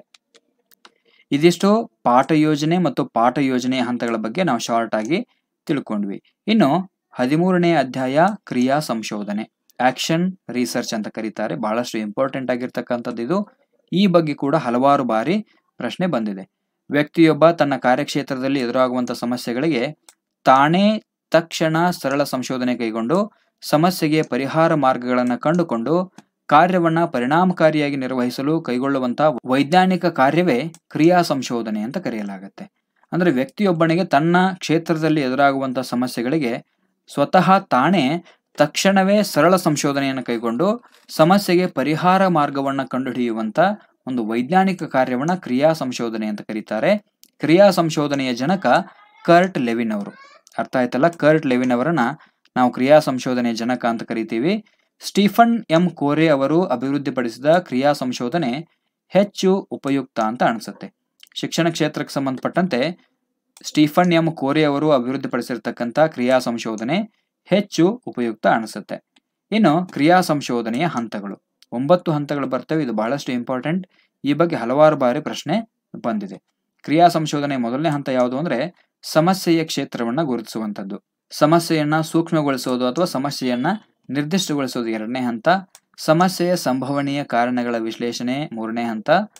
ನಾಲ್ಕನೇದು, ಉದ್ದೇಶಗಳನ್ನ ನಿರೂಪಿಸುವಂಥದ್ದು. ಐದನೇದು ಕ್ರಿಯಾ ಪ್ರಾಕಲ್ಪನೆಯ ರಚನೆ. ಈ ಕ್ರಿಯಾ ಪ್ರಾಕಲ್ಪನೆಯ ರಚನೆಯನ್ನ ಸಂಶೋಧಕನ ಕಣ್ಣು ಅಂತ ಕರೀತಾರೆ. ಹಿಂದಿನ ಟಿಇಟಿ ಪರೀಕ್ಷೆಯಲ್ಲಿ ಒಂದು ಬಾರಿ ಪ್ರಶ್ನೆ ಬಂದಿತ್ತು. ಸಂಶೋಧಕನ ಕಣ್ಣು ಎಂದು ಯಾವ ಹಂತವನ್ನ ಕರೆಯಲಾಗುತ್ತೆ ಅಂತ ಕ್ರಿಯಾ ಪ್ರಾಕಲ್ಪನೆಯ ರಚನೆಯ ಹಂತವನ್ನ ಸಂಶೋಧಕನ ಕಣ್ಣು ಅಂತ ಕರೆಯಲಾಗುತ್ತೆ. ಇನ್ನು ಆರನೇದು ಕ್ರಿಯಾ ಯೋಜನೆಯನ್ನು ತಯಾರಿಸುವಂಥದ್ದು, ಕ್ರಿಯಾ ಯೋಜನೆಯ ಅನುಷ್ಠಾನ, ದತ್ತಾಂಶಗಳ ವಿಶ್ಲೇಷಣೆ, ಕ್ರಿಯಾ ಸಂಶೋಧನೆಯ ಫಲಗಳ ತೀರ್ಮಾನಗಳನ್ನ ರೂಪಿಸುವಂಥದ್ದು, ಕ್ರಿಯಾ ಸಂಶೋಧನೆಯ ಕೊನೆಯ ಹಂತ. ಇವಿಷ್ಟು ಒಂಬತ್ತು ಹಂತಗಳು ಕ್ರಿಯಾ ಸಂಶೋಧನೆಯ ಹಂತಗಳು. ಇಲ್ಲಿ ಮೊದಲನೇ ಹಂತ, ಸಮಸ್ಯೆಯ ಕ್ಷೇತ್ರವನ್ನು ಗುರುತಿಸುವಂಥದ್ದು, ಕ್ರಿಯಾ ಪ್ರಾಕಲ್ಪನೆಯ ರಚನೆಯ ಹಂತವನ್ನ ನಾವು ಸಂಶೋಧಕನ ಕಣ್ಣು ಅಂತ ಕರಿತೀವಿ. ಕೊನೆಯ ಹಂತ, ಕ್ರಿಯಾ ಸಂಶೋಧನೆಯ ಫಲಗಳ ತೀರ್ಮಾನಗಳನ್ನ ರೂಪಿಸುವಂಥದ್ದು. ಇದಿಷ್ಟು ಕ್ರಿಯಾ ಸಂಶೋಧನೆಗೆ ಸಂಬಂಧಪಟ್ಟಂತೆ. ಇನ್ನು ಕೊನೆಯ ಅಧ್ಯಾಯ, ಹದಿನಾಲ್ಕನೇ ಅಧ್ಯಾಯ, ಮೌಲ್ಯಮಾಪನ ಇವ್ಯಾಲ್ಯುವೇಷನ್ ಅಂತ ಕರಿತೀವಿ. ಇದು ಬಹಳಷ್ಟು ಇಂಪಾರ್ಟೆಂಟ್ ಆಗಿರ್ತಕ್ಕಂಥದ್ದು. ಈ ಬಗ್ಗೆ ಬೋಧನಾಶಾಸ್ತ್ರಕ್ಕೆ ಸಂಬಂಧಪಟ್ಟಂತೆ ಯಾವೆಲ್ಲ ವಿಷಯಗಳಿದ್ದಾವೆ ಅವುಗಳಲ್ಲಿ ಈ ಬಗ್ಗೆ ಕಡ್ಡಾಯವಾಗಿ ಪ್ರಶ್ನೆಗಳು ಬರ್ತವೆ. ಇದು ಹದಿನಾಲ್ಕನೇ ಅಧ್ಯಾಯ ಬಹಳಷ್ಟು ಇಂಪಾರ್ಟೆಂಟ್ ಆಗಿರ್ತಕ್ಕಂಥದ್ದು. ಇಲ್ಲಿ ಮಹತ್ವದ ಅಂಶಗಳು ಹಲವಾರು ಬರ್ತವೆ. ಈ ಬಗ್ಗೆ ಹಲವಾರು ಬಾರಿ ಪ್ರಶ್ನೆಗಳು ಕೂಡ ಬಂದಿವೆ. ಆದ್ದರಿಂದ ಇದನ್ನ ತಪ್ಪದೇ ತಾವುಗಳು ನೋಟ್ ಮಾಡ್ಕೋಬೇಕು. ಮೌಲ್ಯಮಾಪನ. ಮೌಲ್ಯಮಾಪನ ಅನ್ನುವಂಥದ್ದು ಶಿಕ್ಷಣದ ಅವಿಭಾಜ್ಯ ಅಂಗ. ಬೋಧನಾ ಕ್ರಿಯೆಯಿಂದ ಅಪೇಕ್ಷಿತ ಬದಲಾವಣೆಯನ್ನು ನಿರೀಕ್ಷಿಸಬೇಕಾದ್ರೆ ಬೋಧಿಸುವಂತ ವಿಷಯಗಳನ್ನು ನಾವು ನಿರಂತರವಾಗಿ ಮೌಲ್ಯಮಾಪನ ಮಾಡಬೇಕು. ಶೈಕ್ಷಣಿಕ ಉದ್ದೇಶಗಳನ್ನು ವಿದ್ಯಾರ್ಥಿಗಳು ಎಷ್ಟರ ಮಟ್ಟಿಗೆ ಹಾಗೂ ಎಷ್ಟು ಪರಿಣಾಮಕಾರಿಯಾಗಿ ಹೇಗೆ ಸಾಧಿಸಿದ್ದಾರೆ ಅನ್ನುವಂಥದ್ದನ್ನು ಪ್ರಜ್ಞಾಪೂರ್ವಕವಾಗಿ ಮೌಲ್ಯೀಕರಿಸುವಂಥ ಒಂದು ವ್ಯವಸ್ಥಿತ ಪ್ರಕ್ರಿಯೆಯನ್ನೇ ನಾವು ಮೌಲ್ಯಮಾಪನ ಅಂತ ಕರಿತೀವಿ. ಮೌಲ್ಯಮಾಪನ ಅಂದರೆ ಕೇವಲ ಅಳತೆ ಮಾಡುವಂಥದ್ದಲ್ಲ, ಅಳತೆ ಕೇವಲ ವಿದ್ಯಾರ್ಥಿಯ ಸಾಧನೆಯ ಪರಿಣಾಮವನ್ನು ಮಾತ್ರ ತಿಳಿಸುತ್ತೆ. ಆದರೆ ಮೌಲ್ಯಮಾಪನ ವಿದ್ಯಾರ್ಥಿಯ ಸಾಧನೆಯ ಗುಣಮಟ್ಟವನ್ನು ತೂಗಿ ನೋಡುತ್ತೆ. ಆದ್ದರಿಂದ ಮೌಲ್ಯಮಾಪನವನ್ನು ಅಳತೆ ಪ್ಲಸ್ ಮೌಲ್ಯಯುತ ತೀರ್ಮಾನ ಅಂತ ಹೇಳ್ಬೋದು. ನಮ್ಮ ಬೋಧನೆಯಿಂದ ಮಕ್ಕಳಲ್ಲಿ ಎಷ್ಟೆಲ್ಲ ಅಪೇಕ್ಷಿತ ಬದಲಾವಣೆಗಳಾಗಿದೆ ಅನ್ನುವಂಥದ್ದನ್ನ ಕಂಡು ಹಿಡಿಯಲಿಕ್ಕೆ ಬಳಸ್ತಕ್ಕಂಥ ಒಂದು ವ್ಯವಸ್ಥಿತ ಪ್ರಕ್ರಿಯೆನೇ ನಾವು ಮೌಲ್ಯಮಾಪನ ಅಂತ ಕರಿತೀವಿ. ಇದಕ್ಕೆ ಸಂಬಂಧಪಟ್ಟಂತೆ ಡೀಟೇಲ್ ಆಗಿ ನೋಡ್ತಾ ಹೋಗೋಣ. ನಿರಂತರ ಮತ್ತು ವ್ಯಾಪಕ ಮೌಲ್ಯಮಾಪನ. ಕಂಟಿನ್ಯೂಸ್ ಅಂಡ್ ಕಾಂಪ್ರಿಹೆನ್ಸಿವ್ ಇವ್ಯಾಲ್ಯೂಯೇಷನ್ ಅಂತ ಕರೀತಾರೆ ಸಿ ಸಿ ಎ. ನಿರಂತರ ಮೌಲ್ಯಮಾಪನದ ಬಗ್ಗೆ ಮೊದಲಿಗೆ ತಿಳ್ಕೊಳ್ಳೋಣ. ನಿರಂತರ ಮೌಲ್ಯಮಾಪನ ಅಂದ್ರೆ ಏನು? ಬೋಧಿಸುವ ಎಲ್ಲ ವಿಷಯಗಳನ್ನ ಕೇವಲ ವರ್ಷದ ಕೊನೆಯಲ್ಲಿ ಔಪಚಾರಿಕವಾಗಿ ಮೌಲ್ಯಮಾಪನ ಮಾಡದೆ ಪ್ರತಿಯೊಂದು ಅಂಶ, ಘಟಕಗಳನ್ನ ಬೋಧಿಸುತ್ತಿರುವಂತೆಯೇ ಜೊತೆಯಲ್ಲಿಯೇ ನಿರಂತರವಾಗಿ, ಔಪಚಾರಿಕವಾಗಿ ಮತ್ತು ಅನೌಪಚಾರಿಕವಾಗಿ ಮೌಲ್ಯಮಾಪನ ಮಾಡುವಂಥದ್ದನ್ನು ನಾವು ನಿರಂತರ ಮೌಲ್ಯಮಾಪನ ಅಂತ ಕರಿತೀವಿ. ಆದ್ಮೇಲೆ ಈ ಮೌಲ್ಯಮಾಪನಕ್ಕೆ ಸಂಬಂಧಪಟ್ಟಂತೆ ಡೀಟೇಲ್ ಆಗಿರ್ತಕ್ಕಂಥ ಕ್ಲಾಸನ್ನು ನಾನು ಹಿಂದಿನ ತರಗತಿಯಲ್ಲಿ ಮಾಡಿದ್ದೀನಿ. ಇಲ್ಲಿ ಶಾರ್ಟ್ ಆಗಿ ಹೇಳ್ತಾ ಹೋಗ್ತಿದ್ದೀನಿ. ನಿಮಗೆ ಇದಕ್ಕಿಂತ ಜಾಸ್ತಿ ಡೀಟೇಲ್ ಬೇಕಿತ್ತು ಅಂದ್ರೆ ಮೌಲ್ಯಮಾಪನ ಅನ್ನುವಂಥ ಒಂದು ವಿಷಯಕ್ಕೆ ಸಂಬಂಧಪಟ್ಟಂತೆ ನಾನು ಡೀಟೇಲ್ ಆಗಿರ್ತಕ್ಕಂಥ ಕ್ಲಾಸನ್ನು ಮಾಡಿದ್ದೀನಿ. ಅಲ್ಲಿ ಬಹಳಷ್ಟು ಡೀಟೇಲ್ ಆಗಿ ಹೇಳಿದ್ದೀನಿ. ಆ ಕ್ಲಾಸನ್ನು ಕೂಡ ತಾವು ನೋಡ್ಕೋಬಹುದು. ಅಂದರೆ ಇಲ್ಲಿ ನಿರಂತರ ಮೌಲ್ಯಮಾಪನ ಅಂದ್ರೆ ಬೋಧಿಸುವಂಥ ಎಲ್ಲಾ ವಿಷಯಗಳನ್ನ ವರ್ಷದ ಕೊನೆಗೆ ಔಪಚಾರಿಕವಾಗಿ ಮೌಲ್ಯಮಾಪನ ಮಾಡದೆ ಯಾವ ವಿಷಯವನ್ನ, ಯಾವ ಅಂಶವನ್ನ ನಾವು ಬೋಧನೆ ಮಾಡ್ತಿರ್ತೀವೋ ಅದನ್ನ ಬೋಧನೆ ಮಾಡಿದ ನಂತರ ಅಲ್ಲಿಯೇ ಏನು ಮಾಡೋದು ಅಂತಂದ್ರೆ ಮೌಲ್ಯಮಾಪನ ಮಾಡುವಂಥದ್ದನ್ನು ನಾವು ನಿರಂತರ ಮೌಲ್ಯಮಾಪನ ಅಂತ ಕರಿತೀವಿ. ನಿರಂತರ ಮೌಲ್ಯಮಾಪನದಿಂದ ಬೋಧನೆಯ ಪ್ರತಿ ಹಂತದಲ್ಲಿ ಕನಿಷ್ಠ ಮಟ್ಟದ ಕಲಿಕಾ ಸಾಮರ್ಥ್ಯಗಳನ್ನು ಸಾಧಿಸಲು ಇದು ಸಹಾಯಕ ಆಗತ್ತೆ. ಅಂದ್ರೆ ನಾವು ಆವಾಗಲೇ ಬೋಧನೆ ಮಾಡಿ, ಆವಾಗಲೇ ಇವ್ಯಾಲ್ಯುಯೇಷನ್ ಮಾಡೋದ್ರಿಂದಾಗಿ ಮಕ್ಕಳು ಎಷ್ಟನ್ನು ತಿಳ್ಕೊಂಡಿದ್ದಾರೆ ಅನ್ನುವಂಥದ್ದು ನಮಗೆ ಈಸಿಯಾಗಿ ಅರ್ಥ ಆಗುತ್ತೆ. ಇದು ಸ್ವಯಂ ಕಲಿಕೆಯನ್ನು ಪ್ರೋತ್ಸಾಹ ಮಾಡುತ್ತೆ, ಜೊತೆಗೆ ಶಿಕ್ಷಕರಿಗೆ ತಮ್ಮ ಬೋಧನಾ ಕಾರ್ಯವನ್ನ ಪರಿಣಾಮಕಾರಿಗೊಳಿಸಲು ಸಹಕಾರಿ ಆಗತ್ತೆ. ಈ ನಿರಂತರ ಮೌಲ್ಯಮಾಪನದಿಂದ ಕಲಿಕೆಯಲ್ಲಿ ಕಂಡುಬರುವಂಥ ದೋಷಗಳನ್ನು ಆಗಿಂದಾಗ್ಗೆ ಕಂಡುಹಿಡಿದು ಅವುಗಳಿಗೆ ಪರಿಹಾರವನ್ನ ಸೂಚಿಸಬಹುದು. ಇದು ನಿರಂತರ ಮೌಲ್ಯಮಾಪನ ಆದರೆ ಇನ್ನು ವ್ಯಾಪಕ ಮೌಲ್ಯಮಾಪನ. ಈ ವ್ಯಾಪಕ ಮೌಲ್ಯಮಾಪನದ ಬಗ್ಗೆ ಡೀಟೇಲ್ ಆಗಿ ನಾವು ತಿಳ್ಕೊಳ್ತಾ ಹೋಗೋಣ. ಮಕ್ಕಳ ಸರ್ವತೋಮುಖ ವಿಕಾಸವನ್ನ ಗಮನದಲ್ಲಿ ಇಟ್ಕೊಂಡು ಪಠ್ಯ ವಿಷಯಾಂಶಗಳು, ಪಠ್ಯೇತರ ಅಂಶಗಳು ಹಾಗೂ ವ್ಯಕ್ತಿತ್ವದ ವಿವಿಧ ಅಂಶಗಳನ್ನ ಹಾಗೂ ವಿದ್ಯಾರ್ಥಿಗಳ ವಿವಿಧ ಅಂಶಗಳನ್ನು ಕುರಿತಂತೆ ವಿದ್ಯಾರ್ಥಿಗಳ ಸಾಧನೆಯ ಮಟ್ಟವನ್ನ ಮೌಲ್ಯಮಾಪನ ಮಾಡುವಂಥದ್ದೇ ವ್ಯಾಪಕ ಮೌಲ್ಯಮಾಪನ. ಮಕ್ಕಳ ಸಹಜ ಸ್ವಭಾವಗಳನ್ನ ಇದರಿಂದ ನಾವು ಪರೀಕ್ಷೆ ಮಾಡಬಹುದು ಈ ವ್ಯಾಪಕ ಮೌಲ್ಯಮಾಪನದಲ್ಲಿ ಏನ್ ಮಾಡ್ತೀವಿ ಅಂದ್ರೆ ಮಕ್ಕಳ ಸರ್ವತೋಮುಖ ವಿಕಾಸವನ್ನು ಗಮನದಲ್ಲಿ ಇಟ್ಕೊಂಡು ಪಠ್ಯ ವಿಷಯಗಳಾಗಿರ್ಬೋದು, ಪಠ್ಯೇತರ ವಿಷಯಗಳಾಗಿರ್ಬೋದು ಜೊತೆಗೆ ಮಕ್ಕಳ ವ್ಯಕ್ತಿತ್ವದ ವಿವಿಧ ಅಂಶಗಳನ್ನ ಅರ್ಥ ಮಾಡ್ಕೊಳ್ಳಿಕ್ಕೆ ಈ ವ್ಯಾಪಕ ಮೌಲ್ಯಮಾಪನವನ್ನು ನಾವು ನಡೆಸ್ತೀವಿ. ಇಲ್ಲಿ ವಿದ್ಯಾರ್ಥಿಯ ಜ್ಞಾನ ವಲಯ ಮಾನಸಿಕ ವಲಯ ಮತ್ತು ಮನೋಚಾಲಕ ವಲಯ ಎಲ್ಲ ಅಂಶಗಳನ್ನ ಪರಿಗಣನೆಗೆ ತಗೊಂಡು ಅವುಗಳನ್ನ ಮೌಲ್ಯಮಾಪನ ಮಾಡಲಾಗುತ್ತೆ. ಇದರಿಂದ ವ್ಯಕ್ತಿತ್ವ ವಿಕಾಸದಲ್ಲಿರ್ತಕ್ಕಂಥ ಓರೆಕೋರೆಗಳನ್ನು ಗುರುತಿಸಿ ಅವುಗಳಿಗೆ ಸೂಕ್ತ ಮಾರ್ಗದರ್ಶನವನ್ನ ನೀಡುವ ಮೂಲಕ ಮಕ್ಕಳ ವ್ಯಕ್ತಿತ್ವವನ್ನ ತಿದ್ದಬಹುದು. ಇನ್ನು ಪ್ರಬಂಧ ಮಾದರಿಯ ಪ್ರಶ್ನೆಗಳು. ಬಹಳಷ್ಟು ಇಂಪಾರ್ಟೆಂಟ್ ಆಗಿರ್ತಕ್ಕಂಥದ್ದು ಇದು. ವಸ್ತುನಿಷ್ಠ ಪ್ರಶ್ನೆಗಳು ಎಲ್ಲ ವಿಷಯ ಹಾಗೂ ಉದ್ದೇಶಗಳನ್ನ ಪರೀಕ್ಷೆ ಮಾಡೋದಿಲ್ಲ. ಆದ್ದರಿಂದ ಭಾಷೆಗೆ ಸಂಬಂಧಪಟ್ಟಂತೆ ಸಾಹಿತ್ಯ, ಭಾಷೆ, ಮಾನವೀಯ ವಿಷಯಗಳು ಸೇರಿದಂತೆ ವಿದ್ಯಾರ್ಥಿಗಳ ಮನೋಭಾವ ಮತ್ತು ಮೌಲ್ಯಗಳನ್ನು ಒಳಗೊಂಡಂತೆ ಒಟ್ಟಾರೆ ವ್ಯಕ್ತಿತ್ವ ವಿಕಾಸದ ಮೌಲ್ಯಮಾಪನ ಮಾಡಲು ಬಳಸುವ ಪ್ರಶ್ನೆಗಳನ್ನೇ ನಾವು ಪ್ರಬಂಧ ಮಾದರಿ ಪ್ರಶ್ನೆಗಳು ಅಂತ ಕರಿತೀವಿ. ಪ್ರಬಂಧ ಮಾದರಿ ಪ್ರಶ್ನೆಗಳು ಮಕ್ಕಳ ಸ್ಮರಣ ಶಕ್ತಿ ಭಾವನೆ, ಭಾಷಾ ಸಾಮರ್ಥ್ಯ, ಸ್ವತಂತ್ರ ಚಿಂತನೆ, ಸ್ವಂತಿಕೆ, ಸಾಹಿತ್ಯ, ಸಂಸ್ಕೃತಿ ಇತ್ಯಾದಿಯಾಗಿ ಒಟ್ಟು ವ್ಯಕ್ತಿತ್ವವನ್ನು ರೂಪಿಸಲು ಈ ಪ್ರಬಂಧ ಮಾದರಿ ಪ್ರಶ್ನೆಗಳು ಸಹಾಯಕ ಆಗ್ತವೆ. ಪ್ರಬಂಧ ಮಾದರಿ ಪ್ರಶ್ನೆಗಳ ಸಹಾಯದಿಂದ ಮಕ್ಕಳ ಅರ್ಥಗ್ರಹಿಕೆಯ ಸಾಮರ್ಥ್ಯವನ್ನು ಚೆಕ್ ಮಾಡಬಹುದು ಸ್ವತಂತ್ರ ಚಿಂತನೆ, ಅಭಿಪ್ರಾಯ ಪ್ರಕಟಣೆ, ಕಲ್ಪನಾ ಸಾಮರ್ಥ್ಯ, ಲಿಖಿತ ಅಭಿವ್ಯಕ್ತಿ ಸಾಮರ್ಥ್ಯ, ವಿಷಯ ಸಂಗ್ರಹ ಶಕ್ತಿ ತಾರ್ಕಿಕ ಚಿಂತನೆ, ಬರವಣಿಗೆಯ ಸಾಮರ್ಥ್ಯ, ರಸಾಸ್ವಾದನೆಯ ಗುಣ, ಸೃಜನಶೀಲ ಶಕ್ತಿ, ಭಾಷಾ ಶುದ್ಧತೆ, ವ್ಯಾಕರಣ ಶುದ್ಧತೆ ಇತ್ಯಾದಿಗಳನ್ನ ವಿದ್ಯಾರ್ಥಿಗಳಲ್ಲಿ ಬೆಳೆಸಬಹುದು. ಇದು ಪ್ರಬಂಧ ಮಾದರಿಯ ಪ್ರಶ್ನೆಗಳು. ಇನ್ನು ಘಟಕ ಪರೀಕ್ಷೆ ಅಂದ್ರೆ ಏನು? ಬಹಳಷ್ಟು ಇಂಪಾರ್ಟೆಂಟ್ ಇದು. ಒಂದು ಘಟಕಕ್ಕೆ ಸಂಬಂಧಪಟ್ಟಂತೆ ನಡೆಸುವ ಕಿರು ಪರೀಕ್ಷೆಯನ್ನ ನಾವು ಘಟಕ ಪರೀಕ್ಷೆ ಅಂತ ಕರಿತೀವಿ. ಒಂದು ಘಟಕಕ್ಕೆ ಸಂಬಂಧಪಟ್ಟಂತೆ ವಿದ್ಯಾರ್ಥಿಗಳು ಘಟಕದ ಬಗ್ಗೆ ಎಷ್ಟರ ಮಟ್ಟಿಗೆ ಕಲಿತಿದ್ದಾರೆ ಎಂಬುದನ್ನ ಹಾಗೂ ಬೋಧನಾ ಉದ್ದೇಶಗಳು ಎಷ್ಟರ ಮಟ್ಟಿಗೆ ಸಾಧನೆ ಆಗಿವೆ ಅನ್ನುವಂಥದ್ದನ್ನು ಪರಿಶೀಲಿಸಲು ಕೈಗೊಳ್ಳುವಂಥ ಕಿರು ಪರೀಕ್ಷೆಯನ್ನು ನಾವು ಘಟಕ ಪರೀಕ್ಷೆ ಅಂತ ಕರಿತೀವಿ. ಘಟಕ ಪರೀಕ್ಷೆಯಿಂದ ವಿದ್ಯಾರ್ಥಿಗಳ ಕಲಿಕೆಯ ಸಾಧನೆಯನ್ನು ನಾವು ಅರಿಯಬಹುದು. ಘಟಕ ಪರೀಕ್ಷೆ ಬೋಧನೆ ಮತ್ತು ಕಲಿಕೆಯ ಪರಿಣಾಮವನ್ನು ತಿಳಿಸುತ್ತೆ. ಇದರಿಂದಾಗಿ ಪರಿಹಾರ ಬೋಧನೆಯನ್ನು ನಡೆಸಿ ವಿದ್ಯಾರ್ಥಿಗಳ ಕಲಿಕೆಯನ್ನು ಸುಧಾರಿಸಬಹುದು. ಕಲಿಕೆಯನ್ನು ನಿರಂತರವಾಗಿ ಮೌಲ್ಯಮಾಪನ ಮಾಡಲು ಘಟಕ ಪರೀಕ್ಷೆಗಳು ಸಹಕಾರಿಯಾಗತ್ತೆ. ಇನ್ನು ಘಟಕ ಪರೀಕ್ಷೆಯಲ್ಲಿ ಪ್ರಶ್ನೆಗಳ ಕಠಿಣತೆಯ ಮಟ್ಟ ಶೇಕಡ ಇಪ್ಪತ್ತರಷ್ಟು ಪ್ರಶ್ನೆಗಳು ಕಠಿಣವಾಗಿರಬೇಕು, ಶೇಕಡ ಐವತ್ತರಷ್ಟು ಪ್ರಶ್ನೆಗಳು ಸಾಮಾನ್ಯವಾಗಿರಬೇಕು, ಶೇಕಡ ಮೂವತ್ತರಷ್ಟು ಪ್ರಶ್ನೆಗಳು ಸುಲಭ ಪ್ರಮಾಣದಲ್ಲಿ ಇರಬೇಕು. ಇದು ಘಟಕ ಪರೀಕ್ಷೆಯ ನೀಲನಕ್ಷೆ ಈ ರೀತಿ ಇರಬೇಕಾಗತ್ತೆ. ಇನ್ನು ನೀಲನಕಾಶೆ ಅಂದರೆ ಏನು? Blue print. ಬಹಳಷ್ಟು ಇಂಪಾರ್ಟೆಂಟ್ ಆಗಿರ್ತಕ್ಕಂಥದ್ದು ಇದು. ಒಂದು ಪ್ರಶ್ನೆ ಪತ್ರಿಕೆಯ ರಚನೆಗೆ ಪೂರ್ವಭಾವಿಯಾಗಿ ರಚಿಸಿಕೊಳ್ಳುವಂಥ ಪ್ರಶ್ನೆ ಪತ್ರಿಕೆಯ ರೂಪುರೇಷೆಯ ಕ್ರಿಯಾ ಯೋಜನೆಯನ್ನ ನಾವು ನೀಲನಕಾಶೆ ಅಂತ ಕರಿತೀವಿ. ಇದನ್ನ ಇಂಗ್ಲಿಷ್ನಲ್ಲಿ action plan of a question paper ಅಂತ ಕರೆಯಲಾಗುತ್ತೆ. ಪ್ರಶ್ನೆ ಪತ್ರಿಕೆಯ ರೂಪುರೇಷೆ ಕ್ರಿಯಾ ಯೋಜನೆಯನ್ನ ನಾವು ನೀಲನಕಾಶೆ ಅಂತ ಕರಿತೀವಿ. ಇನ್ನು ಪರಿಹಾರ ಬೋಧನೆ. ವ್ಯಕ್ತಿಗತವಾಗಿ ವಿದ್ಯಾರ್ಥಿಗಳ ಸಾಧನೆ ಮತ್ತು ದೌರ್ಬಲ್ಯಗಳನ್ನ ಗುರುತಿಸಿ ಸಾಧನೆಯಲ್ಲಿ ಹಿಂದುಳಿದ ವಿದ್ಯಾರ್ಥಿಗಳ ಕಲಿಕಾ ದೋಷಗಳ ಪರಿಹಾರಕ್ಕಾಗಿ ನಡೆಸುವಂತಹ ಬೋಧನೆಯನ್ನೇ ನಾವು ಪರಿಹಾರ ಬೋಧನೆ ಅಂತ ಕರಿತೀವಿ. ಅರ್ಥ ಆಯ್ತಲ್ಲ? ವ್ಯಕ್ತಿಗತವಾಗಿ ವಿದ್ಯಾರ್ಥಿಗಳ ಸಾಧನೆ ಮತ್ತು ದೌರ್ಬಲ್ಯಗಳನ್ನು ಗುರುತಿಸೋದು.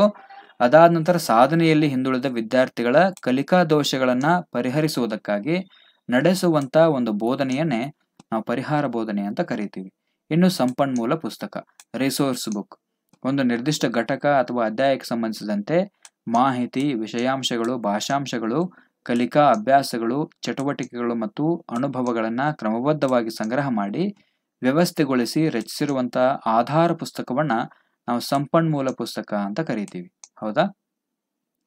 ಸಂಪನ್ಮೂಲ ಪುಸ್ತಕ ಅಂತಂದ್ರೆ ಒಂದು ಪುಸ್ತಕದ ಹಿಂದ್ಗಡೆ ಕೊಟ್ಟಿರ್ತಾರಲ್ಲ, ಆಧಾರ ಪುಸ್ತಕ ಯಾವುದು ಅಂತ, ಅಥವಾ ಒಂದು ವಿಷಯಕ್ಕೆ ಸಂಬಂಧಪಟ್ಟಂತೆ ಅಥವಾ ಒಂದು ನಿರ್ದಿಷ್ಟ ಘಟಕಕ್ಕೆ ಸಂಬಂಧಪಟ್ಟಂತೆ ಹೆಚ್ಚುವರಿ ಅಂಶಗಳನ್ನ ಒಳಗೊಂಡಿರ್ತಕ್ಕಂಥ ಪುಸ್ತಕಗಳನ್ನ ನಾವು ಸಂಪನ್ಮೂಲ ಪುಸ್ತಕ ಅಂತ ಕರಿತೀವಿ, ಅಥವಾ ರಿಸೋರ್ಸ್ ಬುಕ್ ಅಂತ ಇಂಗ್ಲಿಷ್ನಲ್ಲಿ ಅಂತಾರೆ. ಇನ್ನು ಪಠ್ಯಪುಸ್ತಕ ಅಂದರೆ ಏನು? ಪಠ್ಯಪುಸ್ತಕದ ಬಗ್ಗೆ ಆಲ್ರೆಡಿ ನಾನು ಹೇಳಿದ್ದೇನೆ. ಒಂದು ನಿರ್ದಿಷ್ಟ ತರಗತಿಯ ಮಕ್ಕಳಿಗಾಗಿ, ನಿರ್ದಿಷ್ಟ ಉದ್ದೇಶಗಳಿಗೆ ಅನುಗುಣವಾಗಿ, ನಿರ್ದಿಷ್ಟ ವಿಷಯಗಳನ್ನು ಅರ್ಥಬದ್ಧವಾಗಿ, ವ್ಯವಸ್ಥಿತವಾಗಿ ಮತ್ತು ತಾರ್ಕಿಕವಾಗಿ ಜೋಡಿಸಿ, ಪರಿಣತರು ಎಚ್ಚರಿಕೆಯಿಂದ ತಯಾರಿಸಿರುವ ಒಂದು ಕಿರುಹೊತ್ತಿಗೆಯನ್ನು ಪಠ್ಯಪುಸ್ತಕ ಅಂತ ಕರಿತೀವಿ. ಒಂದು ನಿರ್ದಿಷ್ಟ ತರಗತಿಯ ವಿದ್ಯಾರ್ಥಿಗಳು ಮತ್ತು ಉಪಾಧ್ಯಾಯರ ಅಧ್ಯಯನದ ಉಪಯೋಗಕ್ಕೆ ಅನುಗುಣವಾಗಿ ತಯಾರಿಸುವ ಪುಸ್ತಕವಾಗಿದ್ದು, ಇದರಲ್ಲಿ ಒಂದು ನಿರ್ದಿಷ್ಟ ವಿಷಯದ ಬಗ್ಗೆ ಪಠ್ಯಾಂಶಗಳನ್ನು ವ್ಯವಸ್ಥಿತವಾಗಿ, ಅನುಕ್ರಮವಾಗಿ ಜೋಡಿಸಿರುವ ಹೊತ್ತಿಗೆಯನ್ನೇ ನಾವು ಪಠ್ಯಪುಸ್ತಕ ಅಂತ ಕರಿತೀವಿ. ಅದರಲ್ಲಿ ಪಠ್ಯಪುಸ್ತಕ ಒಂದು ನಿರ್ದಿಷ್ಟ ತರಗತಿಯ ವಿದ್ಯಾರ್ಥಿಗಳ ಅನುಕೂಲಕ್ಕಾಗಿ ಇರುತ್ತೆ. ಅದರಲ್ಲಿ ನಿರ್ದಿಷ್ಟ ವಿಷಯಗಳನ್ನು ಅರ್ಥಬದ್ಧವಾಗಿ, ವ್ಯವಸ್ಥಿತವಾಗಿ ಮತ್ತು ತಾರ್ಕಿಕವಾಗಿ ಜೋಡಿಸಿ ಪಠ್ಯಪುಸ್ತಕವನ್ನ ಪರಿಣತರು ತಯಾರಿಸಿರ್ತಾರೆ. ಹೌದಾ? ಪರಿಣತರು ತಯಾರಿಸಿರುವಂಥ ಪುಸ್ತಕ. ಇನ್ನು ಅಭ್ಯಾಸ ಪುಸ್ತಕ ಅಂದ್ರೆ ಏನು? ವರ್ಕ್ ಬುಕ್ ಹಿಂದಿನ ಟಿಇಟಿ ಪರೀಕ್ಷೆಯಲ್ಲಿ ಪ್ರಶ್ನೆ ಬಂದಿತ್ತು. ಒಂದು ಪಠ್ಯ ವಸ್ತುವನ್ನ ಮಕ್ಕಳೇ ಸ್ವಯಂ ಅಧ್ಯಯನ ಮಾಡಿ. ಅರ್ಥ ಮಾಡ್ಕೊಳ್ಳಿ. ಒಂದು ಪಠ್ಯ ವಸ್ತುವನ್ನ ಮಕ್ಕಳೇ ಸ್ವಯಂ ಅಧ್ಯಯನ ಮಾಡಿ. ಅಭ್ಯಾಸಗಳು ಮತ್ತು ಪ್ರಶ್ನೆಗಳ ಮೂಲಕ ತಾವೇ ಕಲಿಯಲು ಅನುಕೂಲವಾಗುವ ಸ್ವರೂಪದಲ್ಲಿ ರಚಿಸಿರುವ ಕಲಿಕಾ ಸಾಮಗ್ರಿಯನ್ನೇ ಅಭ್ಯಾಸ ಪುಸ್ತಕ ಅಂತ ಕರೆಯಲಾಗುತ್ತೆ. ಪಠ್ಯಪುಸ್ತಕಕ್ಕೆ ಹೊಂದಿಕೊಂಡಂತೆ ರಚಿಸಿರುವ ಅಭ್ಯಾಸದ ಅಥವಾ ಕಲಿಕೆಯ ಒಂದು ಸಾಧನವನ್ನೇ ನಾವು ಅಭ್ಯಾಸ ಪುಸ್ತಕ ಅಂತ ಕರಿತೀವಿ. ಈ ಅಭ್ಯಾಸ ಪುಸ್ತಕ ಏನ್ ಮಾಡುತ್ತೆ ಅಂದ್ರೆ ಪಠ್ಯ ಪುಸ್ತಕಕ್ಕೆ ಹೊಂದಿಕೊಂಡಂತೆ ಇದನ್ನ ರಚನೆ ಮಾಡಿರ್ತಾರೆ. ಇನ್ನು ಹೆಚ್ಚುವರಿ ಮಾಹಿತಿಯನ್ನ ನಾವು ನೋಡ್ತಾ ಹೋಗೋಣ. ಮೌಲ್ಯಮಾಪನ ಅಧ್ಯಾಯಕ್ಕೆ ಸಂಬಂಧಪಟ್ಟಂತೆ. ವಾರ್ಷಿಕ ಪರೀಕ್ಷೆಗಳನ್ನು ಯಾಕೆ ನಡೆಸ್ತಾರೆ ಅಂತಂದ್ರೆ ಕಲಿಕೆಯ ಮೌಲ್ಯಮಾಪನಕ್ಕಾಗಿ ಕ್ರಿಯಾ ಸಂಶೋಧನೆ ಅಂತಂದ್ರೆ ತರಗತಿಯಲ್ಲಿ ಉದ್ಭವಿಸುವ ತಕ್ಷಣದ ಸಮಸ್ಯೆಯನ್ನ ಪರಿಹರಿಸಲು ಶಿಕ್ಷಕನು ಕೈಗೊಳ್ಳಬಹುದಾದ ಸಂಶೋಧನೆಯನ್ನೇ ನಾವು ಕ್ರಿಯಾ ಸಂಶೋಧನೆ ಅಂತ ಕರೀತೀವಿ. ಇನ್ನು ಕ್ರಿಯಾ ಸಂಶೋಧನೆ ಜನಕ ಕರ್ಟ್ ಲೆವಿನ್ ಅವರು ಎರಡ್ ಸಾವಿರದ ಹದಿನೇಳರ ಪತ್ರಿಕೆ ಒಂದು ಮತ್ತು ಎರಡ್ ಸಾವಿರದ ಹದಿನೆಂಟರ ಪತ್ರಿಕೆ ಎರಡರಲ್ಲಿ ಈ ಬಗ್ಗೆ ಪ್ರಶ್ನೆ ಬಂದಿದೆ. ಕ್ರಿಯಾ ಸಂಶೋಧನೆ ಮತ್ತು ಕ್ರಿಯಾ ಸಂಶೋಧನೆಯ ಜನಕ ಯಾರು ಅಂತ. ಇನ್ನು ಕ್ರಿಯಾ ಪ್ರಾಕಲ್ಪನೆಯ ರಚನೆಯ ಹಂತವನ್ನ ಸಂಶೋಧಕನ ಕಣ್ಣು ಅಂತ ಕರೆಯಲಾಗುತ್ತೆ.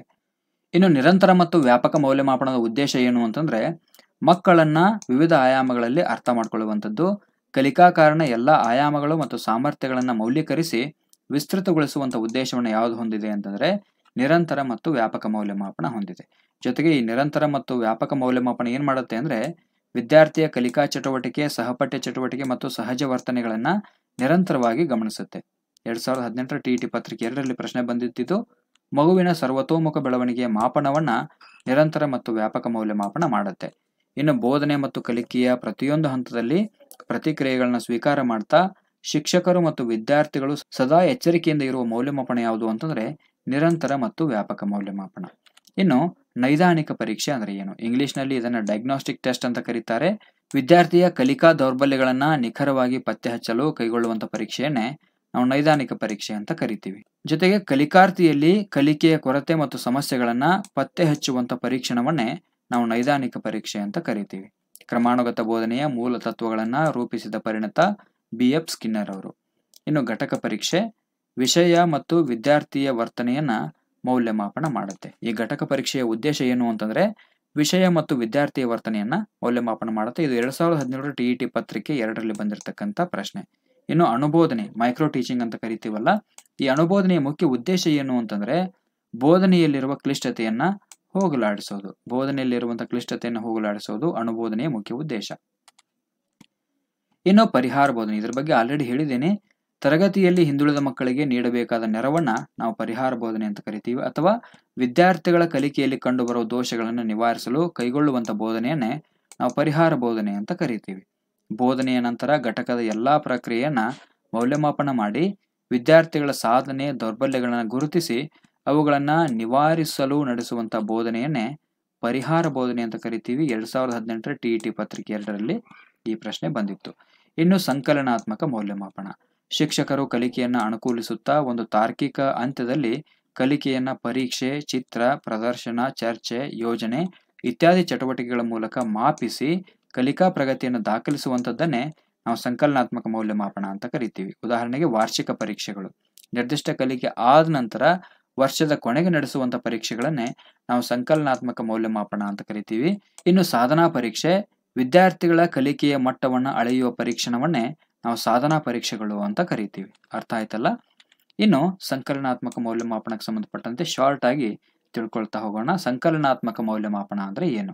ನಿರ್ದಿಷ್ಟ ಬೋಧನಾ ಕಲಿಕಾ ಪ್ರಕ್ರಿಯೆಯ ಅಂತ್ಯದಲ್ಲಿ ಕೈಗೊಳ್ಳುವಂತ ಮೌಲ್ಯಮಾಪನವನ್ನೇ ಸಂಕಲನಾತ್ಮಕ ಮೌಲ್ಯಮಾಪನ ಅಂತ ಕರಿತೀವಿ. ಉದಾಹರಣೆಗೆ ವಾರ್ಷಿಕ ಪರೀಕ್ಷೆಗಳು. ಎಸ್ ಎಸ್ ಎಲ್ ಸಿ ಪರೀಕ್ಷೆಗಳನ್ನ ವರ್ಷಕ್ಕೊಂದ್ಸರಿ ಮಾಡ್ತಾರಲ್ಲ, ಅದು ಸಂಕಲನಾತ್ಮಕ ಮೌಲ್ಯಮಾಪನಕ್ಕೆ ಉದಾಹರಣೆ. ಇನ್ನು ರಚನಾತ್ಮಕ ಮೌಲ್ಯಮಾಪನ. ಬೋಧನಾ ಪ್ರಕ್ರಿಯೆ ನಡೆಯುವಾಗಲೇ ಕಲಿಕಾ ಪ್ರಕ್ರಿಯೆಯನ್ನ ಖಚಿತಪಡಿಸಿಕೊಳ್ಳಲು ನಡೆಸುವ ಮೌಲ್ಯಮಾಪನವನ್ನೇ ನಾವು ರಚನಾತ್ಮಕ ಅಥವಾ ರೂಪಣಾತ್ಮಕ ಮೌಲ್ಯಮಾಪನ ಅಂತ ಕರಿತೀವಿ. ಉದಾಹರಣೆಗೆ ಘಟಕ ಪರೀಕ್ಷೆ ಆಗಿರ್ಬೋದು, ಮಾಸಿಕ ಪರೀಕ್ಷೆ ಆಗಿರ್ಬೋದು.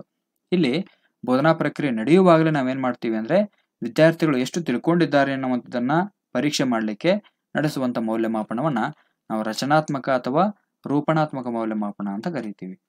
ಇನ್ನು ನೈದಾನಿಕ ಪರೀಕ್ಷೆ. ಕಲಿಕಾ ಪ್ರಕ್ರಿಯೆಯ ಹಂತದಲ್ಲಿ ಮಗುವಿಗೆ ಸಮಸ್ಯೆಗಳು ಎದುರಾದಾಗ ಅಥವಾ ಮಗು ಕಲಿಕೆಯಲ್ಲಿ ಹಿಂದುಳಿದಾಗ ಆ ಮಗು ಕಲಿಕೆಯಲ್ಲಿ ಹಿಂದುಳಿಯಲಿಕ್ಕೆ ಕಾರಣ ಏನು ಅನ್ನುವಂಥದ್ದನ್ನ ತಿಳ್ಕೊಳ್ಳಿಕ್ಕೆ ನಡೆಸುವಂತ ಮೌಲ್ಯಮಾಪನವನ್ನೇ ನೈದಾನಿಕ ಪರೀಕ್ಷೆ ಅಂತ ಕರೀತೀವಿ. ಜೊತೆಗೆ ಈ ನೈದಾನಿಕ ಪರೀಕ್ಷೆ ವಿದ್ಯಾರ್ಥಿಗಳ ಬಲ ಮತ್ತು ನ್ಯೂನತೆಗಳನ್ನ ಪತ್ತೆ ಹಚ್ಚಲು ಬಳಸಲಾಗತ್ತೆ. ಈ ನೈದಾನಿಕ ಪರೀಕ್ಷೆಯನ್ನ ವಿದ್ಯಾರ್ಥಿಗಳ ಬಲ ಮತ್ತು ನ್ಯೂನತೆಗಳನ್ನ ಪತ್ತೆ ಹಚ್ಚಲು ಬಳಸಲಾಗತ್ತೆ. ಇದಿಷ್ಟು ನೈದಾನಿಕ ಪರೀಕ್ಷೆ ಬಗ್ಗೆ. ಆದ್ಮೇಲೆ ಈ ಹದಿನಾಲ್ಕನೇ ಅಧ್ಯಾಯದಲ್ಲಿ ನಾವು ಬಹಳಷ್ಟು ಡೀಟೇಲ್ ಆಗಿರ್ತಕ್ಕಂಥ ಅಂಶಗಳನ್ನ ತಿಳ್ಕೊಂಡಿದ್ದೀವಿ. ಮೌಲ್ಯಮಾಪನದ ಬಗ್ಗೆ. ಇದಕ್ಕೆ ಸಂಬಂಧಪಟ್ಟಂತೆ ಇನ್ನೂ ಜಾಸ್ತಿ ಡೀಟೇಲ್ ನಿಮಗೆ ಬೇಕಿತ್ತು ಅಂದ್ರೆ ಹಿಂದಿನ ಒಂದು ವಿಡಿಯೋ ಇದೆ. ಆ ವಿಡಿಯೋನ ಕೂಡ ನೀವುಗಳು ನೋಡ್ಕೋಬಹುದು. ಇದಿಷ್ಟು ಅಧ್ಯಾಯ ಹದಿನಾಲ್ಕಕ್ಕೆ ಸಂಬಂಧಪಟ್ಟಂತೆ ನಾವು ಬಹಳಷ್ಟು ಡೀಟೇಲ್ ಆಗಿ ತಿಳ್ಕೊಂಡ್ವಿ. ಆದ್ಮೇಲೆ ಇನ್ನು ಮುಂದಿನ ತರಗತಿಯಲ್ಲಿ ನಾವು ಏನ್ ಮಾಡೋಣ ಅಂತಂದ್ರೆ ಸಂಪೂರ್ಣ ಶಿಶು ಮನೋವಿಜ್ಞಾನಕ್ಕೆ ಸಂಬಂಧಪಟ್ಟಂತೆ ಬಹಳಷ್ಟು ಡೀಟೇಲ್ ಆಗಿ ನೋಡ್ತಾ ಹೋಗೋಣ. ಇವತ್ತಿನ ತರಗತಿಯಲ್ಲಿ ನಾವೇನು ಮಾಡಿದ್ವಿ ಅಂದರೆ ಕಂಪ್ಲೀಟ್ ಆಗಿ ಕನ್ನಡ ಬೋಧನಾಶಾಸ್ತ್ರಕ್ಕೆ ಸಂಬಂಧಪಟ್ಟಂತೆ ಬಹಳಷ್ಟು ಅಂಶಗಳನ್ನು ಬಹಳ ಶಾರ್ಟ್ ಆಗಿ ನೋಟ್ಸ್ ರೀತಿಯಲ್ಲಿ ನಾವು ಅಭ್ಯಾಸ ಮಾಡಿದ್ದೇವೆ. ಇನ್ನು ಮುಂದಿನ ತರಗತಿಯಲ್ಲಿ ಇದೇ ರೀತಿ ಶಿಶು ಮನೋವಿಜ್ಞಾನಕ್ಕೆ ಸಂಬಂಧಪಟ್ಟಂತೆ ಕೂಡ ಒಂದು ವಿಡಿಯೋ ನಿಮ್ಮ ಮುಂದೆ ಬರುತ್ತೆ.